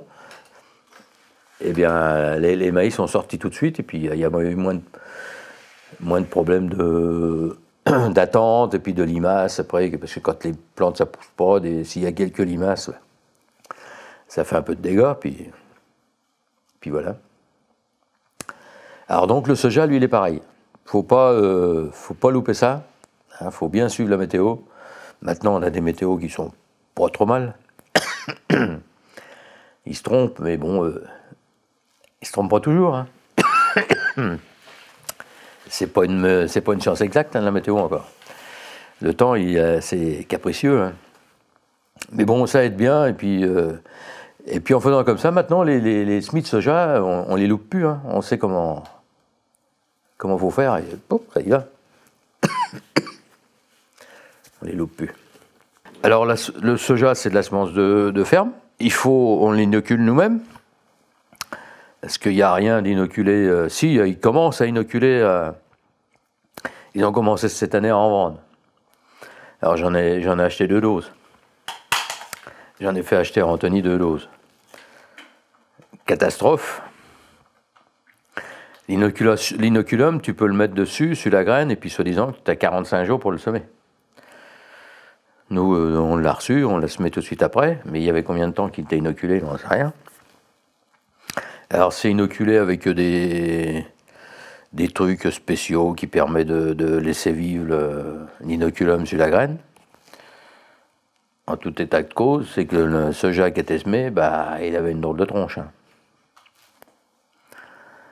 Il avait une drôle de tronche, il a fait que 20 quintaux, alors que l'autre à côté, il a fait 40. Alors donc l'inoculum, on le fait nous-mêmes, on le fait avec du lait, du lait entier qu'on achète, ou du lait de ferme. On met l'in- l'inoculum avec, et puis on rajoute un petit peu d'eau si c'est un peu pas assez humide, et puis, puis voilà, pour... euh, je ne me rappelle plus les doses qu'on fait pour... euh, et puis l'inoculum avec. L'eau de l'inoculum, et puis le lait, ça suffit pour humecter, pour dire. Et le lait permet de. Ça sèche beaucoup moins vite, toi. Et ça permet de peut-être de nourrir aussi les, bac- les bactéries, on sait rien. Ça peut les aider. Je ne me rappelle plus où c'est qu'on avait appris ça. Qui c'est qui nous a dit ça? Je ne me rappelle plus. Enfin bref. Et euh, alors c'est bien, le, le soja, tu y mets de la potasse. On n'y met même plus d'azote. Les premiers soja qu'on faisait, on mettait 10 10 unités d'azote, maintenant on ne le met même pas. Hein. Et puis euh, le soja, ben, il se débrouille tout seul. Avec ses nodosités, il se débrouille. Euh, on, fait, on fait entre 37 et. En irrigué, c'est entre 37 et 38, 40 quintaux. Avec les variétés que l'on a euh, par ici. Il y a d'autres variétés qui sont qu'on aurait pu faire cette année, parce que celui qui aurait su qu'on avait une année chaude comme ça, on aurait pu faire des variétés un petit peu plus tardives, et on aurait pu passer les caps des 40, c'est-à-dire faire 42, euh, 42, 43, voire 45 quintaux, mais ça, faut le savoir à l'avance que ces variétés-là auraient pu passer. hein. Parce que déjà, celles qu'on fait là, une année comme 2017, bah, c'était juste à point, c'était bien. Fallait pas plus tardif. En 2016, on en avait une variété. Parce qu'en 2016, avec l'inondation, on a ressemé du soja deux fois. On a ressemé du soja sur le, sur le maïs, qui a noyé aussi. Il y a une partie des maïs qu'on noyait, il y avait la moitié hein, qui a noyé. On a refait du soja là-dessus. Et heureusement qu'on avait gardé cette variété précoce là, Et que je me rappelle plus du nom. La variété normale c'était du Solena. Et puis l'autre c'était. Ah, je me rappelle plus. Enfin, bref. Heureusement qu'on en avait gardé. Et puis on en refait tous les ans un peu, juste pour se faire de la semence pour l'année d'après.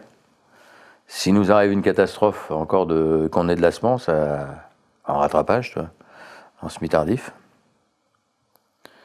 Alors là, le soja en 2016, avec cette variété précoce, on était à 25 quintaux. Un peu plus de 25, ouais.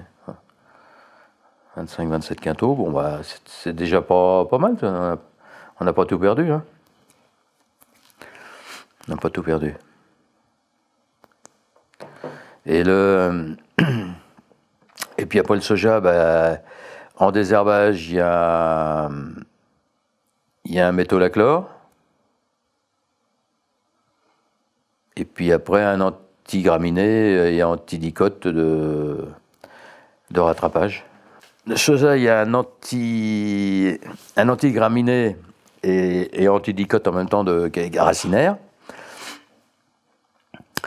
Et puis il y a, un antigraminé foliaire avec un antigraminé, un antidicote euh, foliaire aussi.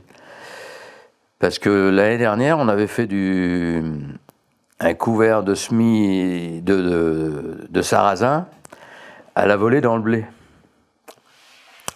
Et puis on avait dit, comme le soja il sème beaucoup plus tard, on va faire le deuxième, le deuxième couvert dans le sarrasin une fois qu'il sera récolté. Et puis, comme ça, la, la févrole, ou la- l'avoine et tout ça, enfin surtout la févrole, elle, va encore pousser avant de semer le soja. Elle, aura 15 jours de plus par rapport au maïs. Et puis, mais le sarrasin, c'est qu'il faut pas le faire à la volée devant le soja, il faut le faire devant le maïs. Parce que si le sarrasin il y a toujours des graines qui tombent. Hein, que ce bon Dieu de sarrasin, il n'est pas. En plus, c'est du, sarrasin bio, c'est du harpe. Alors, le harpe, il n'est pas à floraison déterminée. Il fleurit tout le temps. Alors, les premières graines, ben, tu en as qui sont tombées par terre. Et puis, quand tu récoltes ça, tu as des graines vertes, tu as des graines euh, mûres, et puis d'autres archimûres, puis d'autres qui sont par terre. Alors, donc, celles qui sont par terre, elles lèvent l'année d'après. Alors si elle lève dans du maïs, t'en fous, c'est facile à détruire avec l'antidicote qu'on va faire dans le maïs. Mais l'antidicote dans, le, dans du soja, euh, moins on en met, mieux, mieux c'est. hein. Puis là, cette année, on a été forcé de, d'en mettre, de pas se faire deux passages à, à demi-dose ou, ou deux fois tiers de dose, je sais plus ce qu'il a fait, Anthony, pour ne pas que ça sonne trop le. Ça abîme trop le soja. Parce qu'il y avait du sarrasin de poussée, hein. Il y avait ce qu'il fallait, hein. On s'était enherbé euh, tout seul dans sarrasin à cause du, couvert. Alors euh, là, cette année, euh, on a refait du sarrasin à la volée, mais on l'a fait dans l'assolement maïs. Voilà. Comme ça, d'ici, d'ici qu'on arrive au, soja après un blé, oui, après le maïs, le blé, puis ap- après, bon, bah, c'est bon, je pense que des graines de, des graines de sarrasin, on va peut-être pas en retrouver. Hein.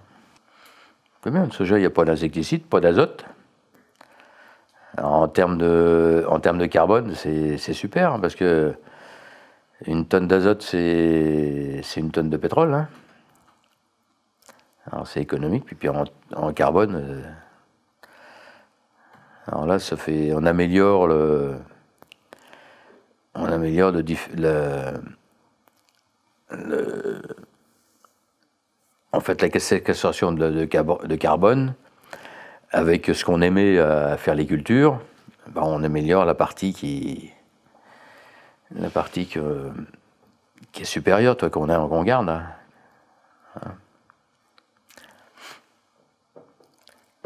Merde, c'est un, nom, j'arrive pas à le dire. enfin bref, c'est comme ça. Ouais, en puis ce soja, bah, il, est, moissonné en principe, on le moissonne sec. Jusqu'à maintenant, euh, on, va voir après avec les. Si, si on a des années humides, hein. si on a des humides, tout ce que je peux dire, c'est que En 2016, en 2016, on a fait du, soja, du soja précoce pour remplacer le, pour remplacer l'autre. Hein. Il était semé euh, 2016, il était semé début juin. Hein. Euh, non, fin juin, je veux dire. Fin juin, presque début juillet. Hein. mais fin juin, l'inondation elle est venue le, le 6, 6, juin. Elle a duré un bout de temps. Hein. Heureusement, après, il a fait sec. Il a fait sec. Hein. Et euh, on a fini une parcelle. On a fini une parcelle avec une, euh, avec une variété de soja qu'on nous a dit qu'il était bien, qu'il était précoce, tout ça. Euh, et puis le, collègue, il avait. C'était en 2016, il, a, il avait fait. Il n'a pas fait de soja, il a fait du. Il a fait du maïs à la place, il n'avait pas voulu en faire. Il dit ça va faire trop tard. Il dit. Il dit j'ai acheté une variété, là, il dit je te la donne, tu la sèmes parce que sinon l'année prochaine elle va être foutue. en fait, elle peut, elle peut se garder un an, la, la variété de soja. Alors on l'a semé pour finir un champ, hein, mais bon, elle était en tardivité, comme celle qu'on avait semée avant, c'est-à-dire euh, même un petit peu plus tardif, comme le Solena. Alors, euh, bah, la récolte, euh, quand tu arrives au mois d'octobre, fin octobre, bah, le machin, bah, il, il mûrit plus. Tu récoltes pas des sojas à tout rond, tu récoltes des haricots comme les haricots blancs, là. Ils sont longs. Tu verras, c'est marrant. Hein. quand c'est vert, ça reste comme des haricots, comme des haricots. Puis après, quand ça sèche, au fur et à mesure que ça sèche, ça devient tout rond. C'est marrant, ce, ce, ce soja-là. Eh bien, ce, euh, ce, soja tout, heureusement il n'y en avait pas grand, il n'y en a pas beaucoup. C'est juste pour finir. Bah, ce soja-là, il mûrit plus, il faut, faut, le, faut, le, passer au, séchoir. Hein faut pas se séchoir. Voilà, bah après c'est tout. Euh, le soja, c'est une culture qui fait moins de chiffre d'affaires que le, maïs. Hein. ça fait moins de chiffres, euh, mais bon, qui est très économique. Et la marge, la marge, elle est, supérieure au maïs. Là, cette année, euh, je crois pas. Elle va peut-être un peu inférieure, la marge brute enfin la marche semi-nette.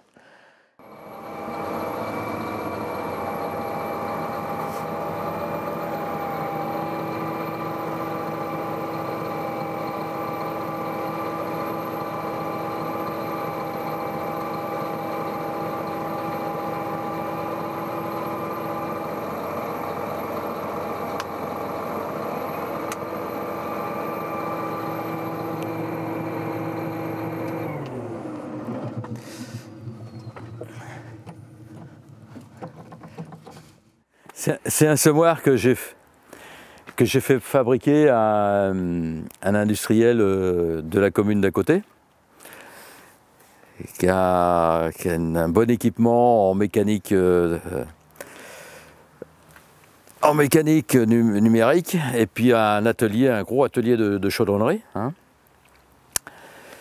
Et puis c'est à la suite de, euh, des visites qu'on a fait au Canada et puis qu'on été voir une marque de semoir qui m'intéressait, mais qui font des semoirs beaucoup trop grands. Ils font, c'est des semoirs qui, le plus petit doit faire euh, 12 mètres, 12, 15 et, et 18 mètres. Et puis avec une, euh, une largeur de transport de 4 mètres 50. 4 mètres 70 même, euh, je crois. Alors c'est beaucoup trop large pour chez nous, euh, pour, euh, pour l'Europe, l'Europe de l'Ouest. Alors donc, euh, je leur avais demandé s'ils voulaient me vendre euh, leur ligne de SMI. Et puis, ils m'ont jamais dit non. Je voulais leur demander le prix, tout ça. Alors, je les, je les ai je les ai relancés après. Et puis, bon, ils n'ont jamais donné de réponse.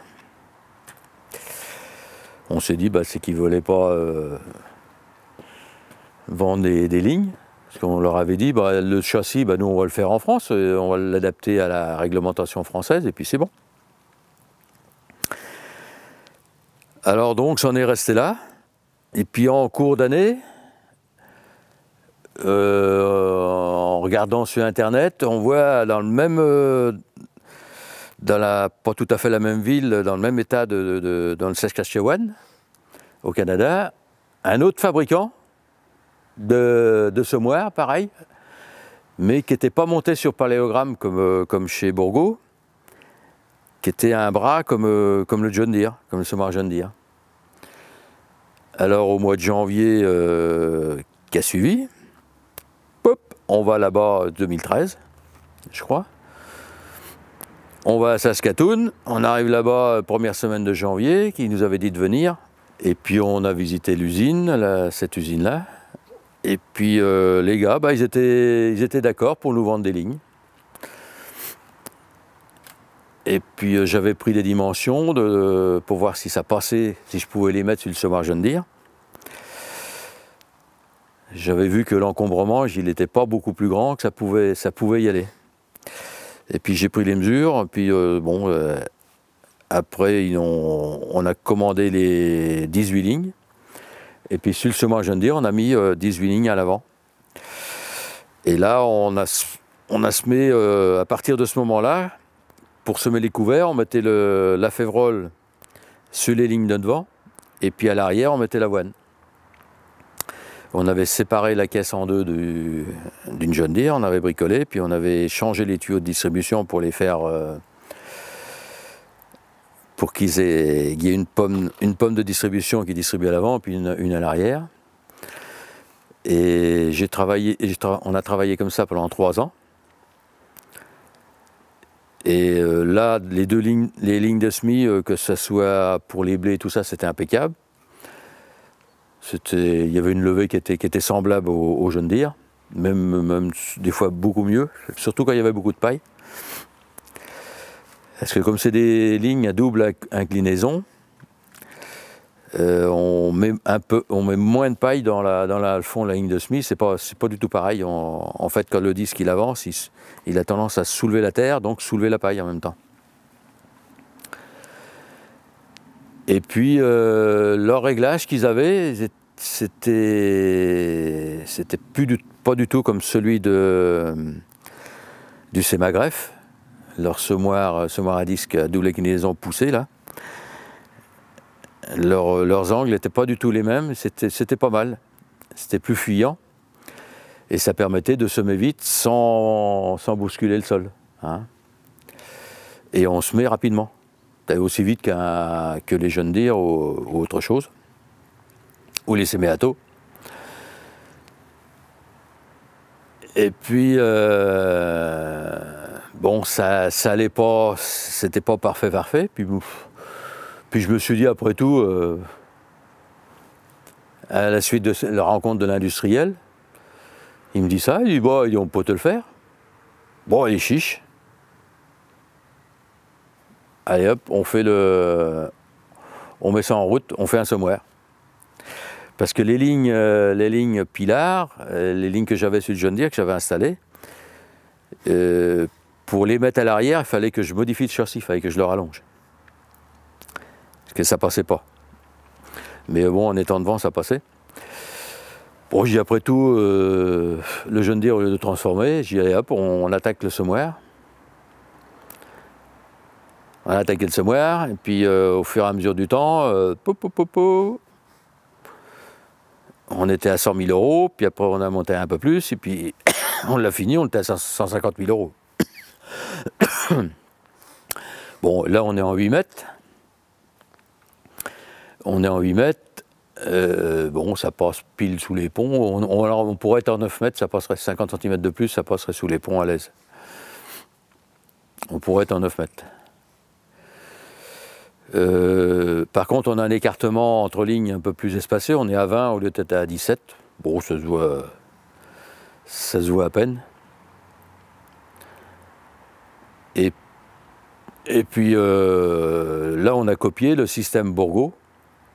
Pas tout à fait euh, leur système à eux, mais presque. Le, le principe, c'était d'être sur parallélogramme.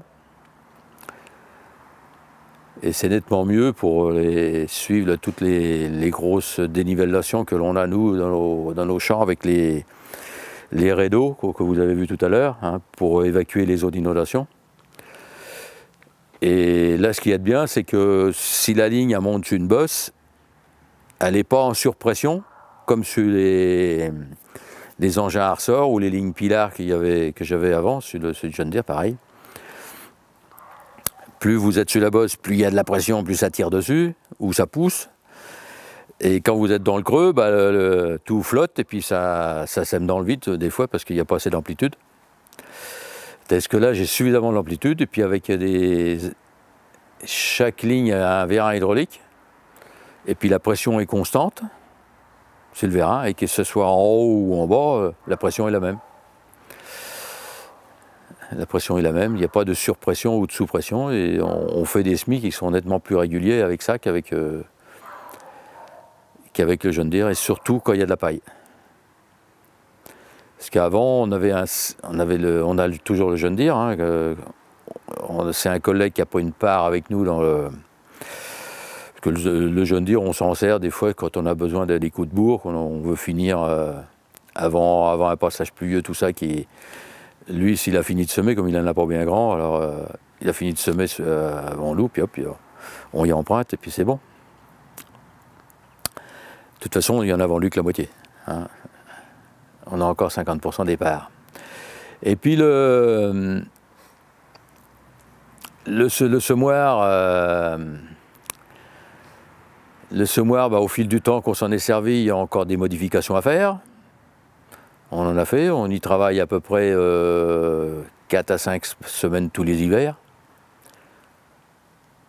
pour modifier tout ça. On l'a bien amélioré. Maintenant, on a moins besoin d'y travailler. Euh, si on y a travaillé pour changer les disques, parce qu'il a fallu changer les disques au bout de la troisième année.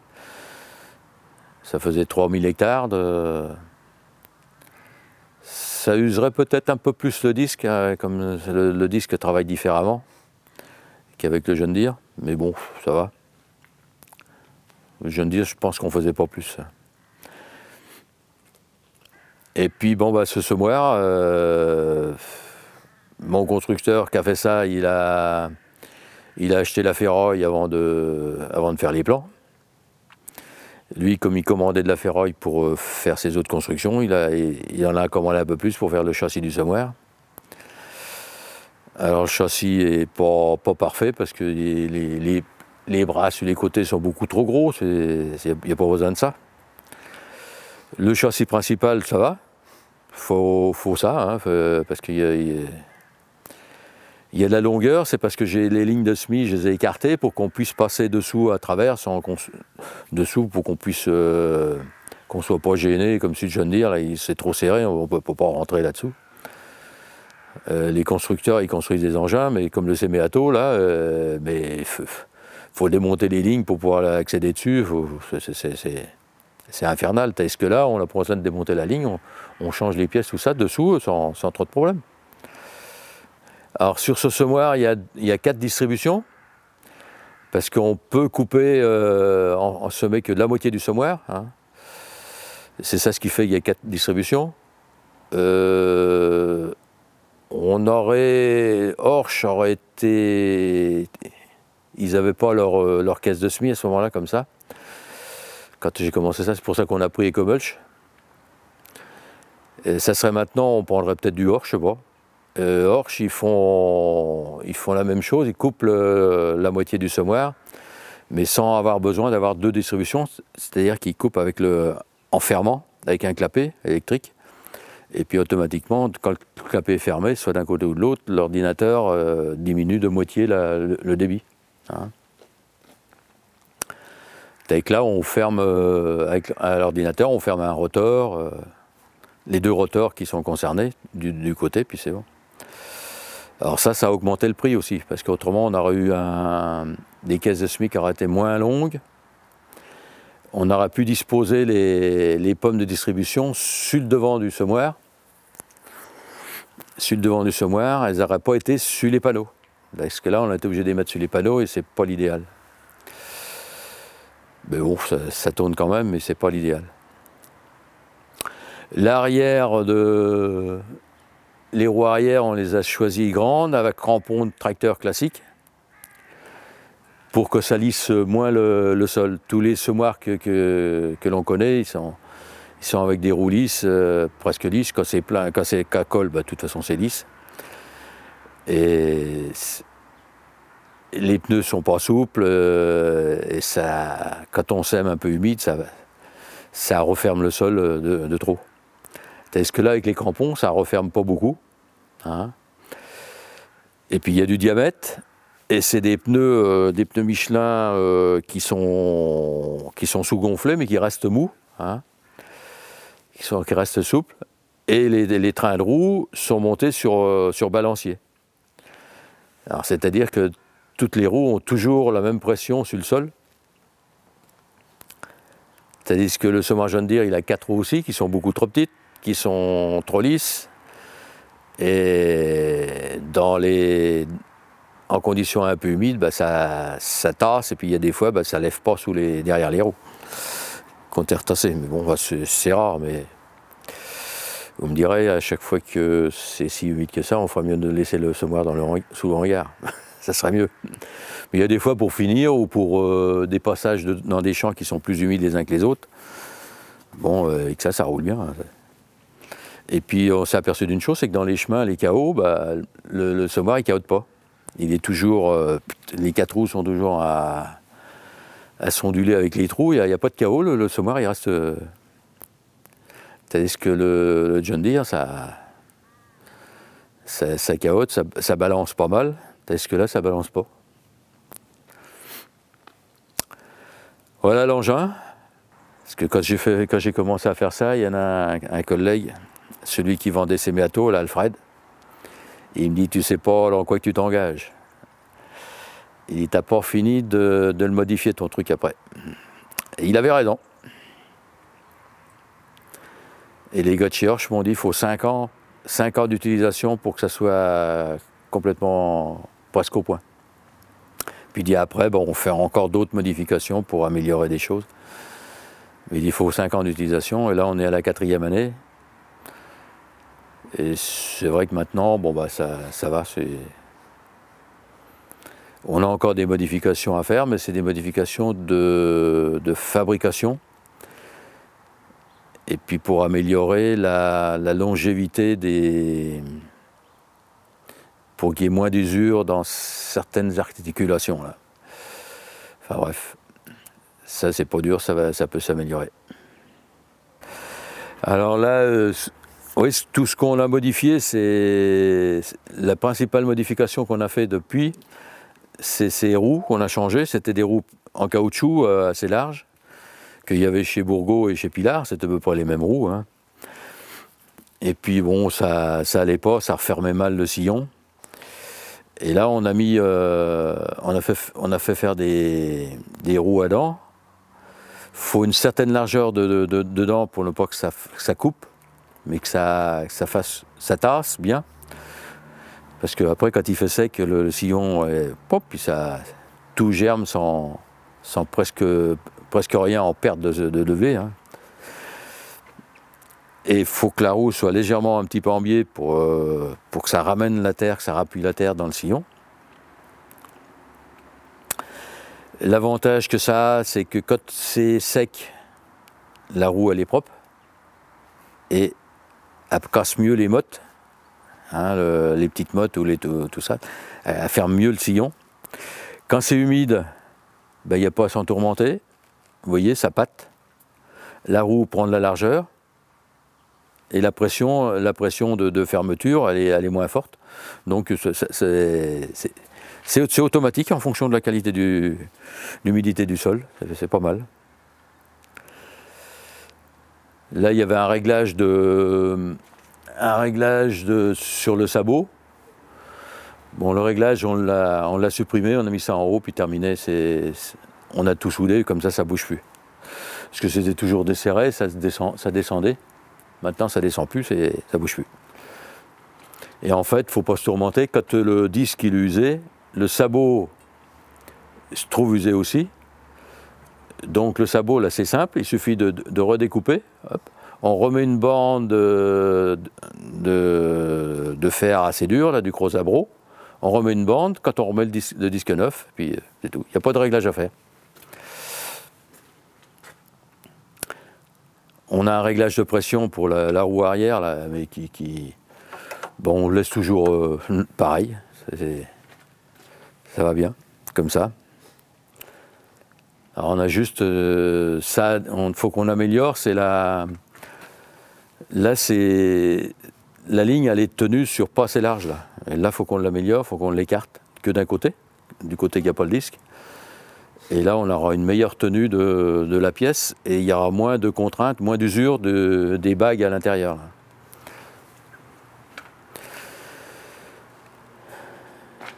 Et puis autrement, euh, ouais. Autrement, c'est tout. On a encore que ces améliorations-là à faire. Bon, bah, tout ça, ça prend du temps. Et puis après, il va être complètement au point. Et puis, si mon industriel, il n'est pas prêt pour, euh, pour en faire un autre, pour améliorer ça, euh, bah, déjà, s'il faudrait qu'il fasse les deux lignes, là, que je veux qu'il fasse. Ça permettrait de tester. Et puis, on les mettrait au bout une de chaque côté. Le, le semoir, bah, il ferait euh, 8 mètres 80. euh, euh, oui, si je mets que deux lignes. Euh, ouais, à peine, ça fera 8 mètres 50 au lieu, au lieu des 8 mètres. Il sera un petit peu plus large, pas grave. Et puis ces deux lignes-là, ça permettra de les- tester, de les faire travailler. Et puis après, bah, ça sera la ligne définitive pour, euh, pour les prochains semoirs, s'il veut en construire. hein. Après, bah, tous, ces matériels-là, il faut les voir à- après à l'u- à l'usure, en, en longévité. hein.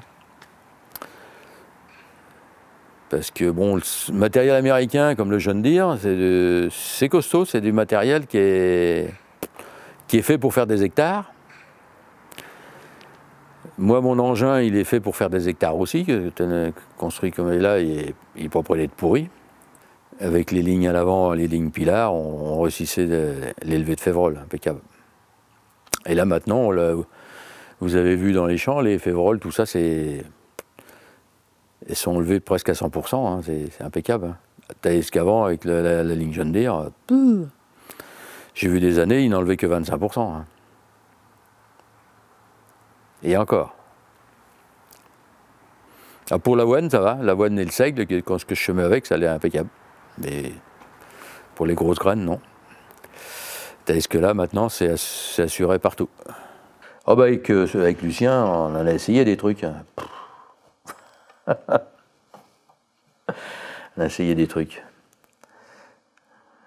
Enfin, euh, on avait essayé, euh, je me rappelle, j'avais une plateforme. J'avais une plateforme pas aussi grande que celle a- qu'a Noël de Neuville. Alors moi, j'avais fait une plateforme avec Lucien, avec euh, on avait essayé des amarantes, du quinoa, de, l'éleusine, du kikuyu, et puis Colomb, je sais plus quoi. En tout un temps, il y avait toute la largeur. Là, c'est où c'est qu'il y a le hangar qui est construit maintenant. Hein toute la largeur était faite comme ça. Euh, bon, il y avait d'autres choses. Mais... La seule plante. Et puis, parce que dans cette parcelle, dans cette parcelle-là, il y avait un gradient euh, qui, un gradient de qualité de sol et puis de, de, de l'eau, puis de l'eau aussi, la, la qualité du sol aussi. Et puis la- l'approche de la nappe, parce que le, le terrain était en pente, et puis le bas était plus près de la nappe, toi. hein. Toutes les cultures, on voyait le gradient du sol sur la culture, sauf les amarantes. C'était des amarantes qui étaient aussi hautes que le plafond, qui avaient des hippies moyens énormes, comme ça, là. Il en a fait. Noël de Neuville, il en a aussi, là. Vous allez voir, il- si vous faites voir ça, il en a. Moi, je les ai en photo, mais je ne sais plus où. Eh bien, le- l'amarante, en bas comme en haut, la même hauteur. Tu voyais pas de différence. Il y avait peut-être une différence sur la grosseur du pied. Peut-être qu'en haut, le, pied était un petit peu moins gros, mais il aurait fallu prendre le pied à coulisse puis, euh, pour les mesurer. Un pied, un pied de, un pied d'amarante, un pied d'amarante, en haut, tu as de la graine pour semer un hectare. hein. Parce que moi, des, dans le temps, j'ai fait des sorgho, des sorgho papetiers. Alors, le sorgho papetier, c'était. Ça venait aussi que le plafond. hein. Et euh, il y a eu, au- c'était au tout début qu'il y a eu la, le miscanthus. Alors, le miscanthus, et puis la, chambre d'agriculture, la, conseillère, parce qu'il n'y avait plus Philippion à ce moment-là, ils m'avaient donné. euh, ils, avaient fait une réunion pour ça, et puis. Bah, je leur ai dit, mais c'est pas mal votre truc, mais votre miscanthus, il faut le mettre dans les bonnes terres. Dans les bonnes terres, on fait autre chose, on fait du blé. Hein. Il nous faudrait, il faudrait quelque chose pour mettre dans les mauvaises terres. Et puis, bon, moi, je fais la connaissance de ça, de ce fameux sorgho papetier. J'en achète à Semence de Provence. On en a fait pendant trois ans. Mais des, petites surfaces, ça. Des petites surfaces. Et puis, souvent, de fois, on en a fait pour. euh, dans des endroits, c'était des vignes arrachées. Mais en dessous, dans ces vignes arrachées-là, c'était humide. Sur euh, Saint-Martin-de-Beau, là. En dessous, il y avait de l'argile. il y avait de l'argile. Et je me rappelle, c'était la dernière année que je me trouvais dans cette parcelle-là. Dans l'autre, c'était de l'argile au calcaire. Et puis l'autre avant, où que c'était? Je ne me rappelle plus. Mais euh, le ce sorgho papetier faisait 17 tonnes de, ma- de matière sèche à l'hectare. Et le minimum qu'on a fait, c'est 14. Et 14, c'était la dernière année que j'en ai fait. Dernière année que j'en ai fait, c'était sur une vigne arrachée dans une zone euh, où c'est qu'en dessous, bon, c'est du sable, superficiellement tu laboures, t'es que dans du sable. C'est pas plus herbé que la cour, c'est-à-dire il pousse rien. Alors tu mets, tu sèmes le sorgho, tu mets un peu l'engrais, et puis c'est parti, puis après il descend en dessous, et puis là il va, exploiter où c'est que, où c'est que la vigne elle a été, c'est tout. hein. Il n'y a que la vigne qui a, dû y aller. hein. Et puis, euh, le conseiller de la chambre, il, il faisait tous les ans, dessus mes sorgho papetiers, là, il faisait un, il un échantillon pour voir la, matière sèche à l'hectare, c'est pour ça qu'on le sait, la, quantité qu'il y avait. Et on était toujours mieux que son miscanthus. Et le miscanthus, il arrivait, il arrivait à peine à 13 tonnes. hein. Alors, euh, il vient, cette, dernière année, je me rappelle, il vient dans le champ faire les mesures. Il, dit, bah merde, il dit, autour, il dit, il pousse rien. Puis il dit, t'as du sorgho qui est plus haut que le, plus haut que le plafond, plus haut que le tracteur, la cabine de tracteur. Je l'ai en photo, ça, mais c'est effarant. hein.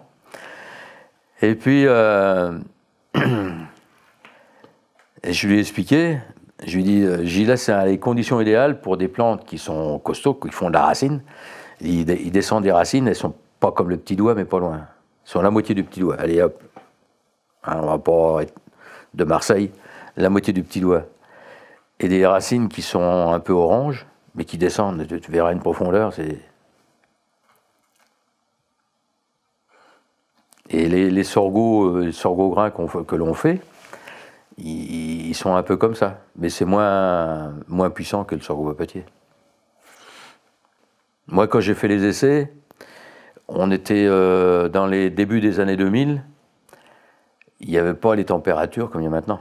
Hein. Alors là, il y, a, des choses qui poussent bien, qui ont bien poussé chez, Noël, mais peut-être qu'une année normale, il y en a certaines qui pousseraient moins bien. Hein. J'ai fait du, j'ai fait des crottes l'air. J'ai fait des crottes l'air avec lui. C'est ça ce qu'il y avait aussi dans la plateforme. Il y avait des crottes à l'air. Puis j'en ai fait en plein champ. J'en ai fait au plein champ, mais euh, il, faisait sec dans l'été. Il avait eu du mal à pousser. Hein. Ils n'ont pas poussé bien haut. Mais là, cette année, on a eu une, une année exceptionnellement chaude, puis qui a traîné en longueur, chaude. Euh, pour ces plantes, là, faut pour voir comment est-ce qu'elles vont, comment est-ce qu'elles se comportent. Euh, faudrait, faudrait qu'il y ait une année qui recommence la plateforme là, puis une année froide euh, en 2019, un peu plus froide. Puis voir là. Mais je pense qu'il y a des plantes, il a pas mal de plantes qui peuvent, qu'on va pouvoir faire ici. Et ce qui est intéressant, c'est surtout les plantes légumineuses. Plantes légumineuses. Vie du sol et matière organique. Donc, quand on a commencé notre, euh, euh, semi-direct, on, a fait venir, euh, avec le conseiller agricole de la Chambre d'agriculture, on a fait venir, il nous a fait venir Claude Bourguignon. On avait fait une journée, une journée complète de formation avec lui l'hiver en salle. Et puis au mois de juin, il était venu, euh, on avait fait une, une fosse pour lui, pour qu'il nous fasse le commentaire. Et puis il nous avait fait voir avec, son microscope dans le champ tous les, les bol, tout ça, toutes les petites bébêtes qui y a dans, le sol, qui sont là, qui travaillent avec nous. Et puis, euh, déjà avec la, suite, ce qu'on avait entendu dans l'hiver, on s'est dit, bon, bah, dans notre démarche, on est dans la bonne direction. Il faut qu'on continue euh, comme ça. Hein.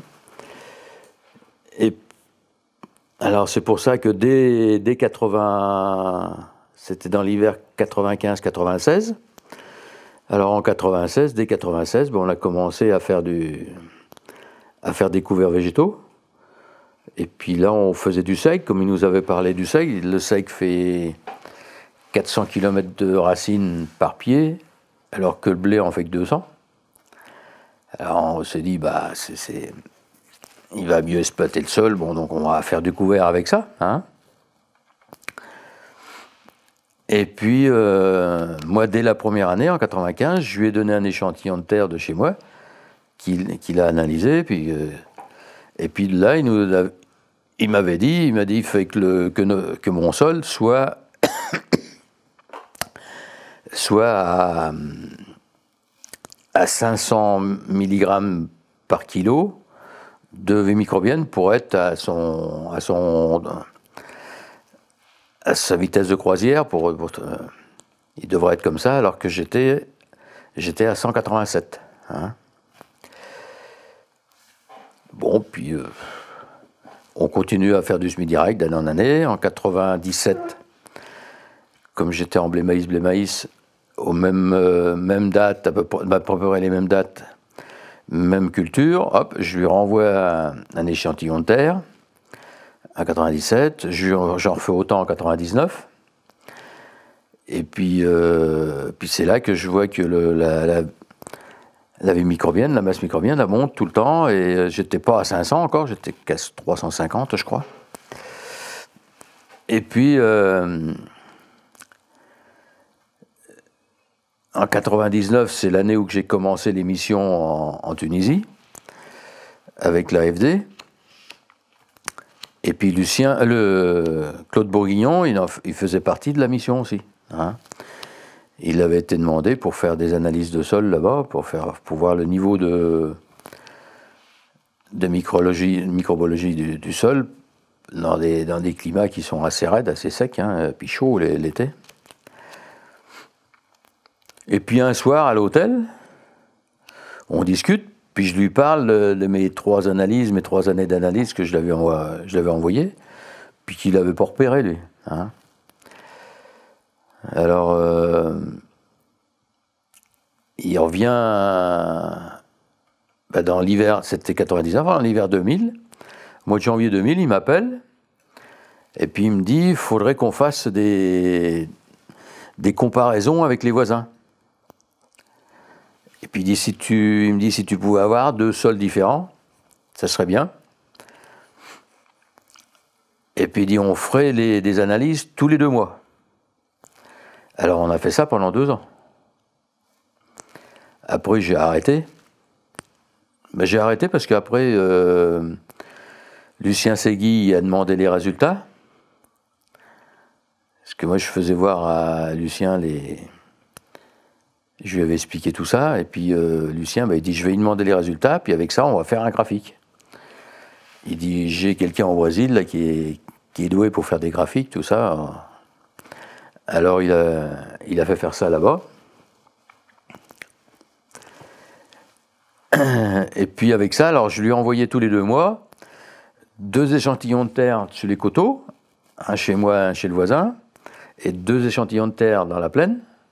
Hein, C'était deux fois, ça faisait 4, 4 kilos de terre à chaque fois, que je lui envoyais tous les deux mois là-bas. Puis il faisait, son, il faisait ses analyses et tout. Et puis, euh, et puis bon, on arrête au bout de deux ans, ça fait deux années complètes, c'était pas mal. Puis sur le graphique, on voit bien les ondulations les, en fonction d'après après le froid, l'hiver, tu as la, la qui chute, après ça repart, ainsi de suite. Après une sécheresse l'été, c'est pareil, ça, descend. Alors là, ça va être intéressant parce que j'en ai fait faire là en 2018 et là, après une sécheresse comme on a eu là, on va voir si l'activité biologique elle a descendu par rapport à ce que, à ce que j'avais moi déjà l'année dernière. L'année dernière, j'en ai fait faire euh, plusieurs en 2017. Et puis là, là, en plus, je lui ai fait faire un, truc qui était une parcelle à moi, puis la parcelle d'un voisin qu'on a repris. Hein, qu'on a repris. Et puis en, en, regardant le terrain, pour un, groupe d'agriculteurs qui était venu là, j'avais fait un trou, j'avais pris de la terre avec le couteau. Et puis là, je m'étais aperçu de la différence de couleur. Je dis mince. Alors, le voisin avec qui on a racheté la parcelle, il faisait du semi-direct comme nous, il a commencé comme nous, hein, exactement pareil, et il faisait le même assolement que moi blé maïs, blé maïs, parce que j'ai arrosé son, son, maïs en même temps que arrosé le mien. Comme cette parcelle faisait 4 hectares, euh, et puis j'avais l'arroseur, bah, ça faisait pas un gros gros boulot supplémentaire pour y arroser sa parcelle. Et puis on s'était arrangé, il me dit, euh, il dit en pour, je te laisse une parcelle euh, plus loin, que je pouvais arroser. Mais alors c'est tout, c'est qu'il y avait des anciennes vignes, il poussait rien du tout. Alors, c'est une parcelle où j'ai mis. J'ai pendu pas mal de fumier de champignons. Et puis je l'ai remonté comme ça, puis après c'était parti. Puis après, bah, une fois que tu fais du rendement, tu fais de la paille, euh, bah, après ça, monte en puissance, hein, tout, seul. Et puis sa parcelle, alors donc j'ai pris un échantillon dans la sienne aussi. C'est parti, c'est Sajuchi. Et là, il va me dire la différence. On va voir la différence de vie microbienne, la différence de matière organique aussi. Hein. Et là, j'ai donné même quatre échantillons, c'est-à-dire à deux profondeurs différentes, le 0,20 et le 20, 20,50 ou 20,60 qui est en dessous. Et là, on va voir aussi pour... Euh, et puis qu'on va envoyer ça à, comment il s'appelle à Sartou, à Jean-Pierre. à Jean-Pierre Sartou. Et ce que lui, il dit, ce qu'il faudra arriver à savoir, c'est si le- la matière organique en semi-direct, on, on dit qu'avec le semi-direct, bah, la matière organique, elle descend pas. Elle est, tout doucement, elle s'élimine, et puis après, il n'y a plus rien. Alors, ben, j'aimerais bien voir. Alors, comme ça, on aura les résultats, puis on, on va voir si c'est vrai. hein. Mais bon, euh, la parcelle d'à côté, c'est un gars qui était en semi-direct, mais qui faisait du TCS, un coup de Crovercop euh, tous les ans au mois de septembre. Enfin, tous les deux ans, je veux dire. Tous les deux ans au mois de septembre. Et puis, euh, qui se met son maïs au printemps, sur son coup de Crovercop, qui était nivelé, euh, nivelé léger, parce qu'il nivelait ça avec des herses, des herses hérissons de, de chez Dudzi. Hein, c'est juste pour. Et puis, euh, mais son terrain, moi j'avais remarqué, j'ai remarqué plus- plusieurs fois, dans l'hiver, quand il pleut beaucoup, son terrain, il y a des flaques d'eau qui se forment sur le dessus, qui s'infiltrent, mais beaucoup plus tard que. hum, Beaucoup plus tard que. ça, de l'eau pendant 3-4 jours sur, sur le sol, alors que chez moi, il n'y en a pas. Il n'y en a même pas dès le départ. Hein. Ou s'il y en a, c'est dans l'heure, puis après, hop, c'est descendu. Et pendant la pluie, la pluie après, c'est descendu. Et il y a même en 2000, euh, peut-être 2010, 11 ou un truc comme ça, il a passé des. Comment que ça s'appelle de, Un outil qui s'appelle Lactisol pour euh, son terrain, là, le, le soulever, parce qu'il était vraiment pris en masse. hein. On roulait dans son champ comme tu un chemin. Et puis je me suis aperçu aussi de ça, c'est quand euh, Bourguignon était venu avec un groupe de d'Ille-et-Vilaine. Et puis euh, Bourguignon m'avait demandé à l'époque de faire un, un profil chez moi, un profil euh, chez le voisin. Et puis entre les deux, entre nous deux, on a un agriculteur qui a d'un 12 mètres de large. Mais lui, ce qu'il fait, il passe. euh, il ne voyait plus labourer, alors donc il a, il a arrêté de labourer. Mais il passait le cover crop l'hiver, en plein hiver, euh, des fois, euh, c'était un peu gras. Moi, je trouvais que c'était un peu, un peu limite. Et puis, bon, moi, j'ai fait un profil dans sa parcelle aussi. Alors, chez moi, le maïs, eh bien, au mois de juin, il a été un peu moins haut que le genou. Et il était enraciné avec des racines bien blanches qui allaient euh, tout droit euh, dans le fond, puis la terre n'était pas, était pas compactée. Chez Dominique Chiden, euh, qui était, qui était sans, couvert végétal et puis ben, son, son terrain était dur. Quand j'ai fait le trou à la, à la pelleteuse, c'était dur. Et les racines des, maïs, elles, étaient- elles descendaient, elles étaient euh, euh, crème, elles n'étaient pas blanches, elles étaient crème. Et puis de temps en temps, elles avaient des nœuds, des boules. De, de pause en pause, elles avaient des boules. Et là, ce bourguignon nous avait dit, ça c'est significatif, c'est significatif d'un sol qui est compacté. Hein, qui est trop, euh, trop dense, trop... Et puis après, j'avais fait un trou aussi dans, chez, le, chez le voisin à côté, qui ses 12 mètres là. Alors là, les racines de maïs, elles, étaient sur la semelle du Covercop, et puis elles, elles avaient, elles avaient cherché le- leur route pour descendre. hein. Alors le maïs était assis sur la semelle de Covercop, il avait des racines les trois racines les trois premières qui, ont descendu, mais pas, pas en dessous du pied. hein. Ils ont cherché. Et puis, euh, bon, bah, ça, c'est- déjà une preuve qu'en faisant des couverts, on a une meilleure structure. hein. on a une meilleure structure, et puis qu'il faut. Ça sert à rien de gratter, parce que, surtout dans les conditions qu'il l'a fait. L'autre euh, collègue, c'est pareil, ça servait à rien qu'il gratte non plus.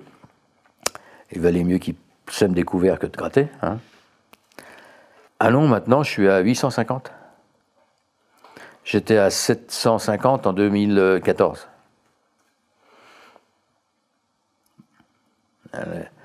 Et là, c'était, là, c'est à 8 à 850 maintenant. Et j'ai fait même analyser de la prairie permanente qui était euh, au long de, de cette parcelle.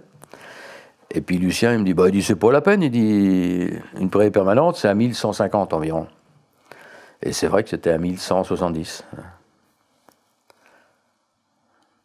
Alors, euh, bon, voilà, ça s'est bientôt rendu. euh,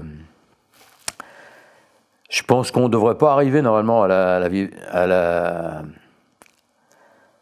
je pense, hein, on n'en- sait rien, hein, rendu au niveau de la prairie permanente, puisque comme c'est de la culture, il y a des périodes, des petites périodes sans, sans plantes et tout ça, parce que la prairie, permanente, ben, il y a toujours une plante. hein. Alors ça va peut-être être différent, on verra jusqu'à quel niveau que ça va monter. hein.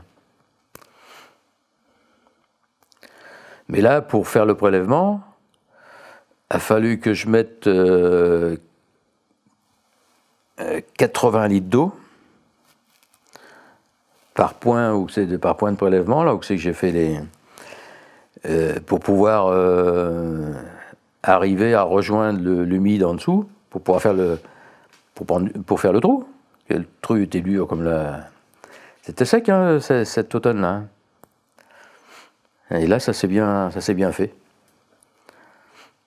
Et puis là, euh, avec ça, bon, dans, les sables, euh, dans les sables la- l'activité microbienne, elle n'était pas à 850, elle, était à euh, 400 et quelques, je crois. Ah voilà, coteau de la Gravelle. Et ça, c'est en 2017. Là, vous voyez, les... ça, c'est le- les coteaux de la Gravelle. Ça, c'est de mars 2000 à septembre, à septembre 2001. Hein? Alors donc, vous avez le, le mois de mai. Là, on arrive au mois de juillet. hein?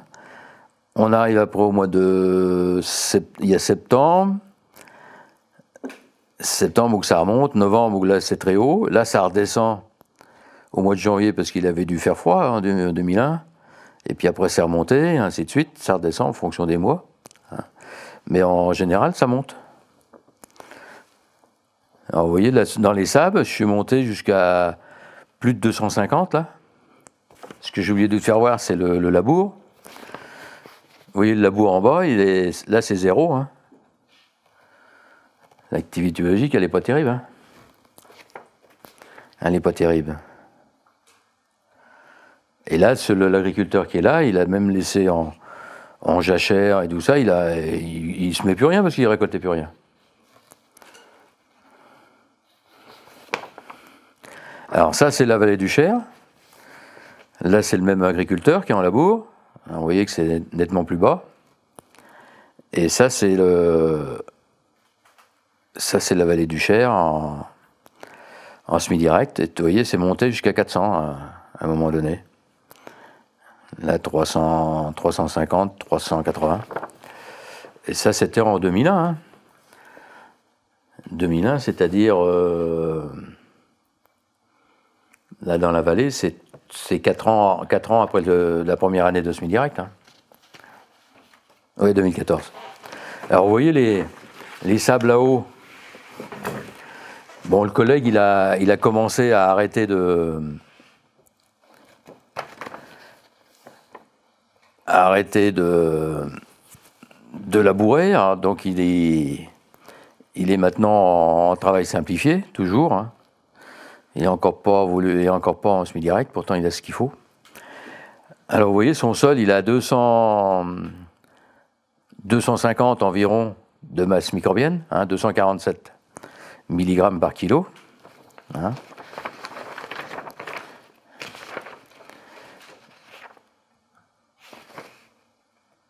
Ah non, c'est dans la vallée du Cher. C'est dans la vallée du Cher. C'est pas, c'est sur le coteau. C'est dans la vallée du Cher. Vous voyez, 247. hein. En 2014, alors que moi je suis à 731. Vous voyez la différence à 731. Et là, sur le.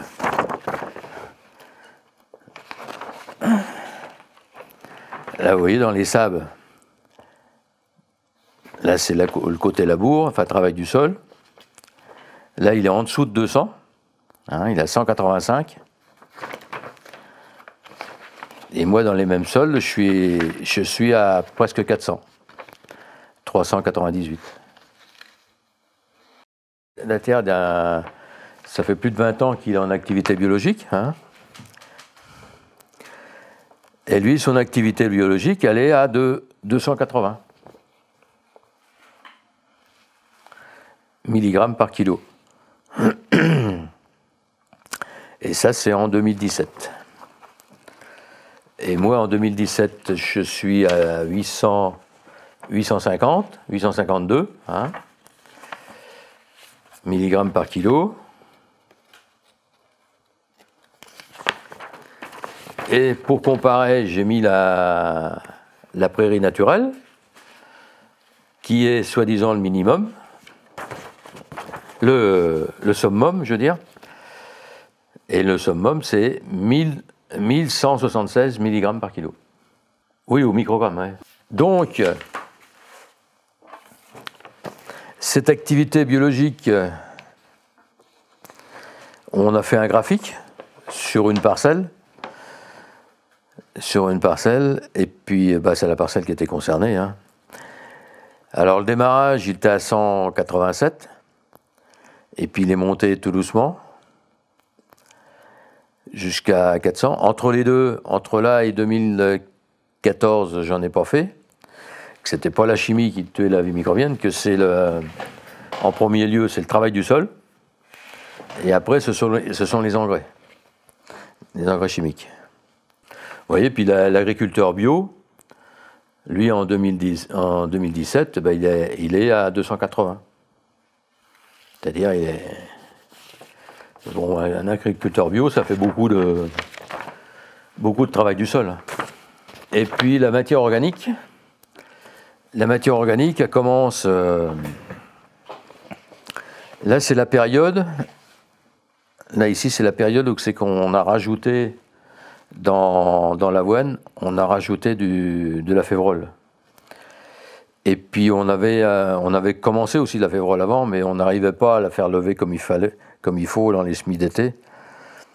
Alors euh, là, avec les semoirs, à, les semoirs à double angle, ils ont une meilleure pénétration, on sème mieux de, les févroles dans, le sol, et il y en a moins de perdus qui sont trop en surface. Alors, est-ce que c'est ça qui a fait, qui a aidé à faire monter la matière organique? J'en sais rien. Mais euh, dans une autre parcelle, on, de 3 à 2, on était on était à 3,2 dans une autre parcelle et on arrivait à 4,5. À 4,5, on n'était pas à 5, mais bon, bah, c'est que là, ça a bien monté en, peu de temps, mais euh, vous voyez, là, ça c'était régulier. Là, le pas de temps, c'est de 2010 à, 2016. Il y a 6 ans. Mais là, de 96 à 2010, bon, la montée, elle était régulière. Hein. Mais là, c'est vrai qu'on faisait que du couvert d'avoine. On a essayé avec de la veste, avec tout ça, mais c'est comme s'il n'y avait rien. La, la, veste se faisait bouffer par le. Et c'est à partir du moment qu'on a mis des févroles que. Alors peut-être que ça vient de là que ça, montait comme ça. Mais bon, la, vie, microbienne, euh, peut-être qu'en 2010, elle était peut-être un peu plus basse. On a fait une ligne droite là, mais peut-être peut, qu'elle venait, comme ça, puis après elle a fait ça.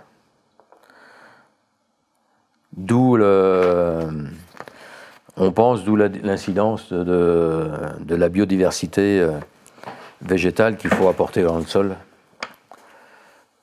pour que ça booste.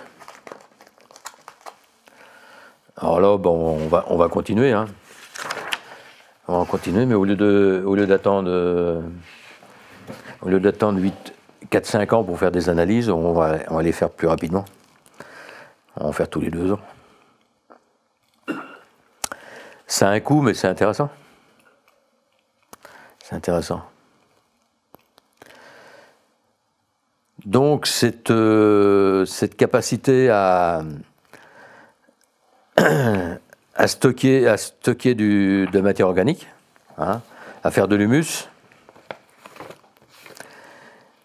à faire de, l'humus, hein, ça, ça va permettre, c'est ce qui permet de stocker du carbone Alors avec, euh, avec ça, bah, on, peut faire l'é- l'évolution sur... euh, sur... euh, bah oui, ça fait 20 ans. Ouais, 20 ans. Là, il y a des analyses sur 20 ans, là. hein. Bon, on n'est peut-être pas forcé de prendre les, les 5, euh, les 5%, là. euh, je sais pas, il peut y avoir une erreur de laboratoire, il peut y avoir une erreur, peut-être un manque de profondeur de prise d'échantillon, j'en sais rien, mais bon, euh, admettons que c'est monté régulièrement, bon, on, on devrait être à, là de 3 à 1, on devrait être à 4, à 4% toi, de matière organique. Et là, ça permet de voir le, stockage du carbone, il suffit de faire le calcul, hein, sur des échantillons qui sont pris à 20, 20-25 cm de profondeur. Et ça, c'est fait. C'est des échantillons, c'est pas les échantillons que j'ai pris moi-même par le machin. C'est ça ce qui m'étonne, c'est que là aussi, c'est des échantillons qui sont faits à, à la tarière. Et puis c'est le, le, gars qui prend les, les, trucs pour, le, pour la chambre d'agriculture. On s'est fait avec le quad et puis avec son machin. Et.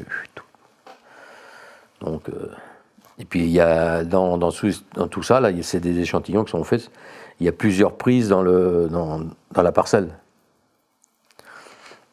Et maintenant, elles sont répertoriées par GPS. Et quand il reprend le, quand il les, fait les prélèvements, en principe, c'est tous les tous les quatre ans. Quand il fait des, prélèvements, bon, bah, ils les refont à peu près au même endroit maintenant, avec le, avec les repères GPS. euh. Voilà. L'avantage aussi de, de tout ça, c'est que la vie microbienne, la vie microbienne euh, agit pour, au niveau des, des pesticides et tout ça qu'on emploie. hein. C'est-à-dire que là maintenant, et, puis la, matière organique, les deux ensemble, les, pesticides, ils sont détruits par la vie microbienne, qui est, importante. hein. Et, la matière organique qui aide aussi à stopper toutes ces, toutes ces molécules, les anions et les cations, positifs et négatifs, tout ça, ça se, ça s'attire, puis c'est- bloqué, et on, a de l'eau qui traverse tout ça, comme si c'était une forêt ou, un- ou une prairie naturelle, c'est-à-dire que tout est retenu sans, que- ça migre dans la, nappe, ni dans les eaux de ruissellement et tout ça. hein. Et c'est vrai que j'ai des photos d'eau de ruissellement, c'est-à-dire de ce qui sort de mes champs, et puis qui alimente le fossé. Le fossé, l'eau est claire comme, euh, de l'eau de roche. hein. Quand il pleut beaucoup puis que ça coule, euh, alors que vous allez plus loin dans, les zones, dans la zone qui est. Le gars est en travail du sol, l'eau est toute marron. hein. Comme, euh, comme en 2016, quand on voyait les photos de la Seine, l'eau de la Seine là, qui passait sous le zouave, au pied du zouave. là, hein. L'eau était toute marron. Alors que là, on a de l'eau claire. Et de l'eau claire, je suis sûr, sans, pesticides dedans. Tout est. En plus, nous, c'est. Nous, on met, on met pas de, désherbant à l'automne. Mis à part le glypho dans- derrière, d'après certaines cultures que, l'on sème. Alors, euh, du, blé ou de l'orge sur colza, hein, pour détruire les repousses. Mais derrière du, sorgho, derrière du maïs ou derrière des sojas, il y a, certaines années, euh, même tous, enfin disons tous les ans, on désherbe que les bordures de, de champs, hein. Les bordures de champs, euh, bordures de chemin, tout va, où c'est qu'il y a de l'herbe à côté, qui ensemence les, bordures. Et il y a certaines, certaines années, euh, on, on désherbe même pas le milieu du champ, ça sert à rien, c'est propre. Et comme ça, ça permet d'attendre le printemps. Et là, parce que les désherbants qui sont mis à l'automne, quand il y a des grosses pluies qui arrivent derrière de, de 20, 30 ou 50 mm, comme c'est déjà arrivé, bon, bah, ça, ça lessive le désherbant et puis, et puis ça, part, ça part dans les fossés. hein. Et puis peut-être, et puis en dessous, certainement. Tandis que là, déjà, nous, avec, nous, avec no- notre matière organique, on a sur le dessus. Je suis bien sûr qu'on mettrait le même désherbant que le voisin à côté. Il n'y aurait, aurait presque pas de fuite. hein. Jean-Luc Forler, il l'a, il l'a mesuré, lui. Et puis, euh, ils ont de la peine à trouver des traces de molécules dans, l'eau qui, qui, qui passent à travers le sol. Et puis, euh, et puis à la suite de la polémique de l'année dernière, euh, enfin de l'année dernière de, de 2017, sur le glyphosate, qu'on dit que les petits déjeuners étaient pleins de glyphosate, qu'ils ont fait toute une polémique là-dessus, les lentilles étaient pleines de glyphosate, hein, c'est sûr, mais ce pas des, lentilles qui sont chez nous, c'est des lentilles qui viennent du Canada, qui ont été forcées en maturité avec du glyphosate pour pouvoir les récolter avant qu'il tombe de la neige. hein. Et c'est vrai que les lentilles de là-bas, elles sont à 0,23 milligrammes, je crois. Enfin, au microgramme, je sais pas quoi. hein. Elles sont à 0,23, alors que chez moi, les... j'ai pas de lentilles, mais j'ai fait ça sur les haricots, sur le blé, sur le maïs et sur les soja. Tout, est en dessous de 0,10 ou 0,1. 0,01, voilà, 0,01, c'est ça. Alors vous voyez sur le... Là c'est que le glyphosate. hein. Que le glyphosate. Il y a même ils ont même mis le gluf- glufosinate. Alors j'en emploie jamais, ça, celui-là. Et il n'y a pas plus de l'un que de l'autre. Hein, c'est... C'est mi- microgrammes par kilo.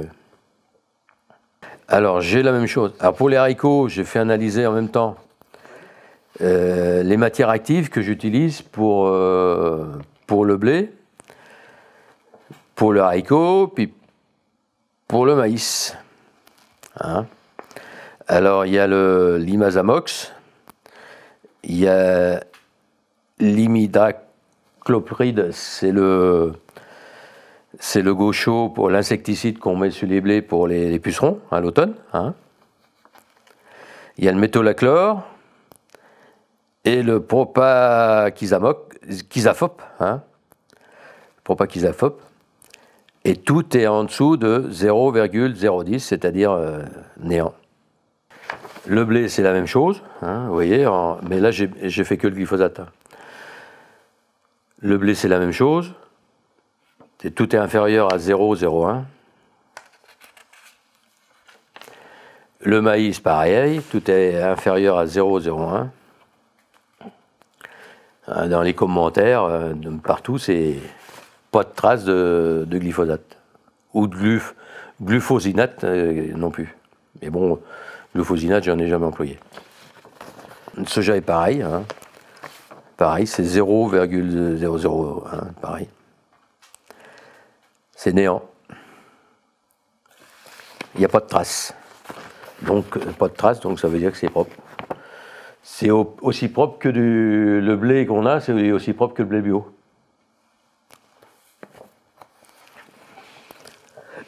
Mais c'est certainement grâce à, l'activité biologique que j'ai dans le sol, qui est devenue importante au fil du temps. hein. En fait, il y a 21 ans, ça va être 21, 21 campagnes pour, euh, pour ça. hein. Les, les hauts, il y a 23 campagnes, 23 ans. Mais j'ai pas mesuré les, les hauts. euh. Et puis, euh, tout ça, ça a une incidence aussi sur l'alimentation des plantes pour les, nutriments. J'ai fait connaissance d'un gars qui est un gros producteur de cochons là, qui est dans l'Orne, et puis qui a, qui a un abattoir. Il a, il a un atelier de découpe là dans l'Orne, il en a un à Rungis, et il était rendu à faire euh, presque 7000 porcs par semaine.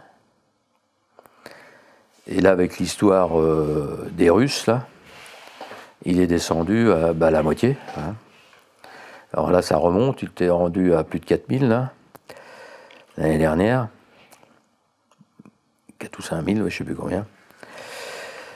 Et puis, euh, il est venu me voir, enfin son fils est venu me voir pour voir du SMI direct ici. Puis quand je l'ai connu, moi, je ne savais pas euh, ce qu'il faisait. hein. Je, savais qu'il m'avait dit qu'il faisait beaucoup de porc, puis c'est tout. Et eux, ils veulent faire leur, euh, leur exploitation qu'ils ont à côté. Ils veulent la faire en semi-direct. Alors ils venaient voir comment que ça se passait, tout ça. Et puis on parle de. On parle de- je lui parle de. Du taux d'humus qui monte dans les sols, tout ça. Et, puis que ça joue sur. euh, la qualité de, de l'eau, sur les. Mais à ce moment-là, j'avais encore pas. le- Ah si, si, si. J'avais les résultats d'analyse de, de résidus. Et puis il me dit, mais. il dit, si vous voulez, j'emmène un échantillon de blé, un échantillon de maïs et un échantillon de soja. Je crois qu'il y a. Alors, c'est au niveau du blé. Au niveau du blé, pour lui, pour, euh, comparer. Ah oui, j'avais deux sortes de blé. J'avais un blé, euh, parce que comme j'ai deux mélanges de blé, j'avais un blé précédent sorgho et maïs, et puis un blé euh, précédent soja et, colza. Et puis là, il, a fait analyser, lui, là-dessus, les mycotoxines en même temps. Et puis les, les, nutriments, les protéines, en comparaison avec le blé qu'il achète aux agriculteurs de par chez lui. Là, les blés qu'il lui, achète, hein, en amidon, il fait s- 50 cré- 57 grammes. C'est peut-être ça par, par 100 grammes de, de matière sèche, je sais pas. Ah non, ça c'est pas la matière sèche, c'est la brute, ça. C'est la brute. Et puis, euh, et puis il a fait aussi les, les mycotoxines qui sont là. hein. Alors les mycotoxines, on est en dessous de, en dessous de 200 hein, pour le, le blé. Mais bon, 2000 2017, c'était une bonne année. euh, N'importe où, il n'y avait, pas, avait pas de mycotoxines. Par contre, cette année, il y en avait. Il y en a. Et alors, que ça soit le blé, le blé numéro un, c'est-à-dire le blé de soja ou le blé de maïs. Alors moi, chez moi, le blé de maïs, il est un petit peu plus riche en protéines que le blé de soja. Hein, le blé de maïs fait 12, euh, 12 7 et le blé de soja fait 11 2 de protéines. Et lui, son blé, son blé à lui, il fait 13, euh, 13 5. Il est, encore plus élevé en protéines. Mais en amidon, on est 10% dans les deux cas. hein, on est à, à 10% de plus. Enfin, s'il y a 9,5% là, puis 10 là, supposons, à quelque chose près, hein, en amidon, que, son blé qu'il achète chez la- l'agriculteur classique. Donc en nutriments, on serait meilleur que. Et ce qui explique tout ça, Lucien Segui me dit ce qui explique tout ça, c'est ton taux de matière organique qui est assez élevé et tes plantes sont, sont mieux nourries. Et c'est. Le reste, bah, j'ai pas la comparaison, mais Et en mycotoxine euh, en dessous de 200. Hein, mais aussi bien le, le sien aussi, celui qu'il achetait aux agriculteurs, est en dessous de 200. Le soja, il est pareil, il est en dessous de 200 en, en, en mycotoxines. L'amidon, bah, là, j'ai pas de comparaison, hein, mais. Et en protéines, en protéines sur brut, on est à 35 euh, grammes. Et là, euh, en sur sec, on est à 41 grammes. Et je crois que la norme, c'est. Il faut être au-dessus de 40, je crois, pour. euh, pour pas avoir de réfaction avec les, avec les sojas. Et le maïs, en amidon, il est, à, il est à 65, il est encore plus élevé que le blé. Mais bon, j'ai pas la comparaison avec du maïs de, chez lui. Il l'a fait que pour le blé. Et Lucien Seguil euh, me l'a dit plus, plus d'une fois, il m'a dit euh, pour extérioriser les, les goûts de terroir, les goûts de terroir du, vin, euh, les goûts des légumes et tout ça. hein. Il dit si tu as un terrain qui est riche en matière organique, il dit automatiquement tu vas avoir des, aliments qui vont être plus goûteux. Et puis ce qu'il faudrait faire, c'est analyser tout le reste, les vitamines, les, tout d'autres choses à plein avec. Peut-être qu'on va le faire après, soit par l'intermédiaire de la PAD, soit je vais le faire faire moi-même. Maintenant qu'on sait ça, il faudrait à chaque fois qu'on compare par rapport à un agriculteur classique.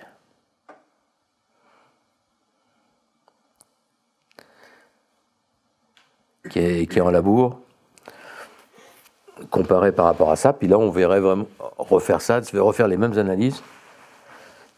Dans, cette histoire, il y a la- l'AFD qui m'a fait, une étude en 2000, euh, 2002, 2003, je ne me rappelle plus en quelle année.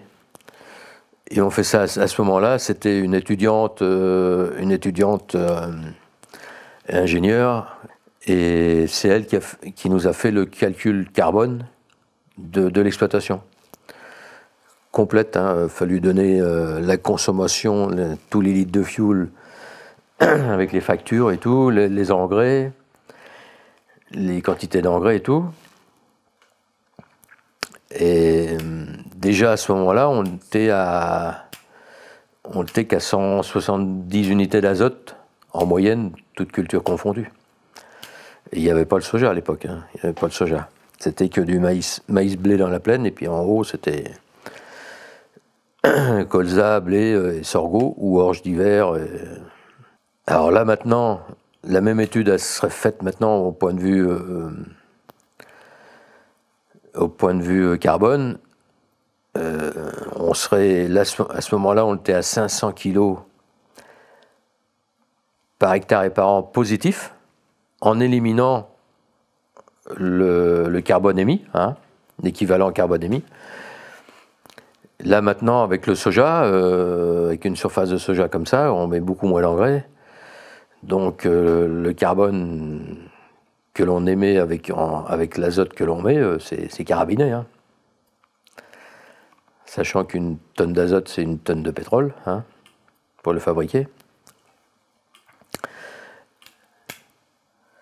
Alors le, si, tout, si le monde entier était en, était en semi-direct, en SCV,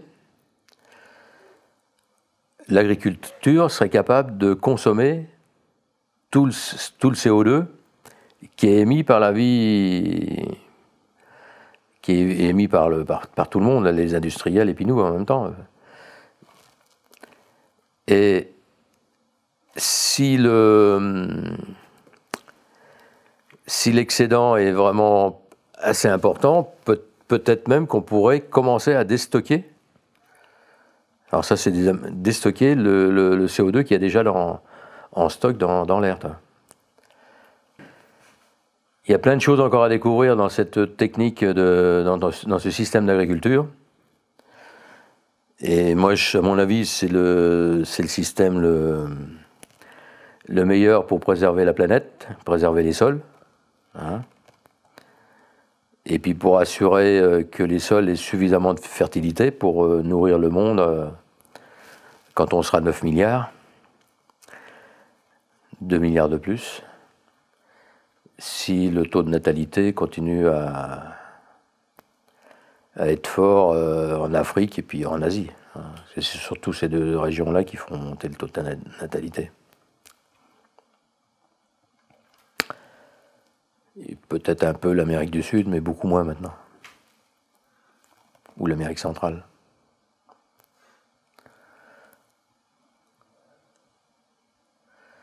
Alors c'est pour ça que si, si nous supprimons le glyphosate, je si j'écrivais un livre sur ce qu'on fait là, un petit bouquin, le titre, ça serait euh, l'idéologie bio devient anti-bio, anti-biologique. Parce qu'on n'arrive pas à avoir une biologie du sol en agriculture biologique comme on obtient là. Hein. Après 20 ans de, bio, là, chez l'agriculteur qui habite à côté de chez ma fille. Hein. Si en plus je fais des analyses de nutriments et puis qui me prouvent que c'est pas meilleur ou moins bien, là on a de quoi. On aura de quoi discuter là. Puis le principal, c'est qu'on sorte des produits qui sont propres, qu'il n'y a pas de, résidus de pesticides dedans, et puis qu'on n'empoisonnera pas les gens. Hein. On sera aussi bon que les bio. Tout en produisant à l'hectare, en ayant une production aussi bonne, euh, aussi bonne qu'on a maintenant.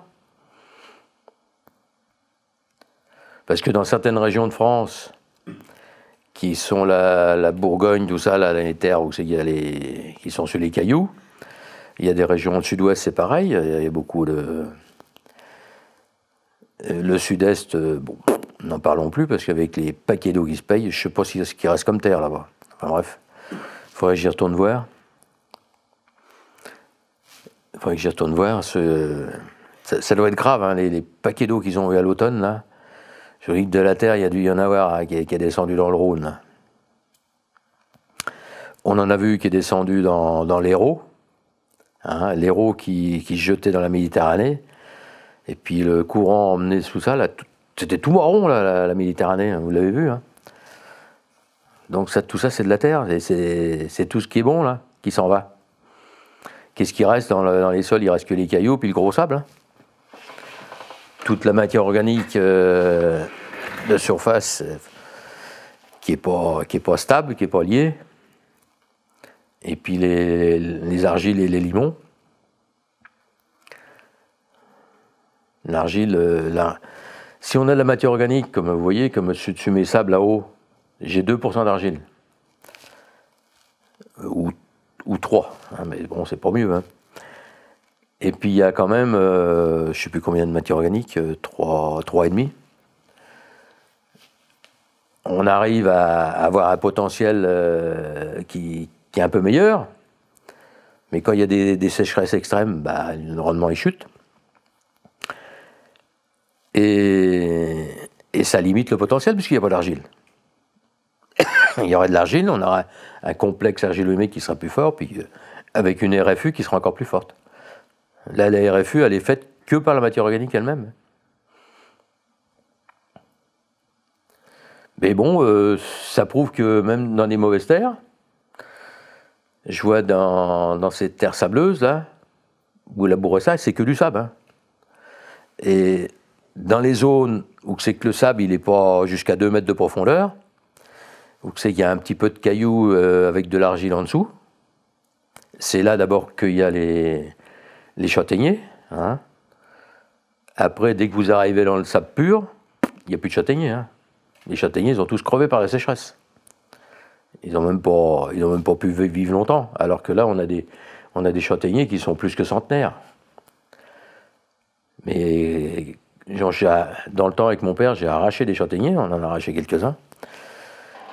Et dessous, c'est de l'argile. Hein. Sous le châtaignier, il y a de l'argile. Donc, euh, alors que là, quand on cultive dans ces terrains-là, en semi-direct, le blé, le colza qui est là-dedans, ou le, ou le sorgho, il descend à l'argile. Et c'est pour ça qu'on arrive à avoir de, des, on augmente les rendements par rapport aux voisins qui font, dès qu'il y a un coup de temps sec, eh ben leur, leur céréales, elles, souffrent. moi, j'ai vu en 2001, en 2001, il a plu jusqu'au 29 avril.